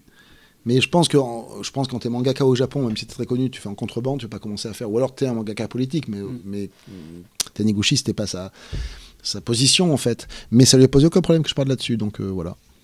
Il y, a une vraie euh, une forme de douceur et un truc très touchant qui est beaucoup amené est par de- les comédiens aussi. Ouais, Et je sais pas, Peut-être parce que je suis jeune père aussi, donc Ouais. euh, tout, tout, tout ce truc avec l'enfance, le, le regard des enfants, ça.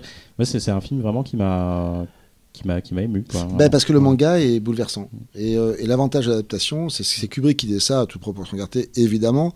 Euh, mais si Kubrick n'écrivait jamais de scénario, c'est qu'il disait quand je fais un film, euh, comme il y a beaucoup de moments où on ne sait plus, enfin, où il y a beaucoup de choses qui se passent, je sais qu'à ces moments-là, je me réfère à l'émotion que j'ai eue quand j'ai lu le livre.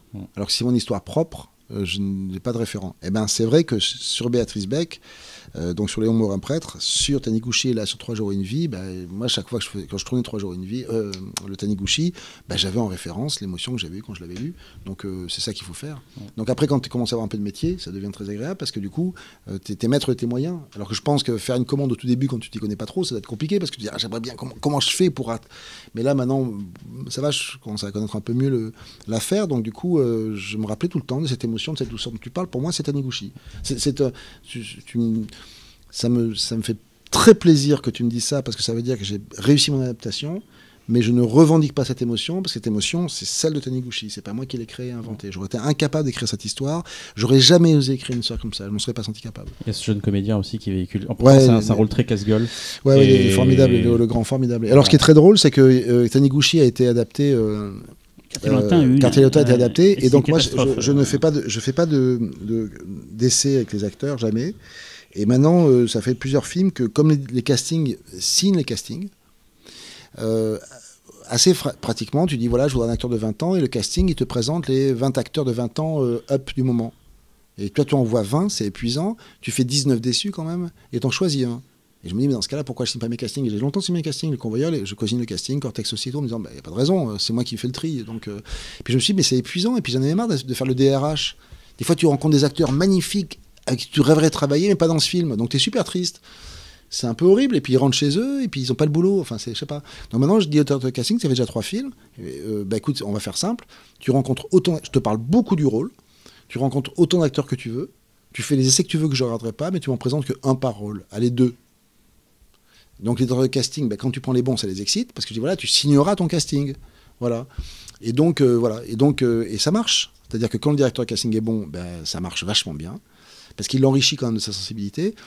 Euh, quand il est mauvais, c'est lui qui saute. Ce qui m'est arrivé euh, en Belgique.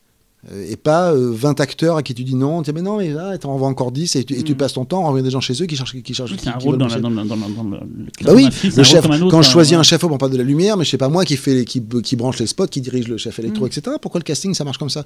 Et ça marche très très bien. Et donc Léo, euh, alors ça donne des bons résultats parce que les acteurs ils viennent pour le casting. Je dis juste, je leur dis pas. Ils savent pas qu'ils sont les seuls que je vois. Donc eux ils viennent pour rencontrer le metteur en scène et quand ça marche, au bout de 5 ou 10 minutes, je leur dis bah bah, bah puis je leur parle du rôle. Euh, ça m'amuse un peu, mais c'est marrant euh, parce qu'ils le font. Et donc, il y a toujours ce moment où les acteurs sont mais ils me parlent du rôle comme si je. C'est à ce moment-là où il y a se trouve. Ah oui, au fait, j'ai oublié de te dire, bah oui, parce que je suis embarqué par mon truc. Moi, je fais déjà le film avec lui ou avec elle. Ah oui, au fait, oui, excuse-moi, euh, oui, c'est toi qui fais le rôle. En fait, je vois que toi parce que le directeur de casting m'a expliqué le truc. Alors les acteurs là, mais là, du coup, ils ont échappé à tout ce processus horrible qui les diminue. Donc, c'est une confiance que vous leur faites qui, les ravit. Et donc, quand ils arrivent sur le tournage, ils sont à fond de confiance, puisque c'est pas un truc où ils ont fait des essais en disant je sais pas bon et machin, on les rappelle, on rappelle pas. Donc ça marche très très bien. Et donc sur Léo Legrand, c'est très drôle parce que donc, il arrive, ce grand acteur là pour jouer le rôle principal de, du film, et il s'assoit et puis euh, là et puis je lui parle, puis je dis ah au fait oui c'est toi qui fais le film, elle avait raison, euh, le casting c'est exactement toi que je cherche, etc. Et puis il me dit Oh, ça c'est dingue alors parce que c'est moi qui joue dans Quartier lointain. Et en fait, il- quand il y a un Taniguchi, quand il y a un Taniguchi, on va le chercher. En fait, il est l'acteur principal des deux Taniguchi. Il avait 14 ans dans le quartier lointain, et là, il en avait 18. C'est drôle. Donc, euh, et comme le film est à base de réminiscence, Ça tombe bien, oui. euh, bah, je me suis pas privé de demander les droits d'un plan de quartier lointain. Euh, pour- comment il y a un flashback de Léo à Ouais. 18 ans, il a un flashback où il se voit en train de foutre dans une piscine, bah, c'est lui. Les gens me disent mais c'est incroyable le plan comme le mec il ressemble. Bah oui c'est lui. À ILM. 14 ans, à 14 ans dans un Taniguchi donc c'est rigolo puis comme c'est un film de, de- voilà bref. Et comment t'as abordé Voilà. le fait que ce soit un. Je sais que c'est pas comme ça que tu l'as pensé, mais un téléfilm du coup, c'est. J'ai dit à, à Arte, je ne vous ferai pas un téléfilm, je sais pas faire, je vais vous faire un film pour la télé. Comme c'est un film pour la télé, le seul truc que je ferai, c'est que je vais prendre le format télé, Parce qu'ils prennent tous le scope, mais ils sont recadrés, de toute façon. Donc je me dis, c'est con de vouloir faire du cinoche pour les trois projections que je ferai en salle, autant que je prenne le format télé, comme ça on ne le recadre pas. Donc je dis, voilà, ça je comprends, c'est un film pour la télé, donc il aura le format télé. Euh, 16-9, quoi. Mais par contre, je ferai un film pour la télé. Ah bon, mais qu'est-ce que ça veut dire? Bah, vous verrez, mais moi, je sais pas faire un téléfilm. Et puis ça commence euh, sur les essais, le casting. Ils me disent alors quand est-ce qu'on voit les essais? Je dis bah eh, moi je fais pas d'essais. Ah oui mais nous en télé euh, il faut des essais parce que c'est le diffuseur qui décide. Bon Arte ils sont cool, attention c'est Arte. Hein. Euh, je pense pas chez TF1 je me serais fait virer. euh, J'ai rien contre la méthode. c'est je- pas- ça marche. voilà. Ouais. Et donc je dis, bah, moi je fais pas d'essai. Ah, non, mais nous, il faut qu'on voit les essais, il faut qu'on verrouille le casting. Je dis, bah non, euh, je suis désolé. euh. Et chaque fois, je disais, bah attendez, je comprends, c'est vos méthodes, mais si vous venez me chercher moi qui fais des films de cinéma, euh, moi j'ai des méthodes. Si je vous fais d'essais, ils vont être nuls.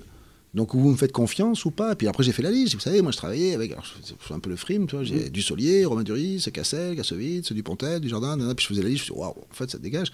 Donc une fois que je leur disais, bah ok, d'accord, euh, ok.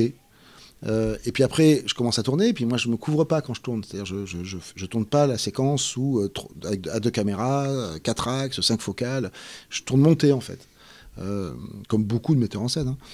Et donc ils ont commencé à me dire, mais alors, ça c'est une scène, ok, mais après vous allez vous couvrir. Bah non, oui, non, enfin nous en montage il faut qu'on intervienne. Je dis bah vous pourrez intervenir, en enlever une scène, en changer un raccord, mais vous n'allez pas pouvoir remonter les scènes. Ah oui, mais nous en télé, bah ouais, mais je suis désolé. euh, donc si- je comprends très bien. hein, moi je vous laisse ce scénar, je disais, je vous laisse ce scénar, il y a pas de problème, vous appelez quelqu'un, je vous jure, je n'en voudrais pas et tout ça. Bon, au bout d'une semaine de tournage, euh, et, voilà quoi. Et à l'arrivée, ils ont ils ont bien aimé bosser comme ça. Et puis bon, comme c'est Arte, ils bossent quand même avec des metteurs en scène, etc., etc. Donc voilà, donc j'ai fait un film pour la télé. Du coup, moi je considère, j'ai eu aucune contrainte. J'ai j'étais libre en casting. J'ai géré mon budget euh, au, corps de près. J'étais libre de choisir mon équipe. Euh, pour moi, c'est mon, huitième long métrage. Hein. Pas, je, je le considère pas comme un truc à part pour la télé. J'ai pas fait ça pour l'argent. J'ai pas, euh, j'étais, je l'ai fait exactement comme je fais mes films. Donc euh, Pour moi, c'est enfin, pas ton travail, mais c'est comme c'est peut-être un des plus beaux scores de Rob, je trouve. Le score de Rob pour ce film. le score de Rob, il est, il est d'une beauté. Attention, Rob, il, il bosse assez librement. Ouais. Et il m'a livré des trucs. C'était tellement beau. Il y a des Euh, cœurs en fait. Ah, c'est euh, incroyable. Il a pris des prix. Hein. Shut, Il, il a pris des prix à La Rochelle. Il a pris un prix notamment pour la musique et tout ça. Et même la musique, elle est devenue récurrente à La Rochelle, paraît-il. Jour, Ah ouais. Ouais, enfin, c'est La Rochelle qui a dit écoute, et c'est devenu leur pour leur Mhm. diaporama là, de gens de télé. euh, c'est la musique de Rob. Parce que est c'est passé là-bas, c'est un des rares festivals qu'il a fait d'ailleurs. euh, Ouais, ouais, ouais. Et t'as été très bien accueilli d'ailleurs quand tu l'as passé. Ouais, ouais, très bien accueilli avec les gens qui disaient Ah, euh, si tous les films qu'on voit étaient comme ça. Et alors je comprenais pas pourquoi. Et puis moi, j'avais jamais été au Festival de La Rochelle, puis j'avais un badge, alors je suis rentré dans les salles voir les téléfilms. Et là, j'ai compris, parce que là, j'avais la chance d'avoir été chez Arte, mais j'ai compris les deux caméras, les trucs sous couvert, le drone à tout va, le Steadicam à tout va. C'est-à-dire qu'il y a une... le metteur en scène n'est pas considéré dans la téléfilm. Il est là pour, pour- voilà, les acteurs et euh, le scénario. Mais il n'y a pas de, il y a pas de coupe de mise en scène. Je compris, je comprends, hein, c'est un genre, Oui, mais, c'est comme ça. comme ça. Et du coup, j'ai compris ça, que ouais. du coup, ils avaient vu un film en fait. C'est pour ça qu'il a eu mon ouverture, etc., etc. Et la musique est disponible en vinyle pour ceux qui seraient intéressés. Comme Euh, beaucoup de musique de Rob, mais celle-là est disponible en vinyle. hein. Ouais, moi il me reste quelques-uns, donc s'il y en a qui veulent les... si- s'il y en a qui n'arrivent pas à les trouver, euh, les premiers arrivés sont les premiers servis. Ouais, je dis ferai ça franchement, il doit m'en rester trois de chaque, donc euh, si les gens sont en vente chez à Ah, Paris, d'accord, ceux. Non, mais je dis pas ça pour te. non, mais moi j'en ai chez moi, mais je, voilà, je les ai filés. Ceux que j'avais, j'ai filé à tous mes amis qui avaient des vinyles, donc euh, s'il y en a qui, qui en ont pas, moi je m'en fiche. L'air de. Si, voilà. Non, mais si quelqu'un va- est vinyle, voilà, euh, n'hésitez pas, on sait jamais, noté. avec un peu de chance, c'est- cadeau. C'est cadeau, C'est cadeau vraiment d'émission. Superbe score. Vraiment, je tiens à le dire parce que le. Non, c'est un très joli score.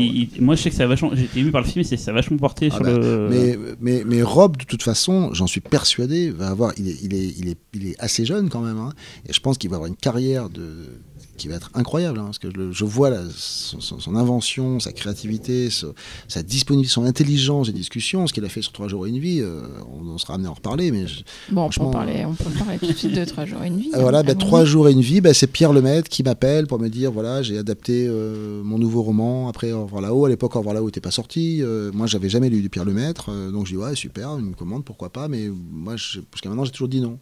Et sens, Gaumont. Euh, C'était pas encore Gaumont. C'est pas Gaumont, Non, c'est lui directement avec euh, son agent. Et puis je lis le scénario et voilà, et je, je me dis, je peux pas, je peux pas dire non. Si je dis non à ce scénario, qu'est-ce que j'attends qu'on me propose? J'avais toujours dit non au scénario qu'on me proposait. Certains sont devenus des films importants du cinéma français, hein. mais je suis persuadé que si je les avais faits, ils ne seraient pas devenus importants comme ça. Je les aurais- ils ne parlaient pas, en fait. Euh, c'est- des rencontres. D'accord. Et, euh, et là, ça, je me suis dit, mais c'est incroyable, tout simplement parce qu'il y avait une base. Euh, Pierre Chenal, euh, Decoing, Clouseau, Duvivier, Chabrol, c'est le film de Petit Village, euh, avec des caractères forts et un drame qui casse ce truc en deux. Avec une possibilité. Bah, c'est trop compliqué de raconter le synopsis parce que, à part le dire comme ça, c'est un enfant disparaît dans un petit village. Euh, et cette- la disparition de ce- cet enfant va, va amener ce petit village à vivre des événements incroyables. On le dit comme ça parce que comme Pierre, je dis ça parce que c'est pas mon scénario. Et je trouve que Pierre Lemaître a un sens du twist humain permanent. Donc, je dire, le plaisir que j'ai lu à scénario, c'est des découvertes que je dis, ah, se passe ça, c'est incroyable, à ce personnage, je retourne comme ça. Ça m'embête quand je fais la promo de ce film de spoiler Ouais, de m'enlever le plaisir que moi j'ai eu en tant que lecteur en disant ben voilà il se passe ça ça ça ou d'un quart d'heure il va y avoir ça et puis on vous laisse la dernière heure Euh, je trouve ça dommage donc euh, mais en tout cas c'était le pour moi ce cinéma garde à vue avec euh, Serrault et Ventura c'est-à-dire ce cinéma de drame humain français euh, ça c'était une première chose et la seconde c'est comme la première partie le film en deux parties se, se passe avec un enfant il y avait moyen là aussi de frayer un peu avec le fantastique, c'est de faire un, petit monde comme ça, perdu au fin fond des Ardennes, vu par un enfant. Ça me permettait de faire un, une espèce de glissement un peu expressionniste, un plutôt marrant quoi. D'ailleurs, on parlait de casting, euh, l'enfant est incroyable. hein. Et ouais, il n'est pas acteur en fait, c'est pas un enfant acteur, c'est un enfant. euh, ouais, c'est un enfant pas acteur, c'est marrant. Je le rencontre et puis je vois ce petit garçon tout mignon là, euh, qui n'était pas le premier choix du, directeur de casting belge, qui était très mauvais. Il m'a dit ouais j'ai eu trois enfants. Moi non c'est juste comme ça pour que tu le vois parce qu'il ressemble un peu à l'acteur qui va jouer après, mais c'est pas mon premier choix. Et puis lui m'amène l'acteur qui un, enfant qui joue dans Boule et Bill 2 qui était c'est compliqué. Enfant acteur des fois c'est affreux pour eux, hein, mais ils sont hyper énervants. Et ils, c'est sont pas con- eux. ils sont conscients de. Pas- ils ont été poussés Ouais. par leurs parents, machin. Puis quand ils ont fait deux fois des premiers rôles, ils, ont, ils se la racontent. Mais s'ils se la racontent, le gamin il a 11 ans, c'est normal qu'il se la raconte, mais il- c'est super énervant. et, euh, et là, je vois ces petits gamins, et puis je dis Ah, t'as envie d'être acteur? Il me dit une fois. Ah bon, une fois? Et pourquoi? Ben, Mon père est metteur en scène, et, et quand je vais sur ces plateaux, j'arrive pas à bien regarder, j'ai l'impression que j'emmerde un peu. Je, je me dis que j'aimerais bien voir son métier, mais je trouve la place où la mieux on peut voir, c'est acteur. Et son père, il s'appelle Guillaume Senez. Il a fait un, un très joli film avec Duris qui s'appelle Nos batailles, un film plutôt réaliste sur un divorce. Et je trouvais ça super mignon, super frais. Je me suis dit, ouais, c'est ça, c'est ça, c'est original, quoi. Et il était assez timide. Et puis je me suis dit, tiens, je vais partir avec lui. Et j'avais comme référence l'enfance d'Ivan, Requiem pour un massacre. C'est un enfant qui voit beaucoup de choses. Donc je me suis dit, il faut que je parte sur un enfant qui ait des grands yeux. Bah, euh, de euh, euh, voilà, ouais. qui soit empathique par son regard. Et comme ce gamin, comme quand je lui parlais, il avait ses grands yeux bleus là. Et puis s'il pas des yeux, cet enfant, c'est très Mm. curieux. Il peut tenir là pendant une minute. Si tu fais le jeu avec lui, de tu sais pas des yeux, tu Ah ouais, perds coups. et, et- et donc il avait ce regard comme ça, très, très, très, ouais, comme ça, très, très, très fort, très puissant. Et voilà, donc je suis parti avec lui. Mais du ça. coup, euh, je trouve que le, là où c'est casse-gueule, c'est-à-dire qu'il y a quand même une partie du film qui repose beaucoup sur lui. ouais, ouais. Donc euh, si, si tu te plantais sur lui. euh, Ouais, c'est vrai, mais, mais après, euh, ouais, euh, je savais pas quoi faire. J'avais confiance en fait. Alors après, il fallait les coacher, les enfants. Il y a trois enfants. Du coup, je vais faire coacher, je vais faire avec un coach professionnel, il va me saouler avec ses techniques à la con. euh. Ça peut être très bien, hein, mais là, pour ces enfants-là qui sont pas acteurs et tout, je me dis, ça, ça va pas le faire. Et j'ai pensé à ma fille qui a 29 ans, qui est comédienne et qui est très à l'aise avec les enfants. Et je dis, tiens, si je dis aux parents, ma- la coach c'est ma fille, ça va créer un truc. Dis ça aux parents, les parents ils étaient hyper contents, hyper soulagés, ce qui fait qu'elle a pu euh, vivre avec les parents, emmener les enfants, répéter avec eux. Puis moi, Ça fait Donc- naturellement, quoi. c'est- oui, ça devenait presque du cousinage. Ouais. C'était c'est marrant. Et puis après, moi, je suis avec ce petit garçon, puis tout le monde disait, mais tu vas pas faire des, essais avec lui, tu vas pas faire des séances de travail. Je dis, bah non, ça va, on tournait le premier jour, mais quand même, il a jamais été acteur, il a jamais rien fait. T'as regardé les essais qu'il a fait dans le casting? Je dis, non, non, je peux regarder. Et on peut les voir, non, je veux pas que vous les regardiez, mais il faudrait que tu travailles avec lui. Donc au bout d'un mois, pression de premier assistant production, je me dis, ouais, putain, faudrait ils ont peut-être raison, faut que je fasse une séance de travail. Je suis arrivé dans une pièce à un moment donné. euh, et je savais que ma fille bossait bien, j'imaginais. Puis il y avait ce petit garçon assez timide. Je me suis dit, je vais faire quoi, ce petit garçon Et puis j'ai eu une idée. Je me suis dit, tiens, je vais faire ça. Je dis, voilà, je vais me mettre dans un coin de la pièce, je vais me boucher les oreilles. Parce qu'il est assez, il est très poli. Très... Et tu vas me gueuler dessus, espèce de connard. Je gros truc qui passe par la tête. Hein. ça, ouais. Je sais pas. En me disant, je sais pas, il, il est très poli, très. Si je dois travailler avec lui, c'est le faire sortir de ses Ouais, gonds, tu faire faire un euh, truc, je sais pas, j'en sais rien.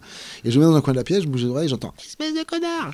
et j'entends, mais je fais comme le mec qui entend pas. Ouais. Tu vois? Et après j'entends espèce de connard. Puis je fais le mec qui entend pas. Ou non, je dis t'as t'as crié là? Bah ouais, je criais. Bah non, j'ai rien entendu. Alors vraiment, j'ai rien entendu. hein. Et alors je me suis rebouché les oreilles, puis là j'entendais espèce de connard. et j'ai entendu, il était étonné du cri qu'il venait de faire, un peu, c'était marrant. Et puis je me suis dit, bah voilà, c'est bon, on va s'arrêter là, quoi. Il a raconté devant un public l'autre jour qui était euh, un peu, un peu bizarre. Je ne savais pas si c'était drôle ou si c'était un peu malsain. C'était bizarre, je sais pas. Et puis ça s'est arrêté là. Puis après, il est venu sur le tournage, j'étais super à l'aise. Et puis c'est passé comme ça, quoi. En tout Voilà. cas, euh, tout à l'heure, tu parlais de films d'horreur et de qu'est-ce qui te fait peur. Je pense que, enfin, on est, on est sorti du, du film euh, assez euh, déprimé, on va dire. Ouais, tu Et, euh, et ouais, enfin, clairement, euh, ce qui se passe dans le film, pour moi, en tout cas, c'est quelque chose de très effrayant. Ah oui, bah, super. non, mais c'est Ouais. très agréable parce que là, c'est pareil, c'est comme le Taniguchi. Franchement, le scénario que j'ai touché, il était vraiment remarquable. Il y, a, il y avait une tension dans le scénar avec ce truc. Il y a beaucoup de films, quand même, que je vois, américains, français, machin. Tu les arrêtes au milieu, on dit, bon, qu'est-ce qui se passe là? Tu dis, oh, bah, ça va se finir par là ou par Mhm. là? Et 8 fois sur 10, malheureusement, t'as raison. Les films d'horreur, les films, les polars, les machins, il y a deux routes, quoi. Là, je passais mon temps à lire le scénar, mais, mais si on m'arrête le scénar là, j'ai dit, mais attendez, rendez-le moi. C'est vraiment ça, on sait jamais où tu vas en venir. en Ouais, fait, qu'est-ce euh. qu'est-ce que- qu'est-ce qui va se passer C'est quoi? Et, et ce que je trouve formidable, c'est que les twists, euh, euh, au début, les twists sont des twists un peu policiers, très malins, très habiles. Et puis plus ça avance, et plus les twists sont humains et sentimentaux. Mais ils sont presque plus bouleversants et plus Mm. étonnants que les twists d'origine. Et les acteurs adultes, du coup, euh, parce qu'il y en a il y a une pléthore dans le film, des Ouais. confirmés, il y a ceux qui sont enfants Ouais. qui deviennent adultes et tout. Il y a. Puisque tu.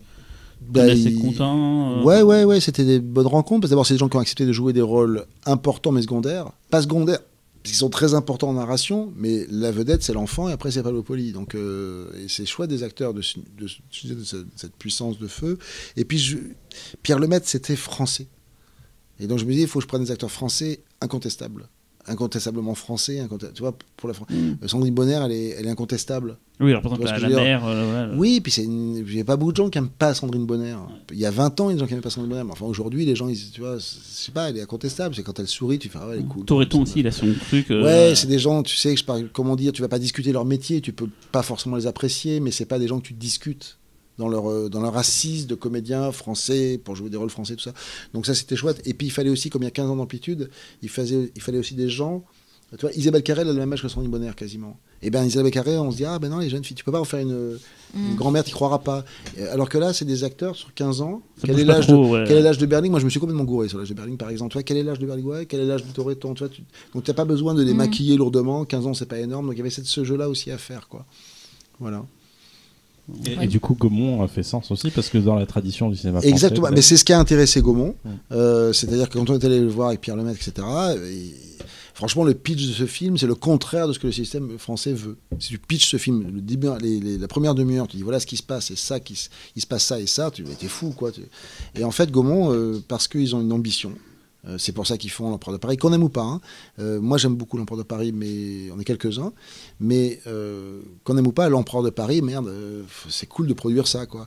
Et, et on regarde Gaumont quand même depuis pas mal de temps. Ils, cette idée que ils sont la maison de la Marguerite, ils ont cette, ils ont au moins cette- ce truc-là, quoi. de- Ils sont la de pas- politique des auteurs aussi, de suivre les gens. c'est pas tant une politique d'auteur qu'une une idée de, que le cinéma français se doit de faire du film en costume, euh, du, du- du film noir, de- du film d'auteur, effectivement. Mais c'est quand même en fait. agréable parce que parce que c'est vrai que le cinéma français, il est quand même, il, il va très naturellement vers la comédie, qui est quand même un truc qui charrie beaucoup beaucoup de choses, et que qu'une major ait quand même la conscience de pouvoir se dire tiens on doit faire ça, euh, de faire au revoir là-haut, enfin tu vois.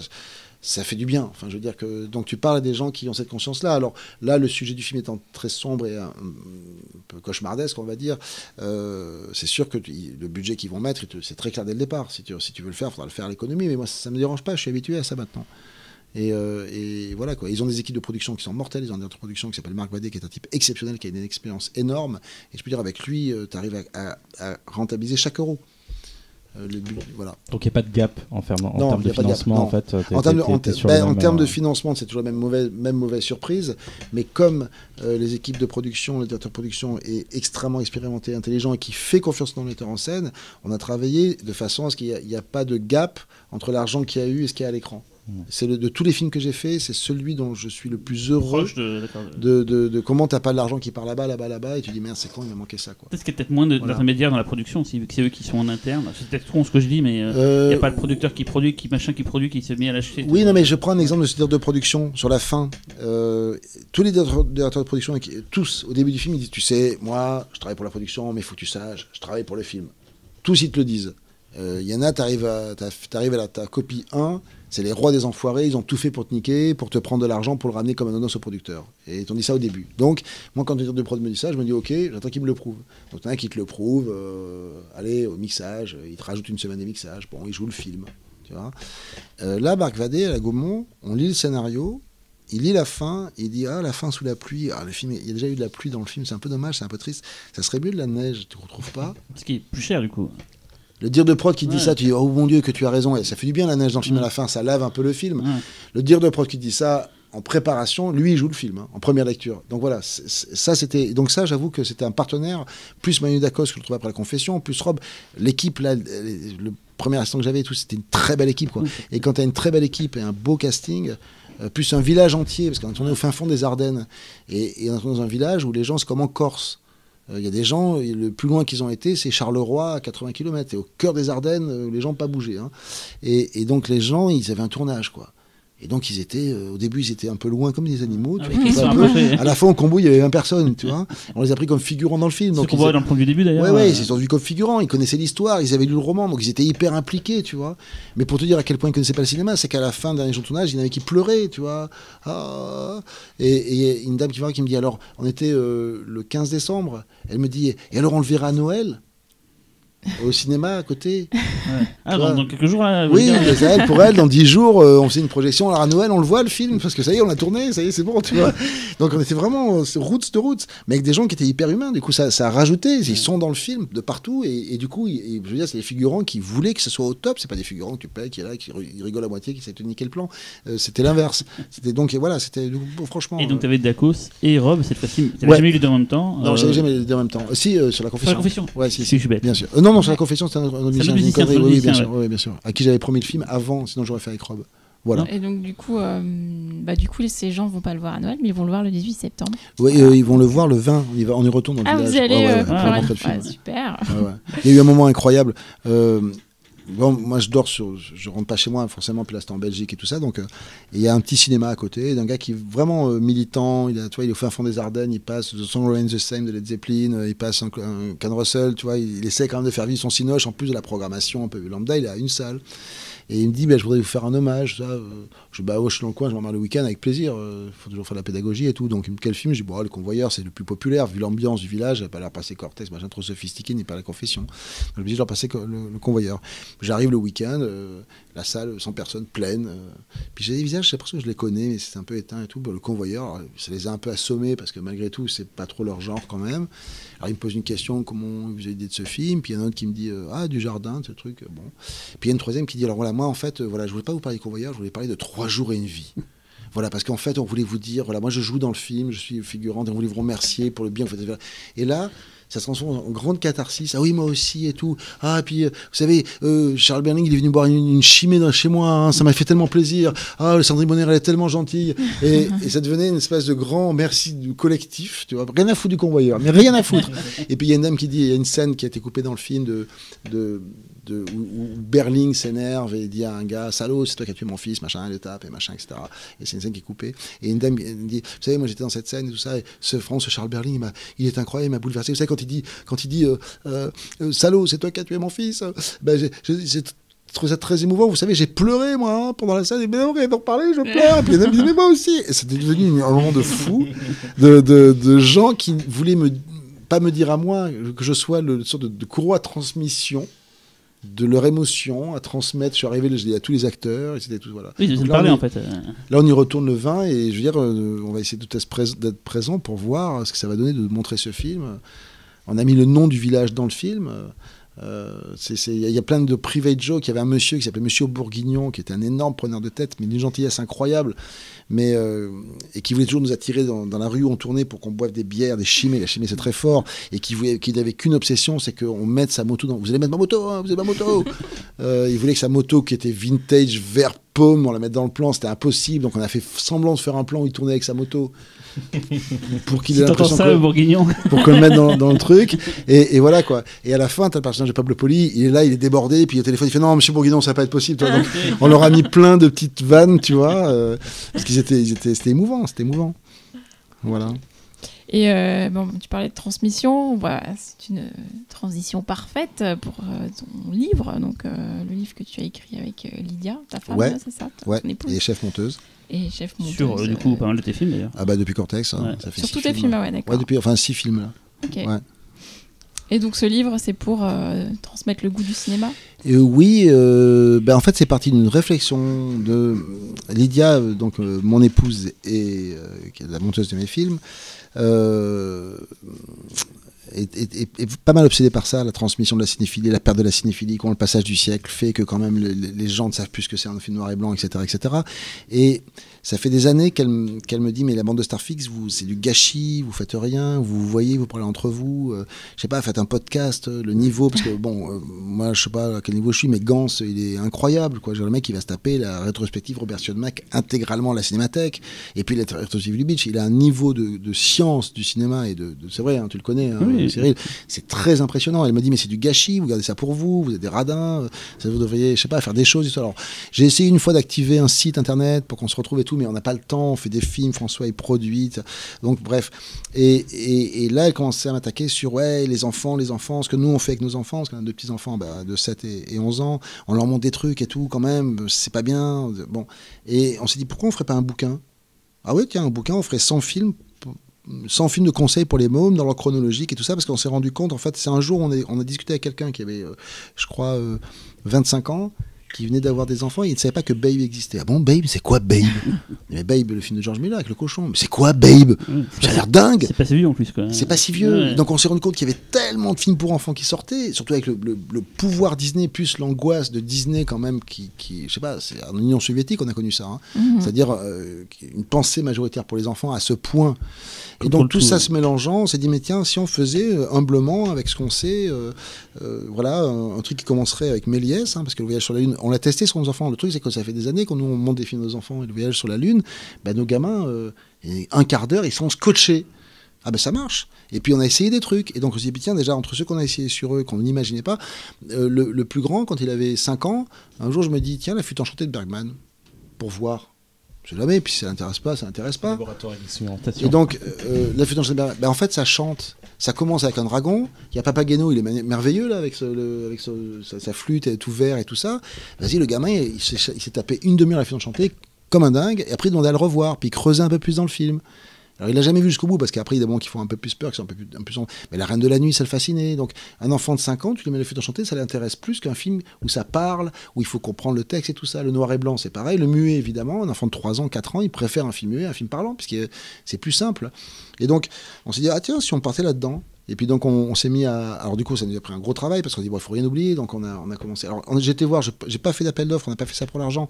La seule éditrice que je connaissais, c'est celle qui a fait le, le Starfix. Donc j'étais la voir, j'ai dit ça t'intéresse?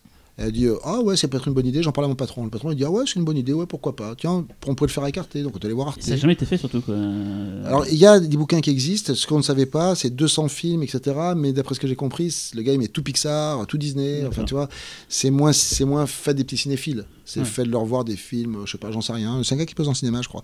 Euh, mais j'ai pas, je les ai pas feuilletés, donc je peux pas en parler. Mais je sais que des gens qui ont feuilletés disent, ah ben non, c'est pas pareil. C'est pas le même genre de. C'est plus un glossaire plutôt qu'un un choix éditorial. Voilà, je crois. Ouais. Là, c'est vraiment des choix éditoriaux. Et, et- et donc, après, on est allé voir Arte. En disant, tu vois, Arte dit Ah oui, c'est une très bonne idée, on est OK.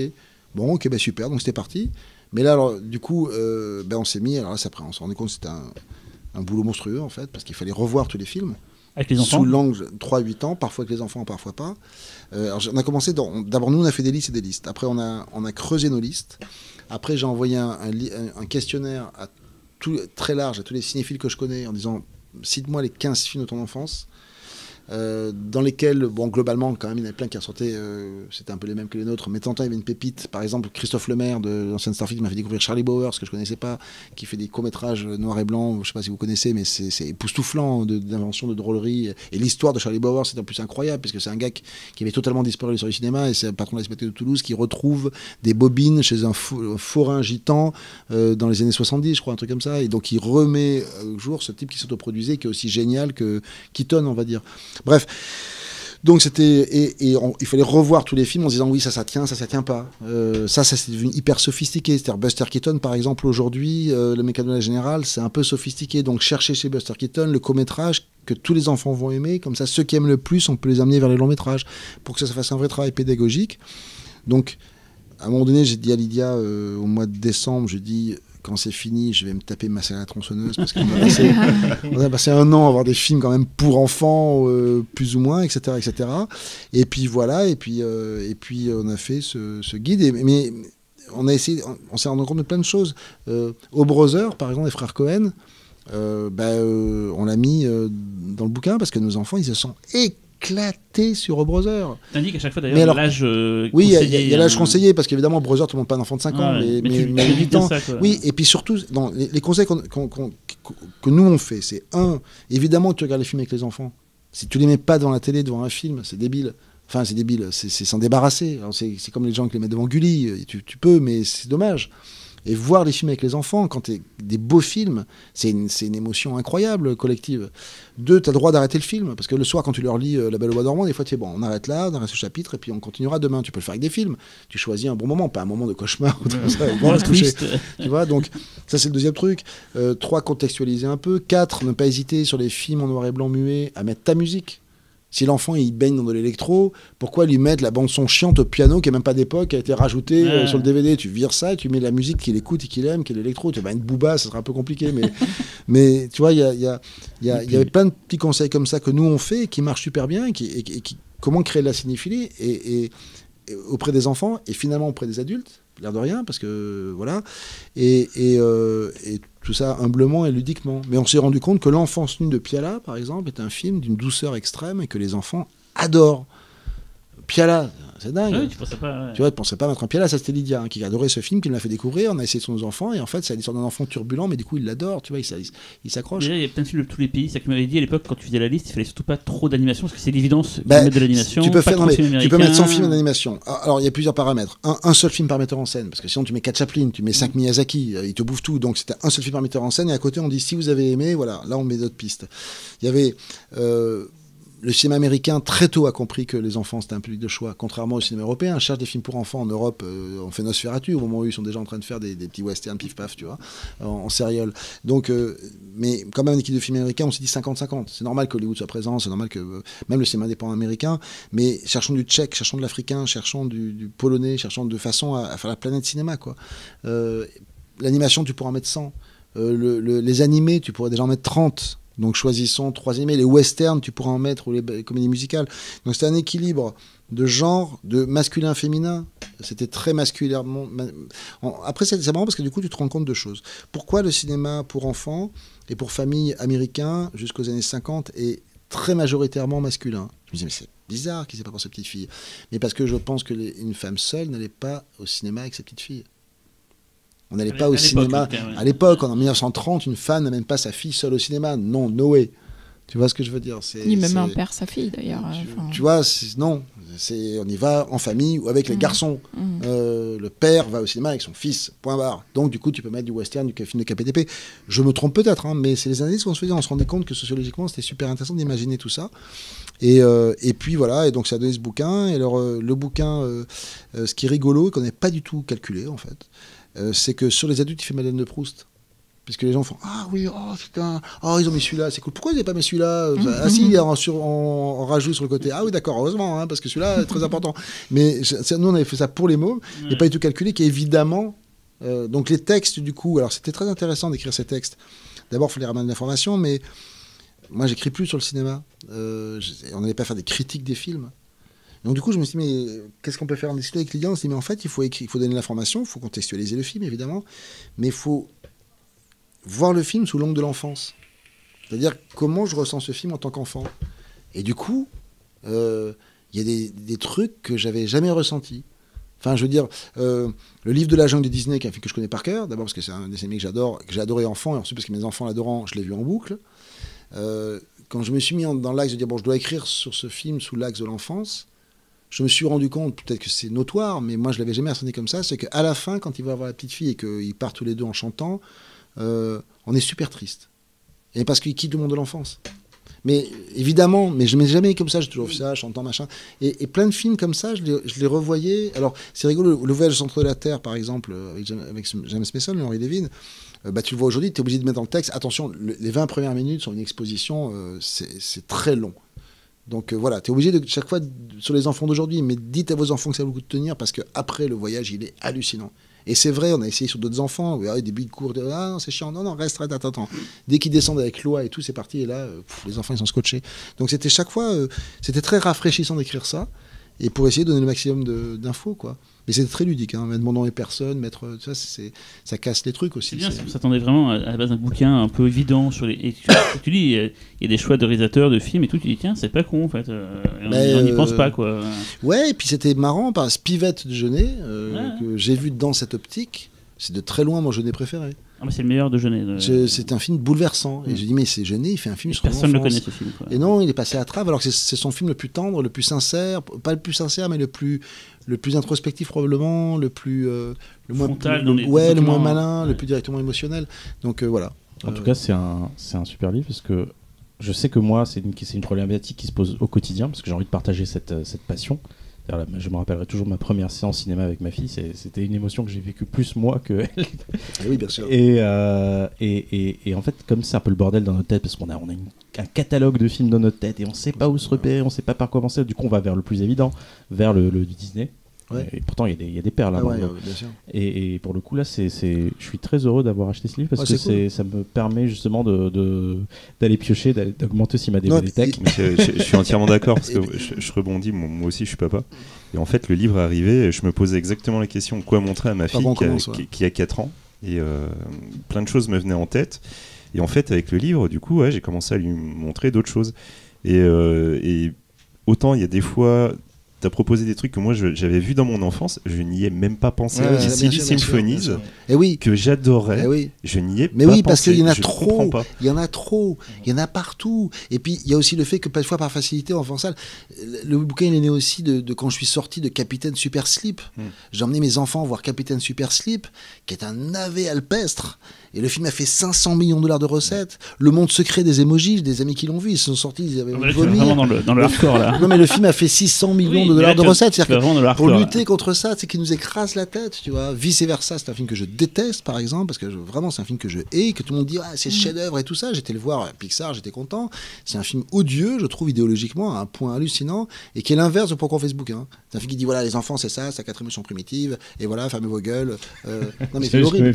Non, vice versa, c'est un film que moi je trouve, alors programmatiquement, euh, vraiment, hein, c'est pour moi c'est le diable ce film. J'y suis allé avec plaisir. C'est le premier film comme c'était un Pixar dont tout le monde avait dit que c'était génial en disant oui mais pourquoi Cannes n'est pas en compétition? Il faudrait qu'il soit souviens. Palme d'Or et tout ça. Donc j'y suis allé, j'ai Pixar, le premier film du, du petit dernier, tu vois, à 5 ans, j'emmène voir vice versa. Et je vois ce film qui dit qu'en gros, nous sommes quatre émotions primitives euh, colère, peur, dégoût, pas goût d'ailleurs, c'est une espèce de fashion victime déjà. C'est déjà euh, en mode girly, euh, tu sais, horrible. Le, le goût, c'est une espèce de meuf, tu sais, fashion. Donc c'est déjà en train de nous vendre la fashion week et tout, horrible. Et puis je sais plus quelle est la quatrième émotion. La spiritualité n'existe pas. Il n'y a pas une porte où on dit, ben là, on sait pas trop ce que c'est, mais voilà, c'est Dieu. Enfin, je veux dire, quand je dis Dieu, l'inconnu quoi. l'inconnu, Ouais. ça n'existe pas, d'accord? Donc nous ne sommes que ça. Si tu vas dans la tête d'un chat, c'est exactement pareil. La sexualité n'existe pas, donc Freud, euh, bye bye. Donc c'est purité en dernier degré. Euh, le monde de l'abstraction, c'est le monde de l'ennemi. Euh, c'est le monde de l'abstraction qui fait qu'on est allé sur la Lune quand même. Enfin, faut quand même pas déconner. Le train de la pensée s'arrête la nuit. Alors je suis désolé, moi la nuit, des fois je me réveille le matin, j'ai une idée de la nuit en rêvant. Et pour devenir grand, il faut se débarrasser. Vous vous souvenez du film hein? Il faut brûler son doudou d'enfance. Mais c'est horrible. Il faut préserver son doudou d'enfance. Ce qui fait qu'on est des grands adultes humains et empathiques, c'est parce qu'on est resté un peu enfant. Si, ton- si tu tues ton enfant, tu Oui, deviens c'est un un mauvais consommateur donc. euh, Tu vois Et donc, c'est le fantasme publicitaire absolu. C'est ce que Disney veut que l'on soit. Et des, des- des critiques par dizaines, on dit chef-d'œuvre, merveilleux, formidable. Sans compter que le scénario, c'est une usine à gaz avec cette espèce d'île qui s'effondre, tu comprends rien, son meilleur ami, son machin, son truc. J'ai trouvé ce film, mais odieux. Et je me suis dit, et ça a contribué aussi à ce bouquin. Mais Disney, ils font fort, parce que Toy Story 4, que j'ai été voir, Toy Story 3, j'ai trouvé ça très beau, mais Toy Story 4, qui est assez anecdotique, bon, scénario un peu bidon, fait un glissement assez, assez pervers, parce que dans Toy Story, les enfants sont les enfants et les jouets sont les jouets. D'accord? Les jouets, c'est l'imaginaire des enfants. Je trouve que dans Toy Story 4, les enfants, les jouets deviennent les enfants. Et les enfants, si vous me suivez dans le film, deviennent les parents dont il faut s'affranchir. Donc déjà, c'est pas le concept de Toy Story. Et quand à la fin, les jouets se sont aff- enfin affranchis des enfants personnages, donc que les enfants du- qui sont dans la salle s'affranchissent de leurs parents, ils disent Ah, ça y est, on est libre, on va être heureux. Mais ils partent pas sur les routes américaines comme Chaplin, comme euh, tous les ou comme Mad Max euh, aux- en Australie. Ils sont dans un terrain, dans un parc d'attractions. C'est là-dessus qu'ils vont finir leur vie. Mais c'est horrible, c'est Disney, quoi. C'est-à-dire que rester des enfants, pas d'attraction, mais c'est affreux. Et ils ont un projet souterrain, peut-être inconscient, qui est rester des enfants euh, consommateurs. c'est ce Ouais. comme ça qu'ils ont Pose pas de transformé. quoi. C'est comme ça qu'ils ont transformé Star Wars. Et voilà quoi. Et si un mec devient trop encombrant en finance comme Iron Man, machin, eh ben on le détruit. Enfin, je veux dire, c'est devenu de l'ultra-libéralisme terrifiant. Et tu, tu crois Avec vraiment des c'est- films. c'est c'est réfléchi en- Non, pas du tout. Non, Non, pas du tout. Je- pas du tout, pas du tout. Je, pense- je que c'est la logique économique de plus t'es gros, plus t'es gros, plus t'es gros, plus tu dis, regardez, c'est génial. Ils adorent ces histoires-là parce que c'est comme ça qu'ils voient les enfants. Parce que c'est là que, que Ready Player One est un chef-d'œuvre. Parce que Ready Player One, il parle exactement de ça, de la sincérité des gens qui fabriquent des trucs pour enfants et qui font croire avec oreillette qu'ils sont sincères alors qu'ils sont que en train de faire du marché. Et donc, forcément, quand ils voient vice versa, ils font ah c'est génial, c'est exactement ça, qui- comme ça qu'ils voient le monde. Pourtant, Euh, quand ils voient un- Toy Story 4, ils disent pas on va faire de la propagande pour nos, pour nos trucs, ils disent ah génial à la fin, pas d'attraction, ouais, mais c'est super comme fin. Et pourtant, t'as mis un Pixar dans le bouquin qui, pour moi, est le meilleur Pixar de ever, Ratatouille. Donc, quand même, euh, ouais, tu, tu, pour dire aux gens qui nous écoutent, c'est pas, t'es pas en train de dire. euh, Non, mais c'est voilà. comme, les- comme les Marvel. Il y a des bons Marvel, c'est pas le problème. C'est pas le problème. je- je- parce que moi, je te connais, mais du coup, peut-être les gens pensent Oui, pas pardon, pardon. mode, Non, non, non, euh, non, je suis pas du tout en mode réac, ouais, machin. Ratatouille est un film génial. Euh, Toy Story 3, j'ai adoré. Je trouve que Toy Story 4 est un film très faible en scénarisation, Mm. euh, avec trois clins d'œil à Shining. Ok, c'est bon, ça c'est pour satisfaire les geeks, mais le, le projet est bizarre. J'aurais adoré que les jouets partent sur la route à la fin, que ce soit des vrais pionniers de l'Ouest et pas qu'ils soient enfermés dans un parc d'attractions en disant ça y est, on va devenir grand, c'est grotesque. Euh, c'est nul. Enfin, je sais pas comment dire, c'est bête, c'est pas imaginatif. Euh, c'est pareil pour les Marvel. Et j'aurais aucun problème, j'ai aucun problème avec rien, mais c'est que la même société et Marvel, Star Wars, Ils ont tout pris. euh, mais oui, et ils ont racheté Fox, ils ont Marvel, Star Wars, Pixar. Avatar. euh, euh, ils ont racheté Fox, c'est-à-dire Avatar, les Simpsons.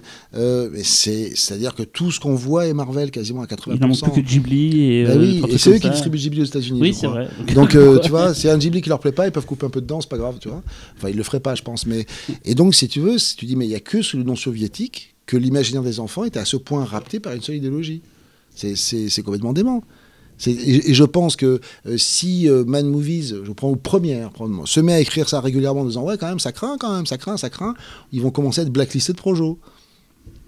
Je, je- je veux dire par là que tout ça c'est très gentil, très rigolo, mais si tu attaques frontalement Disney par permanence, enfin, si moi je me mets à répondre sur les ondes, j'ai pas vocation à être produit par, euh, Ouais. par Disney. Mais il est clair que jamais, en tant que réalisateur, ouais, non mais lui, lui il nous emmerde, là, il arrête pas de dire que. Ah, avaient est- promis le prochain Iron Man pour toi, donc Tu vois désolé. non, mais tu vois. Et donc, moi, j'ai pas de problème. Il y a, il y a des, il y a des, franchement, euh, il y a des, il y a des Marvel que j'aime bien. hein. C'est pas le problème. Il y a des Pixar mais magnifiques. Comme il je des... connais, c'est pour pas que les oui. gens pensent non, que non, t'es un non, rageant. non, de- non, non, c'est pas, c'est pas un truc de vieux con, machin, etc. C'est pour ça que je non, préfère, T'as euh, raison. On a mis Ratatouille et, je peux très bien demain trouver qu'un Disney est génial. C'est pas le problème. Euh, Je, je trouve même quelques qualités au Dumbo de Tim Burton et je me fais pilonner par toute la bande de Starfix, mais je trouve que c'est un film intéressant. Mais par contre, quand je vais voir Le Roi Lion à l'identique, Ah, il paraît que c'est très problématique. ben, je- non, mais c'est- problématique. C'est-à-dire que qu'il y ait des enfants avec des parents, c'est normal. Ils ont pas, ils- s'ils n'ont pas vu le roi lion, tu les ramènes voir le film. Mais il y a des, il y a des tas d'adultes dans la salle.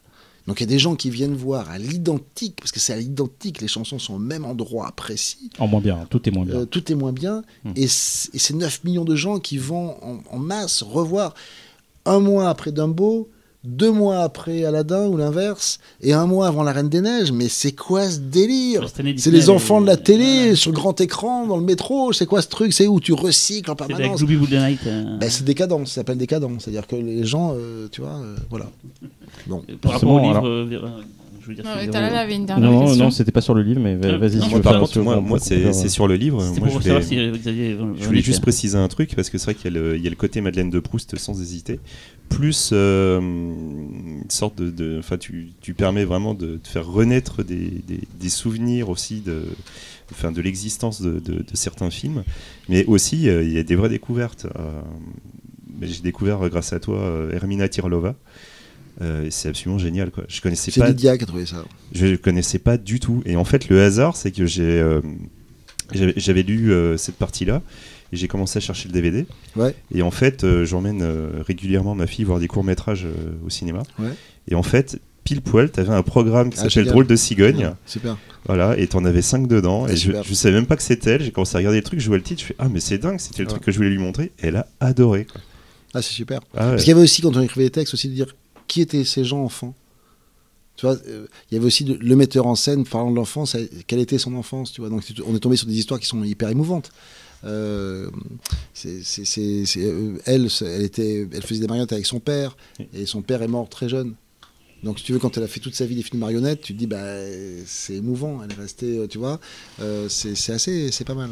Ouais, c'est c'est très beau, très pur. euh, franchement, je conseille. Quoi. Et vous avez fait en sorte que chaque film soit euh, facilement accessible aussi. c'est Ah oui, un clic. dit, ouais, il- Super important, un clic. Parce que un clic, j'entends au sens le hérisson dans le brouillard. Moi, je dis à tous les parents, je dis commencez par le hérisson dans le brouillard. C'est quoi ça? Mais même des cinéphiles pointus, hein. mais jeunes, ils savent pas, ils connaissent pas Yuri Norstein. Et, et Yuri Norstein, dans les années 80, il y avait des programmes Yuri Norstein qui cartonnaient, etc. Mais chut, de- de- de- 30 ans plus tard, euh, oublié. Et, euh, et le hérisson dans le brouillard, ça dure 11 minutes. Et chaque fois, je dis ce soir, avant le coucher, à vos enfants et pour vous. Euh, vous mettez le hérisson dans brouillard. Tu vas te coucher, hmm, ça va être parfait. Et chaque fois, les gens disent ah merci le hérisson dans brouillard, merveilleux quoi. Et- mais en un clic, tu le trouves en VF euh, sur parce que pour le coup, si tu n'as pas le temps de trouver le DVD, il existe en DVD, etc. L'idée c'était quand même euh, tout en un clic et quasiment pas de VO, sauf pour des films qui sont plus pour les enfants de 8 ans. Parce que évidemment de la VO, mais bon, un enfant de 4 ans, 5 ans, tu vas pas les foutre de la VO, c'est un peu facho, tu vois. Les puristes, Euh, c'est- ouais, tu vois, c'est, c'est- ou alors tu lui lis les sous-titres, parce que ça arrive ça des fois. ah ben quand j'étais plus jeune, j'ai fait ça à ma fille, quoi. J'étais, j'étais un peu plus. ah. Et autant n'importe le vent, elle l'a vu, elle avait 6 ans, je lui disais tous les sous-titres. Je ne faisais pas les voix, hein, j'allais pas imiter. euh, tu vois. Mais euh, après, je me suis calmé quand même. Puisqu'on en est à faire des recommandations, Ouais. tu as choisi certaines Ah, voilà. séances euh, pour le Super. pif. Ouais, On va peut-être commencer du coup par la séance jeunesse. ouais la séance jeunesse, ouais. tu avais choisi euh, L'homme qui rétrécit. Ouais, l'homme qui rétrécit de Jack Arnold. Qui est euh, irrésistible pour les enfants. Vous allez le passer ou c'est juste une, une vision fantasmatique? Fantastique, mais malheureusement, enfin heureusement, on, On l'a passé passé la dernière. dernière. Ah, d'accord, ben voilà. C'est le hasard, mais Ah, ben on voilà. l'a passé la dernière. Et c'est sûr que c'est irrésistible pour les enfants parce que c'est, c'est ça tire à la fois du film C'était une fantastique. séance scolaire en plus, avec Ah, ben que voilà. des enfants dans la Et salle. ça, et ça fait un carton énorme parce que il y a à la fois, ça tire à la fois du film d'horreur, du film fantastique, mais à bonne dose. Le seul truc qu'on avait sur le bouquin, petite parenthèse, qui était difficile à gérer, c'était la peur. Parce que la peur, ça appartient tellement à chaque enfant. Et sur nos propres enfants, il y en a un qui a été traumatisé par Nosferatu, l'autre s'en foutait, et l'autre c'était Gremlins. Et c'est très dur à gérer. Donc on dit, on va mettre King Kong, on va citer ici ou là des films d'épouvante, mais entre 3 et 8 ans, on va se dire, la peur, c'est les parents qui s'en chargent. Parce que tu peux, tu connaissent pas- leur enfant, ouais. oui, tu- sinon, si tu mets un film et que l'enfant est traumatisé par le film, ils vont faire Ah, ce bouquin, ça... et ce serait dommage pour les autres films. Euh, euh, tu vois Donc, euh, mais l'homme qui rétrécit, euh, c'est merveilleux. Et puis, c'est pareil, quand tu, tu regardes ce film sous l'angle de l'enfance, je me suis dit Ah, mais oui, mais c'est logique que les enfants adorent, puisque il- le, le personnage vit l'inverse de ce qu'ils vivent. Mm. Tu sais, c'est un truc que je m'étais jamais dit. Moi, j'ai toujours vu ce film en adulte, mais en fait, ils voient quelqu'un devenir petit, alors qu'eux, ils n'ont qu'une envie, c'est de devenir grand, tout en ayant peur de, de perdre un peu de, tu vois. Et donc, ils, forcément, ah, mais mon Dieu, c'est le début de la science-fiction métaphysique. Euh, l'homme qui rétrécit. c'est, ouais. une porte. La fin est tellement incroyable Ouais. que c'est une porte ouverte sur 2001, quoi. Il y a un plaisir comme quand tu as un Godzilla, le fait de voir des acteurs humains dans des décors Oui, gigantesques. ouais. C'est un truc qui nous ramène toujours à l'enfance. Je sais pas Ouais, comment ouais. expliquer, mais il y a un truc. Oui, oui, complètement. Et alors j'avais assisté à la séance au pif, il y avait un espèce de question-réponse avec euh, Fausto à la fin. Et c'est des enfants pas si petits en plus, hein, c'était peut-être des collégiens en plus. Ça. Et il y en a quand même qui ont demandé mais comment vous avez fait pour euh, que le chat il soit si grand Ah oui, bien Enfin, sûr, bien sûr, bien sûr. euh, non, les effets spéciaux sont incroyables. ils se font Et puis, il y a- Richard Matheson au scénario euh, et au roman d'origine. euh, Il y a Jack Arnold qui, a- qui un génie de la série B. Enfin là, ça c'est son chef-d'œuvre en tout cas. Euh, Non, c'est c'est un mais c'était rassurant de voir des enfants qui voient Oui, des Marvel et tout, quand même être émerveillés parce que par un parce que effet, parce que l'effet est poétique. Je veux dire, King Kong marche toujours. On veut bien qu'il, mais l'effet est tellement fort poétiquement et ça j'en suis persuadé. L'effet est tellement fort poétiquement que l'émotion Mm. l'emporte. mm. Et c'est vrai pour le- l'homme qui rétrécit. Ils voient pas l'effet. Ils sont trop dans l'histoire. Pourtant, les effets sont, sont dingos. Quoi. Ils sont incroyables. Pour les- tout est bien fait, c'est- propre, c'est bien joué. Ah ouais, euh, Je l'ai découvert que récemment, quand Ah tu l'as oui, la liste. D'accord. Je l'avais pas vu au pif. Je me suis dit, putain, c'est chier de pas l'avoir vu en salle. c'est un- grand. C'est un très grand classique. Et puis c'est une- vraiment euh, euh, Interstellar part de l'homme qui rétrécit. Euh, euh, 2001 Ah part de l'homme qui rétrécit. C'est- un pré euh, science-fiction mentale. La fin est incroyable. La fin est incroyable. C'est une porte. Là, je me souviens quand j'ai vu ce film, j'étais gamin d'ailleurs. Je l'ai pas vu en salle, évidemment. Faut pas exagérer. Euh, je l'ai vu euh, à la télévision. Mais la fin m'a- ouvert la tête comme euh, quand tu découvres 2001 à 12 ans. Tu vois, c'était un film qui a une fin pareille. Surtout aussi ouverte. Et c'est- juste fou, quoi. Et puis il y a du mélodrame, quand il tombe amoureux de la, de la- de la- de la fille qui rétrécit, puis il va la quitter, ça, ça- ça traverse le film de science-fiction Twilight Zone, le mélodrame, le film d'horreur, le Robinson Crusoe et le film de survie, et le film métaphysique de science-fiction. C'est chaud quand même, en 1h20 je crois. Ouais. Euh, Bon, Et c'est pas chaque truc est bien fait. La survie, elle est vraiment Ouais, bien foutue. et incroyable, C'est quasiment incroyable, mieux à ce moment-là. Incroyable, incroyable, euh, incroyable, incroyable.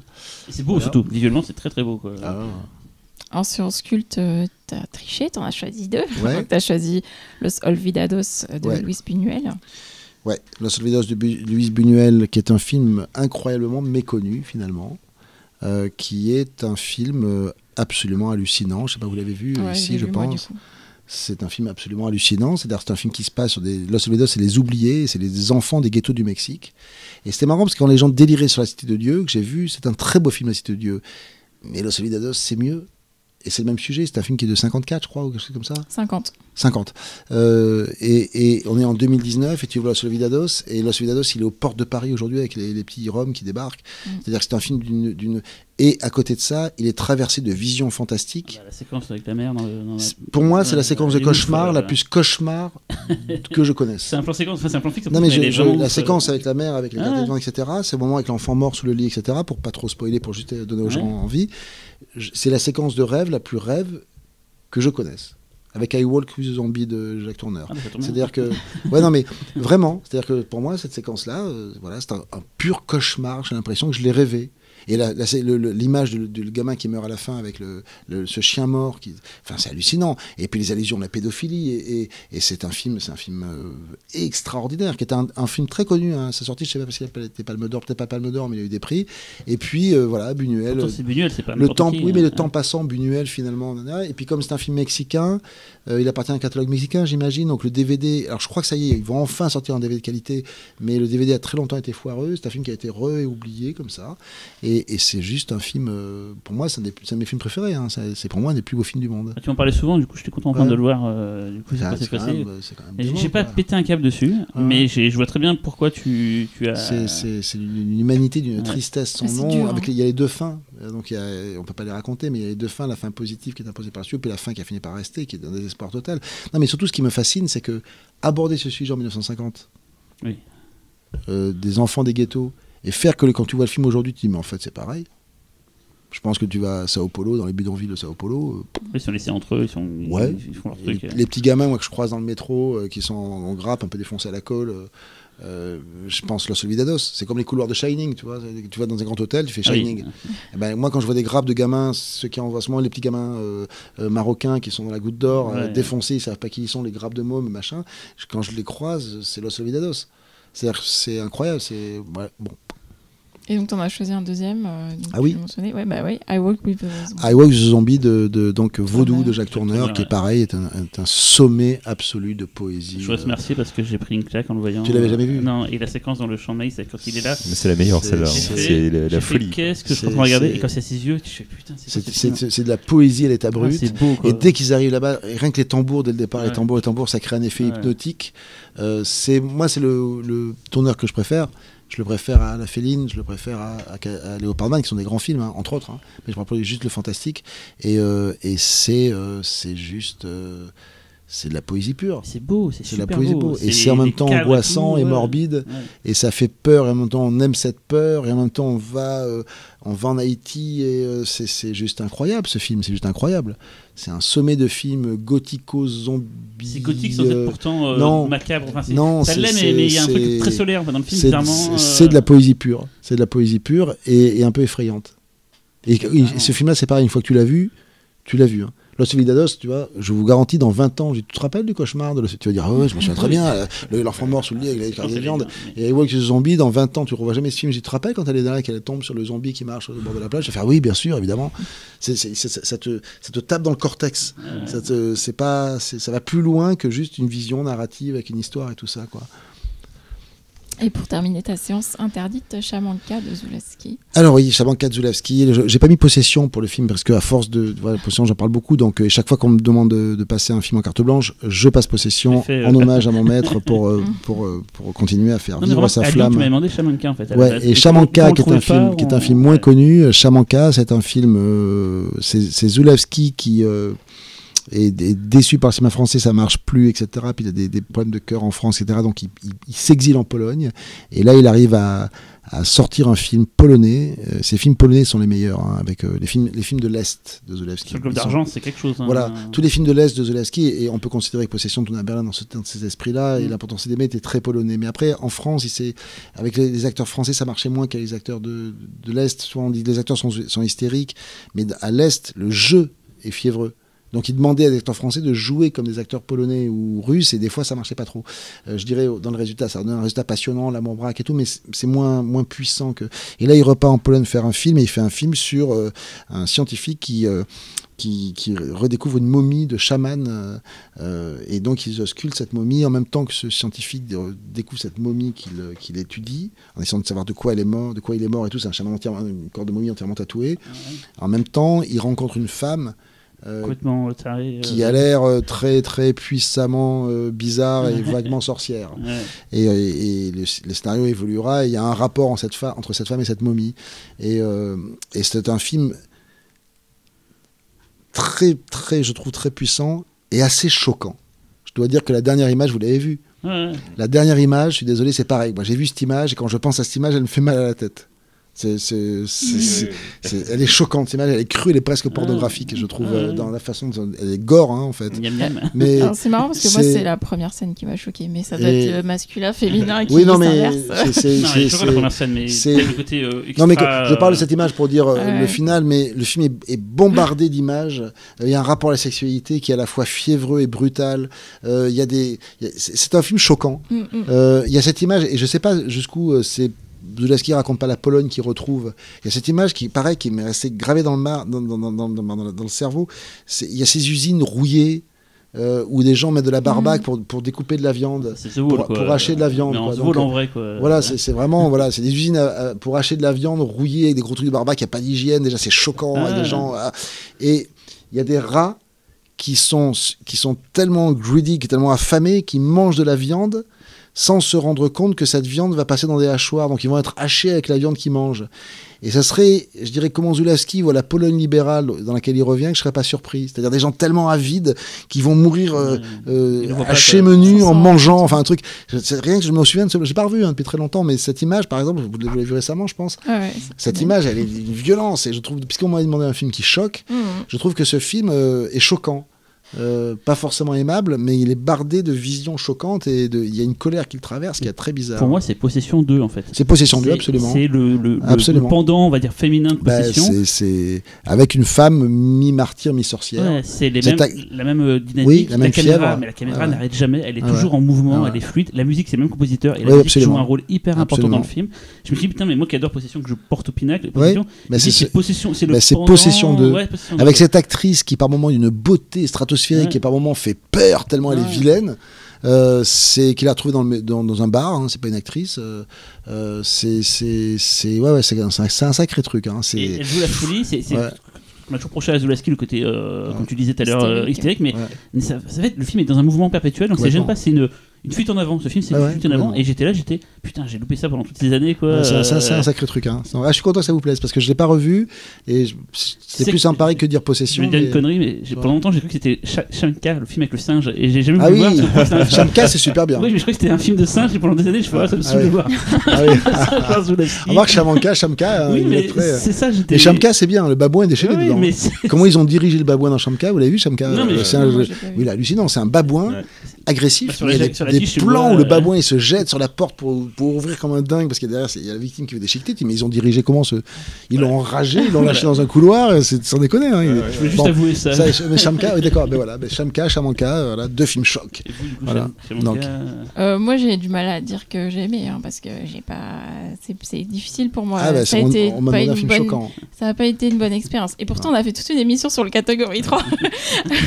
et ben, ce film-là m'a plus ouais, choqué. C'est pas cartoon en fait. Non mais c'est un film Ouais. choquant. euh, non, mais ce que je te disais, la première scène, pour moi, elle est, elle est difficile moralement en fait. euh, Bah, le regard ouais. qu'elle lui fait et tout quand Ah il, ouais. enfin, Ouais. quand il fait ce qu'il fait quoi, Voilà. et elle le regarde comme ça. le fait un- et le fait qu'elle change euh, Ouais, ouais. d'avis en cours de route, ça, Ah. me, ça me choque. Non mais c'est un film choquant. Ouais. On m'a demandé un film choquant. Je Ah me suis ouais, dit, je vais pas dire salaud, je vais pas dire bon, euh, on les connaît, hein, mais celui-là, c'est bien parce que d'ailleurs vous le connaissiez pas, donc ça prouve que ça vaut le coup. T'as eu le temps de le voir du coup On va juste dans une autre époque où, regarder un film en un clic, je sais pas. Donc, comme il n'existe pas en vidéo et que le fichier envoyé, j'ai pas su le lire. Mais coup, en, en fait, euh, moi, moi, ce que j'ai mis, parce que c'est vrai qu'on parle beaucoup du côté choquant, mais il y a aussi de, de très belles idées dedans. Il y a, il y a- il y a de la poésie quand même Ah, dans le beaucoup de film. romantisme, mais Attention, Zulawski, hein, euh, Zelensky, c'est un romantique polonais. Possession, c'est un film très romantique. Bah, c'est- Ah, mais sur le papier, l'histoire, euh, euh, sur le papier, Ah bah l'histoire, oui. elle aurait, elle pourrait être très belle aussi. Enfin, bien sûr, bien sûr. Mais, il y a des trucs. Parce que l'importance des mecs, je sais pas si tu l'as vu, Véro. Oui. Ça, c'est, je trouve, c'est un des plus beaux films Ouais, sur l'amour. Enfin, c'est un. C'est marrant, j'ai vu que les films euh, étrangers de Zulawski. Ouais, ouais, mais c'est. J'ai vu aucun film français, j'ai toujours voulu, j'ai toujours refusé de les voir en mode j'ai peur d'être déçu en fait. Vu Tu ce seras pas déçu, tu seras pas vu, déçu, euh, mais, mais ils sont moins. euh, le casting, si tu veux, je, voyais le tournage, hein, j'ai suivi le tournage de L'amour braque. Il y avait une difficulté de compréhension culturelle de la part du casting, mais de la part du chef-op, des fois, de la part de.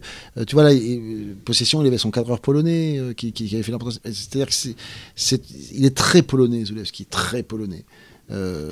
Et, de fait, ça, ça induit un type de recherche de cinéma des fois il avait du mal à traduire, je pense. Comme tu sais, Skolimowski, quand il est passé au- aux Europudding, ça, ça marche moins bien. Des fois, ces, metteurs en scène, c'est très spécial, l'Est, quand même. Et- et donc, Polanski, très jeune, est parti. Il arrive tout de suite à Londres. Oui, il a donc tout il a très peu été. ouais. ah oui, il a fait un film polonais, puis après, il est parti, hop, il s'est, internationalisé. Mais il y en a d'autres qui sont très dans leur jus, et comme, c'est comme quand les cinéastes de Hong Kong vont à Hollywood. Des fois, Ouais. bah, c'est pas les mêmes partenaires, ils n'arrivent pas, c'est pas la même Kadjani et compréhension. fait Possession, et tout le monde s'est dit en, en, en France, euh, de neuf gens, ils sont tous dit bon, on va faire un truc à la Adjani, on va, on va se retrouver euh, à faire des, une performance comme ça, et en fait, ça, ça peut-être pas, je les ai pas vus, donc je, je, je- Ouais, ouais. je me suis toujours imaginé ça en Euh, fait. euh, C'est lui qui, qui, qui, qui, a la même recherche, mais avec des équipes qui ne comprennent pas forcément ce qui. pas, il y a des problèmes de compréhension. Et si vous avez, voit, hein. et si vous avez l'occasion de voir un jour le sur le Globe d'Argent, Ah pour oui. moi, ça enterre ce que fait Jodorowsky. Ça, tout le monde se porte au, Ah oui. au nu Jodorowsky, mais sur le Globe d'Argent, c'est un film pas fini, hein, c'est un film inachevé, mais les images qu'il y a dedans. Et accessoirement, c'est le premier fan footage.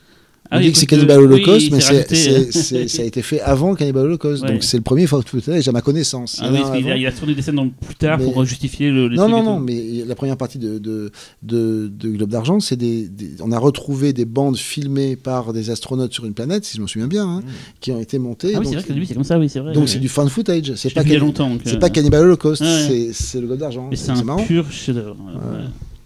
Tu voulais ajouter quelque chose, euh, Xavier, sur... Ouais, euh, bah, euh, en fait, euh, pour revenir à cette idée de romantisme, tout simplement dire que ce qui est aussi euh, étonnant et qui, qui fait partie du, du choc, c'est qu'en fait, une image choquante peut aussi être en même temps belle et romantique. Et je pense justement à la scène que tu évoquais, on va pas dire laquelle, mais voilà, qui est, Ouais, ouais. qui est visuellement choquante, mais en, en réflexion, c'est extrêmement beau l'idée qu'il y a derrière. Bah, c'est une euh, illustration de l'amour fou. C'est ça. Donc euh, c'est bah, Zulawski a fait l'amour braque. hein, donc c'est- Mhm. tu prends tout son cinéma sous cet axe-là, tu t'aperçois que c'était un, un- et il devait faire un film qui s'appelait Maladie d'amour. Donc euh, tu vois. Mhm. c'est- Ouais. Bon. On va terminer en musique. Et donc Nicolas, c'est toi qui as choisi la bande originale qui va clôturer ce podcast. Et tu as Mhm. choisi celle de Martin, Ouais. euh, composée par euh, Donald Rubinstein. D'abord parce que c'était la, la référence que je donnais à Rob sur Trois jours et une vie. Euh, mais j'ai pas donné cette référence par hasard. C'est que bon, Martin, c'est un film de Romero que j'imagine que vous te reconnaissent. Ouais. Sur On en a parlé euh, voilà. dans un podcast récemment. Voilà, donc, euh. Et, et- et franchement, je, je- c'est un des scores les plus mélancoliques que je connaisse. Le thème principal, parce que la musique après elle est plus, plus jazzy, plus, plus, plus expérimentale, et magnifique d'ailleurs. Mais c'est- je, je trouve très difficile d'écouter vraiment ce thème sans avoir les larmes aux yeux. Et, et quand on pense au film de Romero, qui est une merveille, je trouve, de, justement de tristesse et de mélancolie, et qui, quand on a été, euh, euh, je sais pas, un peu geek dans sa vie, euh, ce, que nous avons tous été, et que nous sommes encore peut-être un petit peu ou beaucoup, c'est tellement un portrait de geek. c'est tellement un portrait d'adolescent, c'est tellement, c'est tellement nous. Enfin, je dis moi, mais j'ai envie de dire nous parce que je sens qu'à cette table, on n'est pas tellement de familles différentes. que quand on écoute ce morceau vraiment qui illustre cette histoire-là, parce que moi, je suis un malade des premiers Romero. Season of the Witch, je trouve ça génial. Ils sont un peu, un peu trop méconnus, ils sortent pas souvent. C'est dommage. On est sur la nuit des morts vivants, puis après on, bascule sur Zombie. Et malheureusement, on a un peu mis à l'arrière et Martin et Season of the Witch, qui est incroyable. Euh, bon, et, voilà, quand on écoute vraiment ce thème, il est très difficile de l'écouter vraiment sans avoir, sans être ému aux larmes, je trouve. Donc voilà, on va demander aux auditeurs de fermer les yeux et d'écouter vraiment ce thème en se disant que c'est le portrait d'un fan hardcore de, de choses bizarres. on va dire. Voilà. Bon, du coup, avant de l'écouter, on va te remercier à nouveau, Nicolas. Merci, Nico. De votre accueil. euh, voilà, Et voilà. merci à tous de nous écouter. On vous donne rendez-vous le 18 septembre dans les salles pour voir euh, Trois jours et une vie. Et euh, à dans deux semaines pour un nouveau Pifcast. Merci. Au Merci.